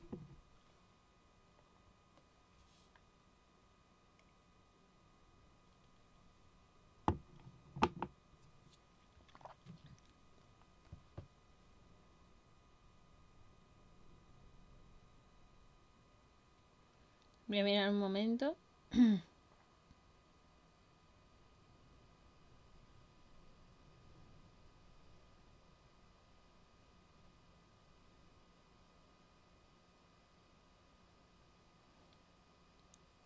¡Ay! Que me lo han mandado. Me lo han mandado. que era lo del Tyrannosaurus Rex?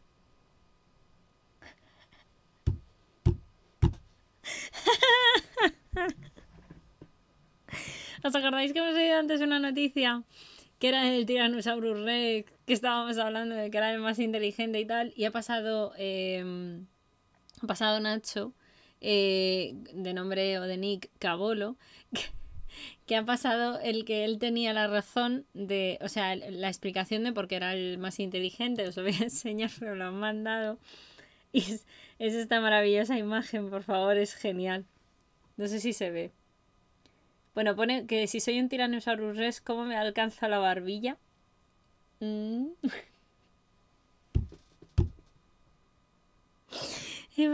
Es que hay tantos memes con esta imagen, la verdad. O sea, ¿cuántos memes habéis visto?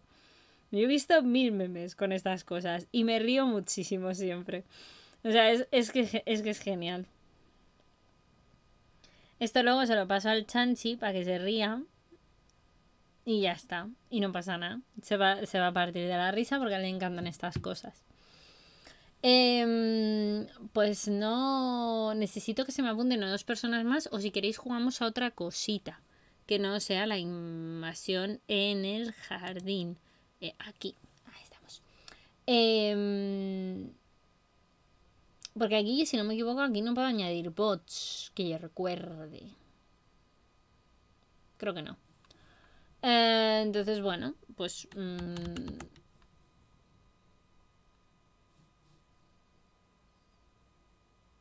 sí, yo creo que vamos a probar otra.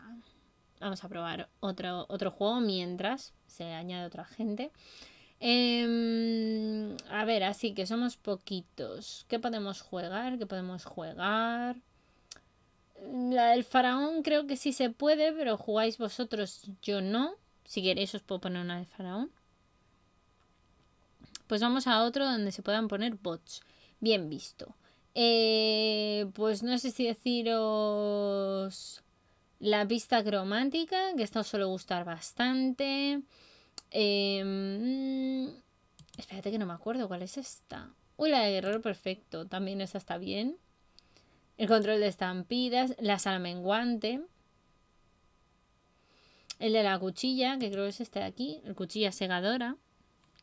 Eh, o el control de estanjería, que lo hemos visto antes. El francotirador. Pues es que podemos jugar a cualquier cosa. O a las mazmorras, incluso. La incursión a la mazmorra. Yo creo que casi todos se pueden meter bots, ¿eh? La verdad. Creo que eso no es mucho problema. Ay, perdón, he dicho la vista cromática, la vista cromática es esta. El rondo es este, me he confundido. Va, jugamos una pista cromática de estas para demostrar que somos todos unos daltónicos maravillosos. Ven, vamos, vamos a demostrar que somos daltónicos. Es muy importante que lo hagamos. Para que... es que esto es una cosa que yo creo que es sana, porque así nos revisamos nuestra visión solo jugando al cucoro. No te hace falta ni ir al oculista.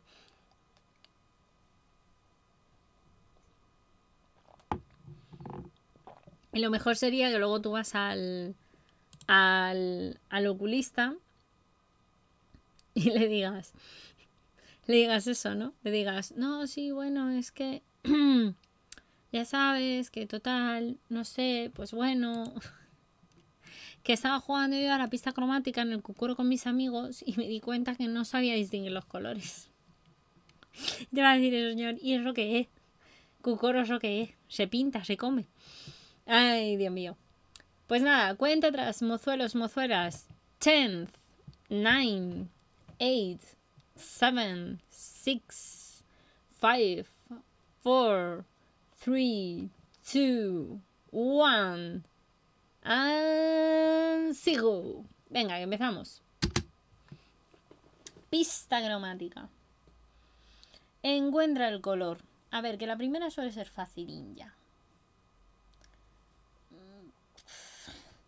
Yo qué sé, es que este color, este color a mí me parece que es... Pues este, ¿no? Parece. La 19, ¿no? Parece. La 19 y la 20. Pues que no está muy claro. Fíjate, para ser la primera ya no está claro. Vamos mal.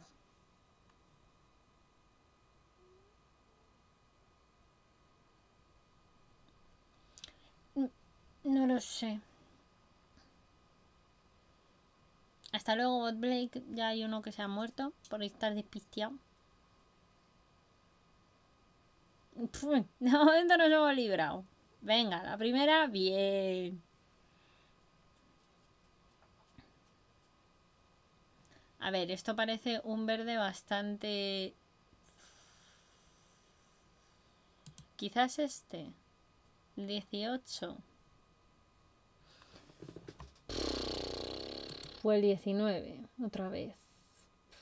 No sé.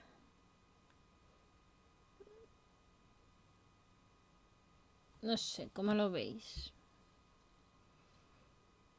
19, yo es que no sé. El 20 que vale es un poco oscuro, es que no lo sé. No lo sé, mm, parece. Por ahí va a andar la cosa. Por ahí va a andar. Gregory, vas a morir. No sé por qué. Venga. De momento nos hemos librado. Venga, va, va, va. Las dos primeras son las fáciles. Ahora se pone lo complicado. Bueno, ya empezamos. Ya empezamos con todos los colores son iguales. ¿Este qué color es, hijo?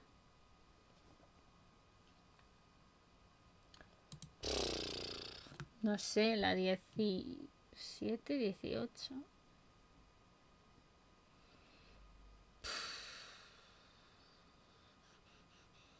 Que es un poco pálido, ¿eh? es que...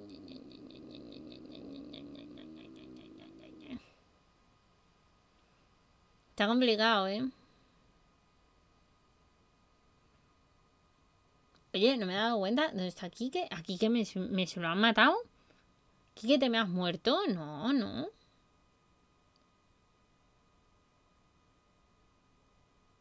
¡No! Ah, que Kike estaba detrás mía. Jorge, no te veía, Kike, perdóname. Oh, F por... F por Hidden, que siga muerto. F por Hidden. Madre mía, qué alegría que alboroto otro perrito piloto. Y aquí qué morado es. Y yo qué sé. Entre este y este, pues cualquiera. Que de verdad. ¿Y por qué me tengo que fiar yo del bot? ¿Nos fiamos del bot? Yo no me fiaría del bot porque este, este tiene pinta de no tener ni idea.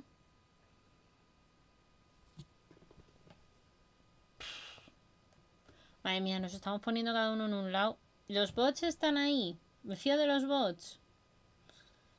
Me fío de los bots. No sé. No, me tenía que haber fiado de los bots. Ah, pues no, nadie, nadie ha llevado razón. Bien. Joder, es que dudaba entre esa y la otra. no pasa nada, lo hemos intentado. Lo hemos intentado. Ni siquiera los bots han atinado. O sea, para que os hagáis una idea de cómo estaba el percal. Hemos muerto en la última, Kike. Pero los bots también. Eso es importante. Nosotros no somos menos listos que un bot. Eso es lo que hay cuenta en esta vida. Em, pues sí, pues sí. Mira tú por dónde. Eh, pues estoy por deciros... Em, mm, mm, mm, jugar a una cuchilla y luego ya busco ahora mientras a ver a quién le hago la raided. A ver quién está para hacerle raided.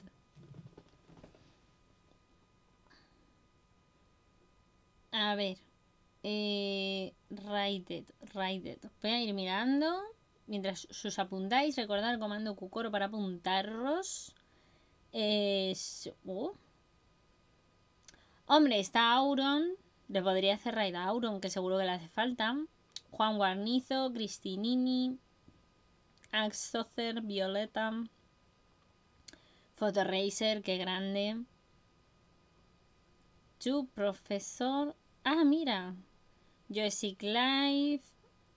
Ah, mira, Cienciate con Bigman sí está. Pues. Claro, que, que tiene un poco menos. Eh, pues mirar, si queréis os voy a mandar, porque este lo descubrí el otro día. Ya tengo, ya tengo pensada la Rated. Ya tengo pensada la Rated. Aaron Playas necesita apoyo que tiene solo dos amigos suyos viéndole. ¿A que sí? Pobrecico. Es que, es que hay que ser buen, hay que ser buenos. Hay que mandárselo a Aaron Playas. No, os voy a mandar a un, a un canal que descubrió el otro día que es bastante, bastante, bastante chulo. Eh, que ahora os cuento más. Os iba a decir, eh, ¿queréis que añada bots aquí o lo hacemos solo nosotros tres y chimpún? Bueno, nosotros tres y todo aquel que se quiera sumar, que estáis os invitados, no me malinterpretéis.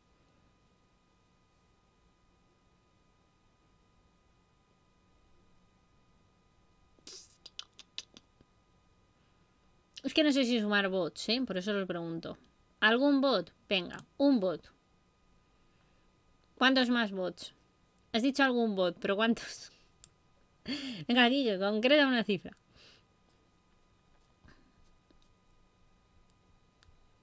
No, pues, lo decía por si podemos añadir unos pocos, sí. Mira, hacemos una cosa. Hasta 10. Va. Iba a decir, yo no miro, solo miro esta mitad y vosotros me decís cuando paro. Y solo estoy mirando al chat. 1, 2, 3, 4, 5, 6, 7, 8, 9, 10. Ay, ya está, 10. Y nosotros tres somos 13. Estupéndico. ¿Te imaginas que yo voy a hacer así? Hasta que. Hasta que. Ya, por Dios, para. No te emociones. Eh, pues nada. Vamos al lío, pues. Ahí estamos. Mm,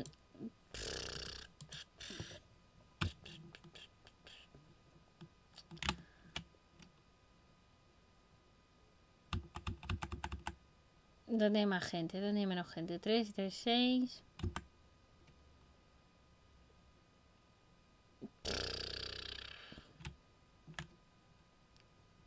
¡No! ¡No! ¿Por qué no me puedo mover? Me han matado. ¡Oh! Kike también. F por nosotros. Bueno, Hidden sobrevive. Hidden Hidden sobrevive. Esto es lo importante. Vamos, Hidden.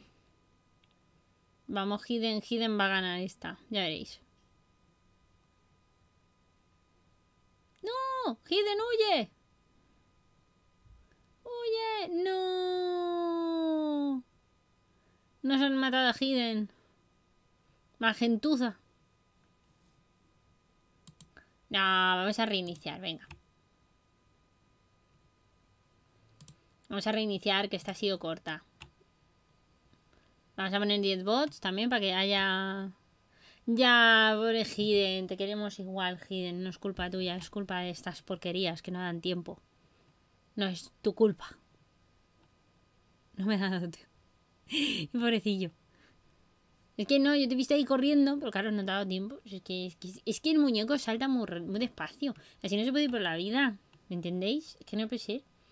Muy bien, ahí Hiden, muchas gracias por apuntarte. Em, no sé si se quiere apuntar Kike, que es el que ha estado apuntándose por aquí a todo. Como, como el que más. Em, me encanta como mi, mi Nightbot salta de vez en cuando. Ahí en plan. eh, Ahí estamos. Muchas gracias, Quiquecillo, por apuntarte. Pues nada, vamos a irle dando con emoción y con alegría. A ver, vamos a ver si nos aclaramos, ¿eh?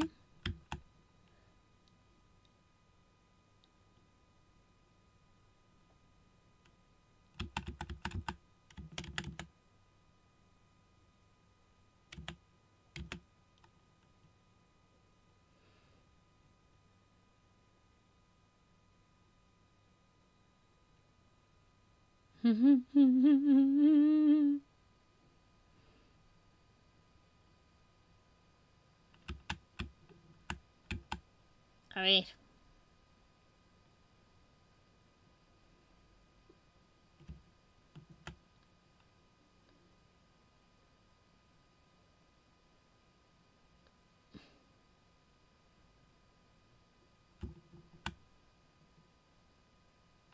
No, no. ¡Huyo! ¡Huyo! ¡Muévete!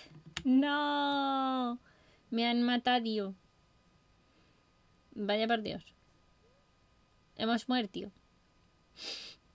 Hemos muerto. F, Kike, F.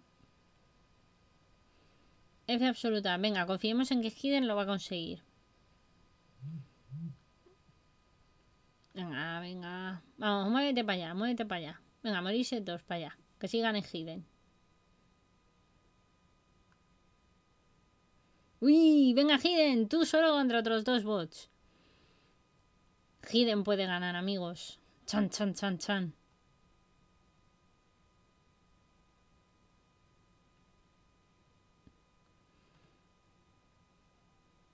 ¿Quién ganará?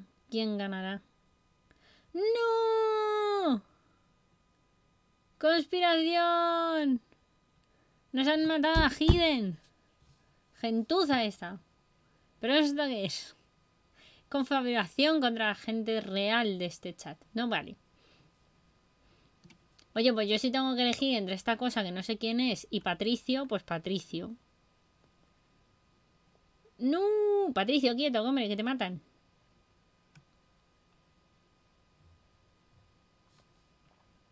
Uy, Ronaldo. Uy, Ronaldo, no, Ronaldo. Hay que me ha leído mal, perdón. Vos Ronaldo, no Ronaldo. Me juro que he leído Ronaldo, no sé por qué. En fin. ¡No! ¡Corre, Patricio, corre! ¡Bien! Ha ganado por lo menos Patricio. El mundo sigue siendo justo. Si ha ganado un Patricio, aunque sea me vota Adrián, no está tan mal la cosa. Todo es, sobre, mm, es sobrellevado de esta manera. Pues bien, bien, bien, bien. Pues nada, os voy a ir dejando con esta maravillosa imagen. Voy a irme aquí. Eh, vale. Eh, menú. Ay, perdonadme, que estoy intentando ahora salir del cucoro para que no haya tanta interferencia de cosas abiertas y todas a la vez y tal. Y os voy a hacer la raid a quien yo había pensado, ¿vale? Que... ¡Hombre! Ese Kike grande, 10 vitas. Muchas gracias, Kike, muchas gracias. Muchas, muchas gracias, mi amor, muchas gracias. Qué pedazo de tallazo, ¿eh? Que Kike es muy grande. Kike es muy grande como persona. No entra por la puerta el Kike de lo grande que es. Em, pues voy a buscar a quien yo decía. A ver un momento, porque es que el nombre no es tan facilillo como puede parecer. Otra, que me, que me buguea esto. Em, porque claro, yo sé que a Auron Playas le hace mucha falta. Sabéis que yo le mandé la raid, pero... No me preguntéis por qué estoy maniática hoy. No más apetece. Pues nada, eh, os iba a decir que muchísimas gracias a todos por estar aquí en el directo. Que muchísimas gracias por estar aquí escuchando las noticias. Muchas gracias por hacer un poco de repaso porque me habéis hecho 1500 cosas hoy. Eh, muchas gracias eh, a Gambrinos porque se ha vuelto a suscribir, a Fire7 que se ha suscrito, Acabó lo que también se ha suscrito. A Hidden Evolution que me ha dado 5 bits y aquí que me ha dado otros 10 bits. Muchas, muchas gracias a todos. Muchas gracias a todos por estar aquí, para escuchar las noticias, para escuchar las novedades, para jugar, para decirme todo lo que queréis decirme. Y pues nada, pues eso que ha sido un placer. Que por favor quedaros para la raid que se inicia ahora en breves. Os voy a mandar con 2 barra baja pro barra baja fezor que es un profesor concretamente que está eh, enseñando cositas con Minecraft. Así que os mando con él porque es un tío genial. Eh, yo le he estado viendo algunos días y tiene unos directos espectaculares. Y nada, nos vemos prontito en otro directo. Que muchísimas gracias a todos por todo. Eh, y que nada, ya sabéis, os tenéis que quedar para ganar las 250 amuneuronas que os tocan de las raides. Y que nada, que eso, que muchas, muchas gracias a todos, que os quiero mucho y nos vemos próximamente en un nuevo directo. Chao, que la ciencia y la fuerza os acompañe.